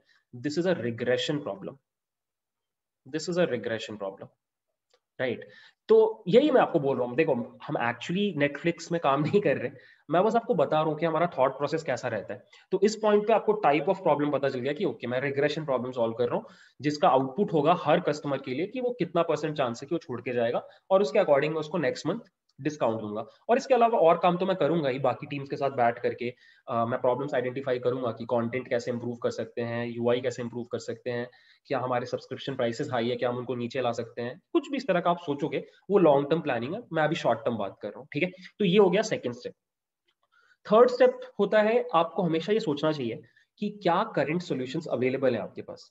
Right right. तो आप इस केस में क्या करते हो? आप अपने ऊपर सीटीओ वगैरह से जाके बात करते हो जिनको सबके बारे में पता होता है। आ, उनसे आप जाके बात करते हो तो आपको पता चला कि हाँ एक एग्जिस्टिंग सॉल्यूशन तो है जो ओवरऑल चर्न रेट बताता है।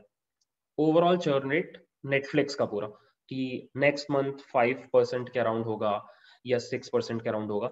ये प्रिडिक्शन करके दे देता है। ऐसा एक मॉडल है आपके पास राइट और ये plus minus ten percent accurate भी रहता है। तो आपने बोला, चलो ठीक है, किसी ने कुछ काम कर रखा है, हम उसके काम से थोड़ा सा इंस्पिरेशन ड्रॉ कर सकते हैं कि उसने क्या क्या फैक्टर्स कंसिडर किए थे ये वाला प्लेटफॉर्म बनाने के केस में। तो इससे आपको थोड़ा सा हेल्प हो जाता है कि पहले कुछ काम किया हुआ है उसी डायरेक्शन में तो आपको स्क्रैच से स्टार्ट करने की ज़रूरत नहीं है। आप चाहो तो जाके उस टीम से बात कर सकते हो कि what were the exact factors जो आपने कंसिडर किया था ये चर्न रेट कैलकुलेट करने में या प्रिडिक्ट करने में, ठीक है? तो इससे आपको एक हेड स्टार्ट मिल जाता है अपना प्रॉब्लम सॉल्व करते टाइम, ठीक है? तो ये भी एक तरीका हो गया, ये भी एक स्टेप हो गया करंट सोल्यूशन के बारे में पता करना। नेक्स्ट आ गया आप, बहुत इंपॉर्टेंट स्टेप कि डेटा कहाँ से आएगा? And what will be the data right अब यहाँ पर अब आपको बैठ के बहुत क्लियरली सोचना है कि आपको कैसा डेटा चाहिए, उस डेटा में क्या क्या कॉलम्स होने चाहिए। तो यहाँ पे आपको बहुत टाइम स्पेंड करना पड़ेगा टू एग्जैक्टली थिंक कि आपको किस तरह के डेटा को लेके आना अपने पास, ठीक है? अब अगर आपको निकालना है कि कोई बंदा कितना परसेंट प्रोबेबिलिटी के प्लेटफॉर्म छोड़ के जाएगा तो आपको पलट करके क्या करना पड़ेगा? आपको लोगों का वॉच टाइम स्टडी करना पड़ेगा उस मंथ की उसने कितने घंटे नेटफ्लिक्स पे स्पेंड किया। उसमें कितना टाइम उसने ब्राउजिंग में स्पेंड किया, कितना टाइम वो एक्चुअली मूवी देख रहा था। ऑब्वियसली अगर वो ब्राउजिंग में ज़्यादा टाइम स्पेंड कर रहा है तो उसको अपने मनपसंद का कंटेंट नहीं मिल रहा है, तभी वो इतना सर्च कर रहा है।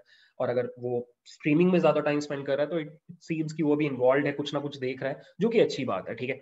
फिर आप ये निकालोगे कि एक पर्टिकुलर महीने में उस बंदे ने कितने सर्चेस किए आपने, आपके प्लेटफॉर्म पे, और उसमें से कितने सर्चेस का एग्जैक्ट रिज़ल्ट आपको मिल गया राइट मतलब लेट्स से मैंने एक मूवी सर्च किया मेट्रिक्स मेट्रिक्स मुझे नहीं मिला। फिर मैंने कोई और मूवी सर्च किया इंसेप्शन वो भी मुझे नहीं मिला। और इस तरह के मेरे मेरे 300 सर्चेस है पूरे मंथ में, और मुझे 300 चीज़ें नहीं मिली जो मैं खोज रहा था। तो obviously this is a bad thing it shows कि आपके कस्टमर को जो चाहिए है, वो नहीं मिल रहा। तो आप ये चीज़ निकाल सकते हो राइट आप ये भी निकाल सकते हो कि कितनी बार आपका कस्टमर एक पर्टिकुलर गिवन मंथ में कोई मूवी या फिर कोई शो स्टार्ट करके बीच में छोड़ दिया। ये बता रहा है कि आपका कंटेंट जो है वो उतना टेम्पटिंग नहीं है वो इतना इंटरेस्टिंग नहीं है कि आपके कस्टमर को पकड़ के रख पा रहे हैं। तो this is also a factor right you can also see कि आप जो रिकमेंडेशन दे रहे हो उसको उसमें से कितने रिकमेंडेशन पे वो क्लिक कर रहा है राइट तो वही मैं आपको बता रहा हूँ कि आपको यहाँ पे बैठ के सोचना होगा कि आप लाइक like, क्या क्या फैक्टर्स के बारे में सोच सकते हो क्या क्या फैक्टर्स हो सकते हैं राइट और आपको इवेंचुअली क्या करना होगा आपको जाके एक डेटा इंजीनियर को पकड़ना होगा एक डेटा इंजीनियर को पकड़ना होगा, जो क्या करेगा नेटफ्लिक्स के एक्चुअल डेटाबेस से, जो मैंने आपको शायद बताया भी था ओएलटीपी से, आपको एक डेटा वेयरहाउस बना के दे देगा, जिस डेटा वेयरहाउस में ये सारे के सारे कॉलम्स होंगे फॉर गिवन कस्टमर्स और उस डेटा सेट के ऊपर फिर आप काम करोगे। तो यहाँ पे आपको समझ में आ रहा है कि you need a data engineer because उस गिवन डेटा से ये डेटा लाना मेरे बस का बात नहीं है, मुझे नहीं आता, मुझे किसी और के एक्सपर्टीज का ज़रूरत पड़ेगा, ठीक है? तो यहाँ पे आप अपने डेटा इंजीनियरिंग टीम के पास जाओगे और उधर जाके बात करोगे कि सी हमारे पास क्या क्या डेटा है और उसमें से मुझे ये डेटा निकाल करके दो, ठीक है? तो ये हो गया अपना fourth step next is metrics to measure आप कैसे पता करोगे कि आपने जो मॉडल बनाया है, वो सक्सेसफुल है कि नहीं राइट right? तो यहाँ पे आप ऑब्वियसली चेक करोगे कि आप जितना चर्न रेट प्रिडिक्ट कर रहे थे और इवेंचुअली जितने लोग छोड़ के गए प्लेटफॉर्म उसमें डिफरेंस कितना है? लेट्स से वो डिफरेंस आ रहा है uh, सिर्फ़ पॉइंट टू फाइव तो यू विल बी लाइक हाँ फिर सही है मतलब मैं प्रिडिक्ट कर रहा था इतने लोग छोड़ के जाएँगे उससे बस थोड़े ही ज़्यादा लोग छोड़ के गए तो मैं सही डायरेक्शन में मूव कर रहा हूँ। आप ये भी पता कर सकते हो कि आपने जिन कस्टमर्स को बोला था ये छोड़ के जाएँगे क्या वही कस्टमर्स छोड़ के जा रहे हैं या फिर कोई और कस्टमर्स छोड़ के जा रहे हैं? राइट ये भी बताएगा कि आप सही डायरेक्शन में मूव कर रहे हो कि नहीं। सो so बेसिकली आपको इस स्टेप में कुछ मेट्रिक्स डिफाइन करने पड़ेंगे अपनी टीम के लिए अपने लिए कि आप जो भी चीज़ें कर रहे हो उसके बारे में कैसे आप श्योर हो सकते हो कि वो सही है कि नहीं राइट right? तो मेट्रिक्स भी बहुत इंपॉर्टेंट है और मेट्रिक्स uh, ही आपको बेसिकली आपका नॉर्थ स्टार बनते हैं आपको गाइड करते हैं कि आप जो चीज़ें कर रहे हो पिछले छह महीने से वो सही है कि नहीं ठीक है तो मेट्रिक्स पे भी you will have to spend a lot of time ठीक है नेक्स्ट एक और कंसिडरेशन आपको सोचना पड़ता है शुरू में ही कि are you going for online learning और बैच लर्निंग मैंने आपको बताया था बैच लर्निंग में आप क्या करते हो? अपने मशीन पे ट्रेन करके सर्वर पे डाल देते हो और फिर रीट्रेनिंग जब भी आपको करना होता है आप सर्वर से अनलोड करके वापस लाते हो नए डेटा के साथ फिर से ट्रेन करके मॉडल को अपलोड करते हो और ऐसा आप पीरियोडिकली करते हो राइट ऑनलाइन में क्या होता है कि आपका मॉडल स्ट्रीमिंग डेटा से लगातार लाइक like, सीखता जाता है right on the go server पे लर्निंग चलता रहता है राइट अब यहाँ पर अगर मैं होता उस जगह पे उस बंदे की जगह पे तो I would have preferred online learning because Netflix पे लोग कितना टाइम स्पेंड करेंगे ये एक्चुअली बहुत ही वोलाटाइल कॉन्सेप्ट है। uh, बहुत सारी चीज़ें अफेक्ट करेंगी। अब लॉकडाउन लग गया। ऑब्वियसली लोग ज़्यादा टाइम स्पेंड करेंगे। इनफैक्ट और ज़्यादा लोग आएँगे। हो सकता है चर्न रेट हाइयर हो। बहुत सारे ऐसे लोग आ गए जो एक्चुअली उतना बिंज नहीं करते चीज़ों को बट उनके पास अभी टाइम था तो वो आ गए। बट फिर ग्रेजुअली दे विल रियलाइज़ करें नहीं यार, कुछ और कर लेते हैं छोड़ के चले गए। तो आपका चर्न रेट उस केस में हाइयर होगा। तो इस तरह के वोलाटाइल चेंजेस जो होते हैं, जैसे हॉलीडेज आ गए तो ऑब्वियसली आपका फिर से ज़्यादा कस्टमर्स आएँगे और चर्न रेट ऊपर नीचे कुछ भी हो सकता है। तो a better approach would be कि अगर आप ऑनलाइन लर्निंग करवा पाओ दैट वुड बी ग्रेट कि इनकमिंग डेटा आपके पास आ रहा है नेटफ्लिक्स पे और आपका डेटा वेयर हाउस इस तरीके से सेटअप है कि नया डेटा भी पूरे टाइम आते जा रहा है और आपका मॉडल इस तरीके से सेटअप है। मतलब बेसिकली पूरा फ्लो कुछ ऐसा होगा कि आपके ओ में डेटा आ रहा है। And this data is continuously flowing through your data warehouse and this is going through your model, right? And it is continuously being trained, ठीक है? और साथ ही साथ आउटपुट तो आपको दे ही है राइट तो आप ये पूरा फ्लो स्टैब्लिश करने का ट्राई करोगे राइट मतलब अब ऑब्वियसली यहाँ पे कंसिडरेशन होंगे कि यार ऑनलाइन तो बड़ा डिफ़िकल्ट है, हमारे पास जिस तरह का डेटा है, वहाँ से हम ऑनलाइन ट्रेनिंग करना डिफ़िकल्ट हो रहा है तो फिर आप बोलोगे, ठीक है, हटाओ, फिर बैच लर्निंग करते हैं, हर एक हफ़्ते बाद हम लोग मॉडल को ऑफलाइन करके, फिर से ट्रेन करके ऑनलाइन कर देंगे. तो अगेन यहाँ पे ये भी कंसिडरेशन आपको लेके चलना पड़ेगा, ठीक है? द लास्ट थिंग जो आपको करना होता है as a data scientist that is you check your assumptions ठीक है? अब अजम्पन्स में आपको बहुत सारी चीज़ें सोचनी होती हैं। पहला तो आपको ये सोचना होता है कि आपने जो यहाँ पे कॉलम्स डिसाइड किए फीचर्स जो भी डिसाइड किए ये जो भी फीचर्स आपने डिसाइड किए वॉच टाइम या फिर सर्च किया नहीं मिला इस तरह के जो भी आपने फीचर्स डिसाइड किए क्या ये अवेलेबल है कि नहीं?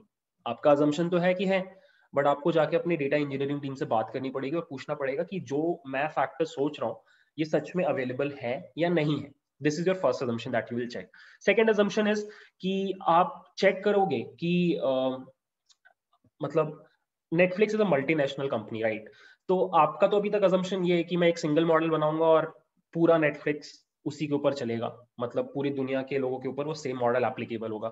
बट क्या ये सही है? आपने जो फैक्टर्स कंसिडर किए क्या आप श्योर हो कि वो यूएस के ऊपर भी उतने अच्छे से काम करेगा जितना इंडिया के ऊपर करेगा? तो ये अजम्पन्स भी आपको चेक करने पड़ेंगे कि क्या आपको जोग्राफी के बेसिस पे मॉडल्स में चेंजेस करने चाहिए या नहीं? और इस तरह के और भी बहुत सारे अजम्पन्स आप चेक करते हो, ठीक है? अब see this is what you do मतलब मैं आपको बस इस वीडियो में बता रहा था कि आप सोचते कैसे हो? ऐसा कुछ सेट प्रोसीजर नहीं है कि इसके बाद यही सोचना है।